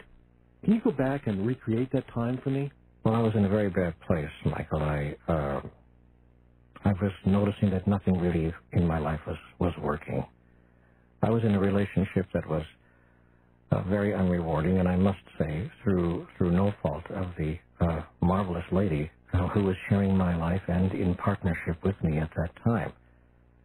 I simply didn't know and hadn't learned through all the years of my life how to make relationship work, even with a person as wonderful as she. And uh, that was depressing to me because I thought, gosh, if I can't make a relationship work with someone as, as really wonderful as this person, then with whom can I make relationship work? And likewise, my career was in a shambles. I was working all right. I wasn't out of work, but the work that I was doing was had become, after 30 years, terribly unrewarding and uh, and uh, not at all producing of happiness or joy or a feeling of fulfillment. Indeed, I used to think, am I going to be doing this when I'm 65? Am I going to actually retire out of this particular profession? And it, uh, it did not seem to be the way that I always thought I would touch the world, uh, nor the way that I thought that, for that matter, the world would touch me with its magnificence. I wasn't feeling that uh, through my through my work and my health, not surprisingly, because of all the rest of this was also uh, rapidly going downhill with uh, ailments large and small, uh, seemingly assaulting uh, my body, which was just about reaching the age of a half century. And so as I would wake up in the morning during those days and times, I recall feeling desperately unhappy and enormously frustrated because I didn't know how to deal with my unhappiness. I didn't know how to produce the kind of experience of life of which I knew that human beings were capable but which I had not been able to produce in, all the many years that I had been around here. And so it was out of that um, sense of desperation, and it was a months-long kind of depression. And I have to tell you, Michael, that I'm not a kind of a person who's in his lifetime been chronically depressed. In fact, I've never had that experience before. But if someone were to uh, search for a clinical definition of where I was during that period, I'm sure they would say that I was, in fact, chronically depressed. That is to say, over a period of 8, 10, or 12 weeks, for three months or longer, I was just simply down in the dumps. And more than down in the dumps, I was beginning to question the very reason and purpose for my existence, and, to be quite frank, whether I even wanted to go on. Because, um, to borrow the words of that wonderfully poignant song by Peggy Lee, I was asking myself, is that all there is? Is, is this really all there is? Because if it is, somebody send in the clowns. And uh, it was out of that place of deep, deep desperation and enormous frustration that I awoke one night, unable to sleep, tossing and turning, and it was around 4.20 in the morning, and so I got out of bed and so as not to disturb uh, the lady that I was uh, partnering in life with and the rest of the household. And um, and went someplace where I could be by myself. I didn't even know frankly what I was doing or why I was up or what I was going to do. I searched around and rummaged through the refrigerator thinking my old friend food uh, would solve the problem, but there was nothing in there I wanted, and uh, so I went to the living room, sat on the couch, and looked at the four walls with one tiny lamp on. It's 4.20 in the morning. But I saw, uh, luckily for me, that there was, uh, for one reason or another, a pad of paper, a yellow legal pad, and a pencil on the lower shelf of the coffee table. And I reached down, I picked it up, and I began to write. I simply wrote therapeutically to no one in particular, just an angry letter to the universe, if you will, to the great unseen. And the letter contained uh, desperate statements and angry statements. Why, I can't even repeat some of them here uh, in this interview, but why is life being this way? What does it take for relationships to work? Why can't I do what I love to do, truly love to do, and make a living? When is it my turn? When will life show up for me in the way I had been promised from the earliest days of my youth? And how come I can't have what I see so many other people having? Fulfillment and a sense of completion with some of the earlier mysteries of life, a sense of inner peace, and, uh, and joie vivre, joy in life. What does it take? And I wrote all these questions out in a very angry, angry letter to no one in particular. And when I was finished writing those questions, and I must have been at that legal pad for 20 minutes or more, finally I had written myself out, you know, and my hand was becoming tired just from the writing of it. So I, I put it down and I reached over to the side of me to put the pen down on the side table, and the pen literally would not leave my hands. And my hand was drawn back to the legal pad. I picked it back up, and I thought, hmm, I guess there's something more I want to write here. And I frankly didn't even know what I was going to write next. But as the pad hit the paper, words came to me silently in my head from what I could only describe as a voiceless voice. And the voiceless voice said to me, and I quickly wrote the thought, do you really want answers to all of these questions, or are you just venting? And I laughed, and I chuckled, uh, and I said to myself, this is interesting. Where did that thought come from? But I decided to play a game with myself. I thought, okay, I'm talking to myself in my mind. That's all right. That's part of the therapy, I guess. And so I, I wrote an answer. Uh, yeah, I'm, I'm venting, but I would like answers too. And if you've got answers to all these questions, don't hold them back. I sure as hell like to, like to hear them. And with that, uh, this voiceless voice again began speaking, if you will, in, in almost as if someone were whispering in my right ear. And I began writing as quickly as I could what I was hearing in my head. It was very much like taking dictation. And there followed the most extraordinary exchange that went on uh, periodically over the next year with my writing back, if you will, answering uh, his questions or asking her questions that came to me and receiving answer, answers almost immediately, so quickly that I, again, I almost couldn't write fast enough to keep up. And several times during the dialogue, I had to say, whoa, whoa, whoa, whoa, whoa, slow down a bit, give me a chance here. And, uh, and the voice did uh, slow down. Uh, a very considerate person. So I was uh, engaged in that process for over a year. But that particular morning when it began, I recall vividly, because I stopped writing after about an hour and a half of this back and forth dialogue, the beginnings of which formed the, the very beginning of the of the book Conversations with God. And when I finished, I turned back the pages to see what I had written. I, I had not done that uh, at any point during the dialogue, but finally, when I realized that was I was talked out, if you will, for the morning, I turned back the pages and I began reading. And frankly, Michael, I was stunned with what I found there on my own legal pad in my own handwriting. And I didn't know where this was coming from. Partly I felt very, very much afraid. Partly I felt um, almost uh, overjoyed. Uh, and I didn't even know why I was feeling joy. I just felt very joyful, the experience. And so it was a mixture of fear and joy, or fear and love, if you will, not unlike life itself. That's quite an account you just gave, Neale. It sounds like what was happening is that you were outside of your thinking mind. Is that an accurate statement? Yes, that's exactly how it was, Michael. I wasn't thinking at all. And uh, it is said in the book, in order to really get in touch with God, you have to be out of your mind. And I think that I was uh, out of my mind that morning. Uh, many people think that I am out of my mind in general, and That may also be true, but I, I do think, uh, in the literal sense, I was existing at that point um, outside of my mind. That is to say, I wasn't thinking at all about what was being said here uh, in and through me, nor was I thinking about what I was going to say in return. It was a very much a spontaneous conversation as the one we're having right now, where I have no idea what you're going to say next, and you have no idea what I'm going to say next. And that's exactly how I experienced it, except that the voice uh, was coming at me from just outside and above my right ear, and and then uh, I would hear it, and I would begin to I begin to write. It was uh, I had, in fact, often at the beginning of paragraphs, I would have no idea where the end of that paragraph was going. That was particularly true uh, in the section on the Ten Commandments, one of the most extraordinary sections in the book, when I had no idea. Uh, I recall vividly when the voice said to me, "This may upset a lot of people, but uh, I have to begin this part of our dialogue by telling you there's no such thing as the Ten Commandments." And I recall writing back, sitting up straight on the couch that particular morning, writing back, there, there are no Ten Commandments? And the answer came back, no. And I had no idea what that was about. I had no idea, well, now where do we go with this? And so all I did was just sit there in, in the darkness and listen and take dictation. And out came one of the most extraordinary constructions, one of the most extraordinary theological constructions around our concept of the Ten Commandments I've ever encountered.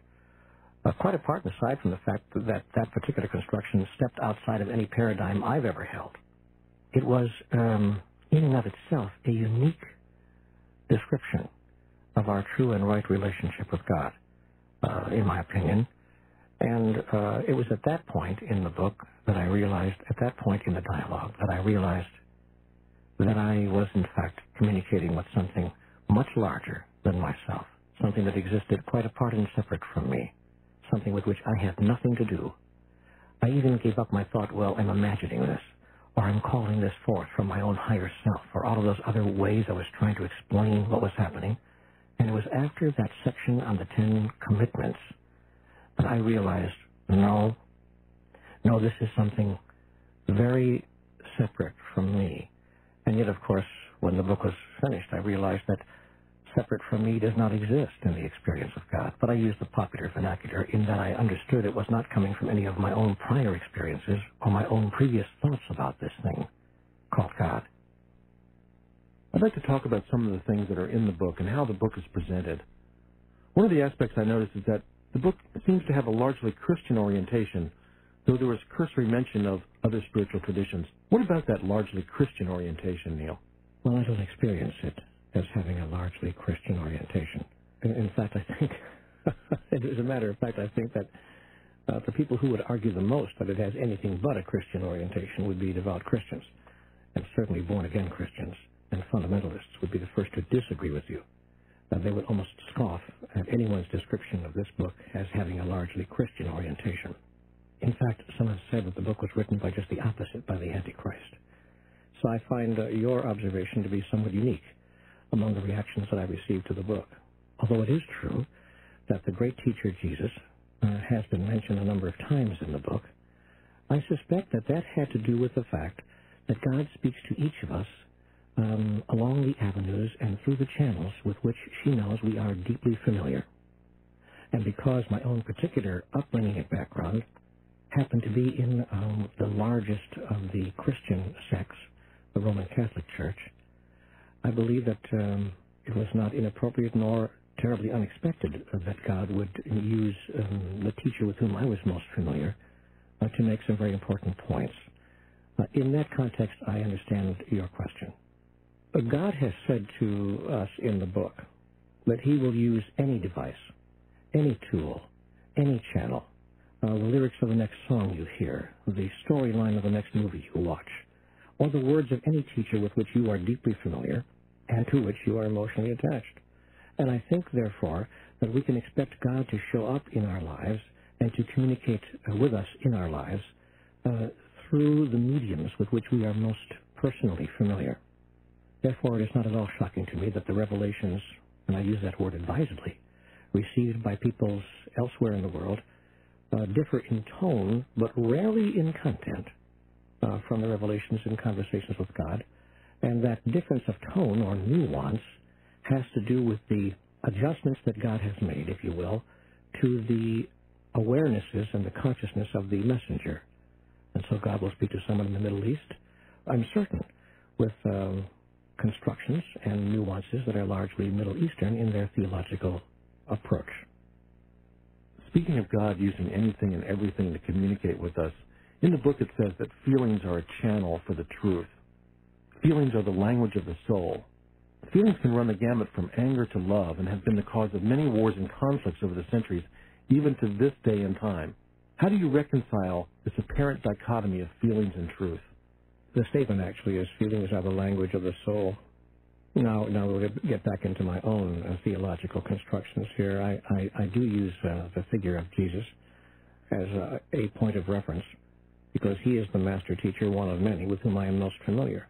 And so, in response to your question, I'll begin by saying even Jesus uh, experienced anger. And um, he, the story of uh, his driving the money changers out of the temple was not placed in the Bible without uh, awareness on the part of those who were constructing that uh, scripture, that scriptural collection. They were deeply aware that in order for us to truly understand spiritual uh, truth, in order for us to deeply understand spiritual truth, we needed to be given a model and an example of a person who allowed himself to genuinely experience all the feelings uh, that he was feeling.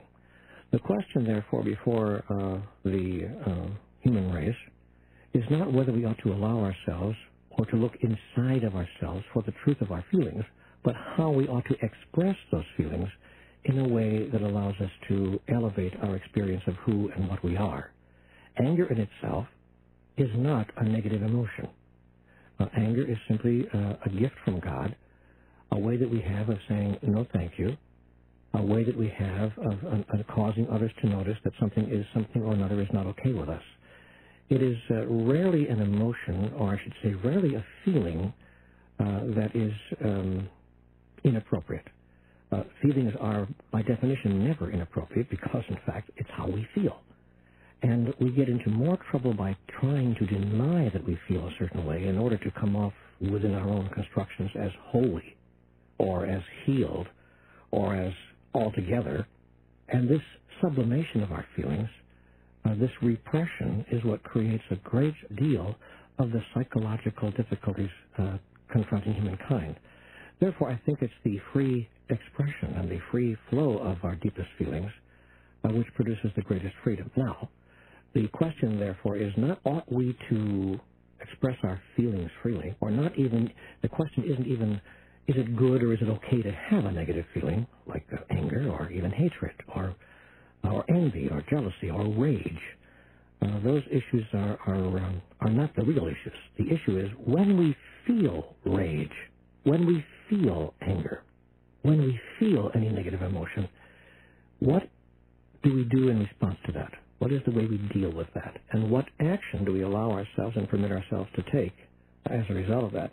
And it is in the answer to that question that mastery is found, not in the sublimation of the feeling itself. If you want to know what's true for you, just listen to your feelings. When I hear you say listen to your feelings, I hear you talking about listening deeply, not in a shallow way. Well, actually, I'm talking about both, Michael. I think first we have to listen to listen in a shallow way to what's coming up for us in the instant moment. And then after we hear what's really true for us in the instant moment about a thing, then uh, if we have the um, willingness and the desire and the level of mastery, I want to say, that allows us to go deeper, then we look even more deeply into that, that first flush of feeling to see what feeling is behind the feeling, if you will, and more deeply and more deeply and more deeply, like layers of, you know, of onion skin from the onion, until we peel away all but the uh, deepest feeling and the purest thought. So, but I don't think it starts there. I mean, I think you have to begin to look at um, the most shallow feelings and look at them, frankly, in a rather superficial way, as in simply, "Hey, I'm angry here," or "That really that really upsets me," or "I'm jealous." I'm just simply jealous. I don't want you going out um, until 10 o'clock with that other guy, or whatever it is that's coming up for you. Just to be able to notice it, to hold it, uh, to speak it, to be safe with it, to feel okay with it, to stop condemning ourselves about even our most shallow interpretation of our feelings. Because it is after we get through the shallow water that we can submerge ourselves in the deep. One doesn't dive to the bottom without going through the top. Another aspect in the book is that love and fear seem to be in opposition. Can you explain that further? In truth, love and fear are not in opposition, and the book makes very clear that there is only one thing, and that's love, and that love is all there is. And the book makes that statement repeatedly uh, so that we might understand what is really so. Nevertheless, within the context of love being all there is, uh, we see that there can be uh, polarities. Um, let me relate this to the color white. White is not the absence of every other color, but rather it is the inclusion of all colors. And every other color in the universe uh, put together and mixed in together produces white. Uh, that's also true with love. Love is not the absence of anger. It's not the absence of, of uh, negative emotion, but in fact the inclusion of every single kind of emotion that there is. All of it put together is the thing we call love, which word we use interchangeably, some of us, with the word God. And that God is love and love is God, and, and those two words are interchangeable. Now, having um, announced and proclaimed that in highest truth, love is all there is, or if you will, God is all there is, God then described to us the relative universe, and in the book Conversations with God, this is uh, described in some considerable, and I want to say elegant detail, describing the relative universe where we established uh, two polarities, if you will, uh, and, and a system of duality that includes um, left and right, now and then, before and after, male and female, up and down, fast and slow, good and evil, and love and fear. And that the um, two ends of these uh, of this duality, love on one side and fear on the other, are really, if you can see it in your in your mind's eye, uh, the two uh, sides of a circle. That is to say, love is at, uh, let's say, nominally 9 o'clock, and fear is at 3 o'clock. Most people start off at noon and get down to 3 and have to go through fear to get to love. It's quite interesting. But if you hold the picture of a, of, a, of a circle in your mind's eye, or the face of a clock, you will see that love is on one side in my construction and fear is at the other, but they're all the same thing. See, they're all the same circle. And yet, without love being on one side and fear being on the other, or what we call love and call fear in the relative experience known as the human adventure of life, without our definition of those two sides of the circle, the circle itself cannot exist.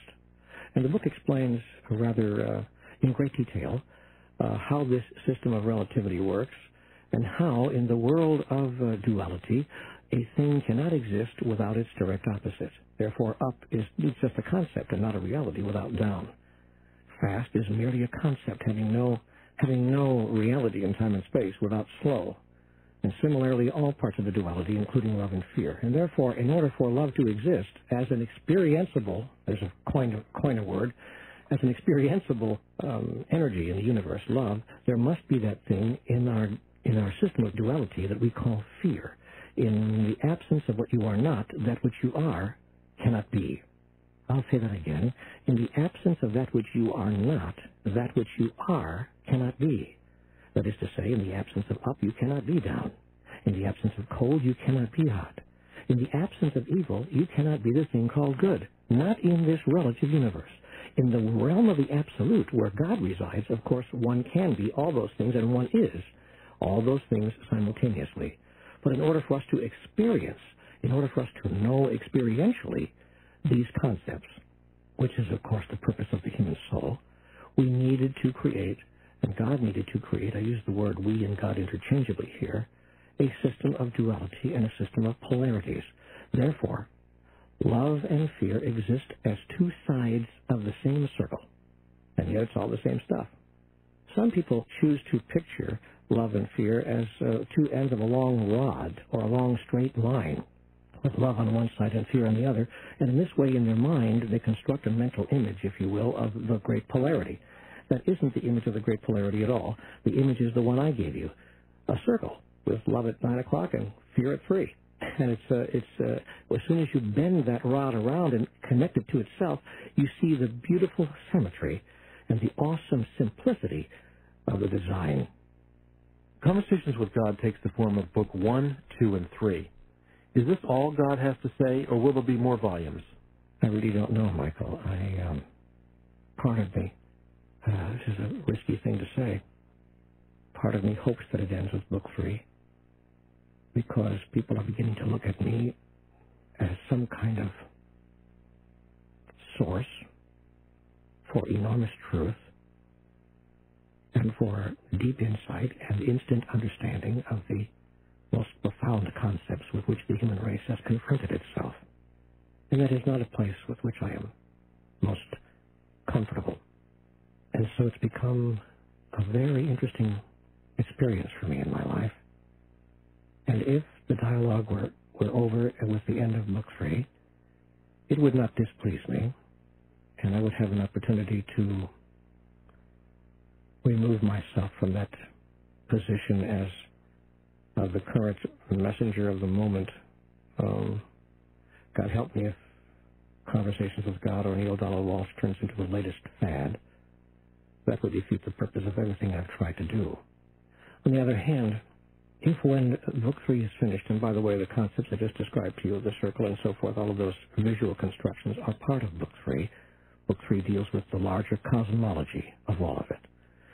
And if at the end of book three, it's clear to me that another book or more material or the dialogue uh, is uh, continuing and more material is coming, then I'm not obviously going to turn away from that. I'm, um, I've announced and declared myself to be a willing messenger of the grandest truth that I am capable of accessing, announcing to the world as I do so that I freely admit the filtering system which is in place in my own mind through which I seek to bring these uh, revelations. And I'm aware that there's a filtering system there. So I don't claim nor do I represent myself as infallible, nor do I claim infallibility. But I think that the material speaks for itself in terms of its clarity, uh, in terms of the depth of its uh, insights, and in terms of the eternality of its wisdom. This book contains eternal wisdom, and so do all three books. Will there be a book four or a book five? Well, no, there will not, uh, unless there are. There are two other books that come through in a similar way as Conversations with God. One is the Urantia book, and another is A Course in Miracles. Yes, I've been told by many people that uh, Conversations with God is A Course in Miracles made accessible. That is to say, you can read it more than one paragraph at a time without getting lost in the circular construction. I thought that, the course in, that A Course in Miracles was an extraordinary document but very difficult to plow through for large numbers of people because of the circular constructions and because of the, the way it was simply put together. Uh, to some degree, the same is true of the Urantia material, with which I've become familiar. But Conversations with God, I believe, and again, I don't say this from any standpoint of ego, because I was simply not involved in it except as a, as a, take, as a scribe. But as the scribe of that material, I can say that Conversations with God, I believe, is the first book to use such extraordinarily accessible language, such easy to understand constructions, and such totally visible wisdoms that even the most uninitiated among us uh, can pick up that book and say, I got it. I got it. It's clear. Now I understand. And we're getting two and three hundred letters a week at this point from people all over the world saying exactly that the most delicious comment of all that I received in the past year about this extraordinary material. Thank you, one lady said to me, for introducing me to a God I can fall in love with.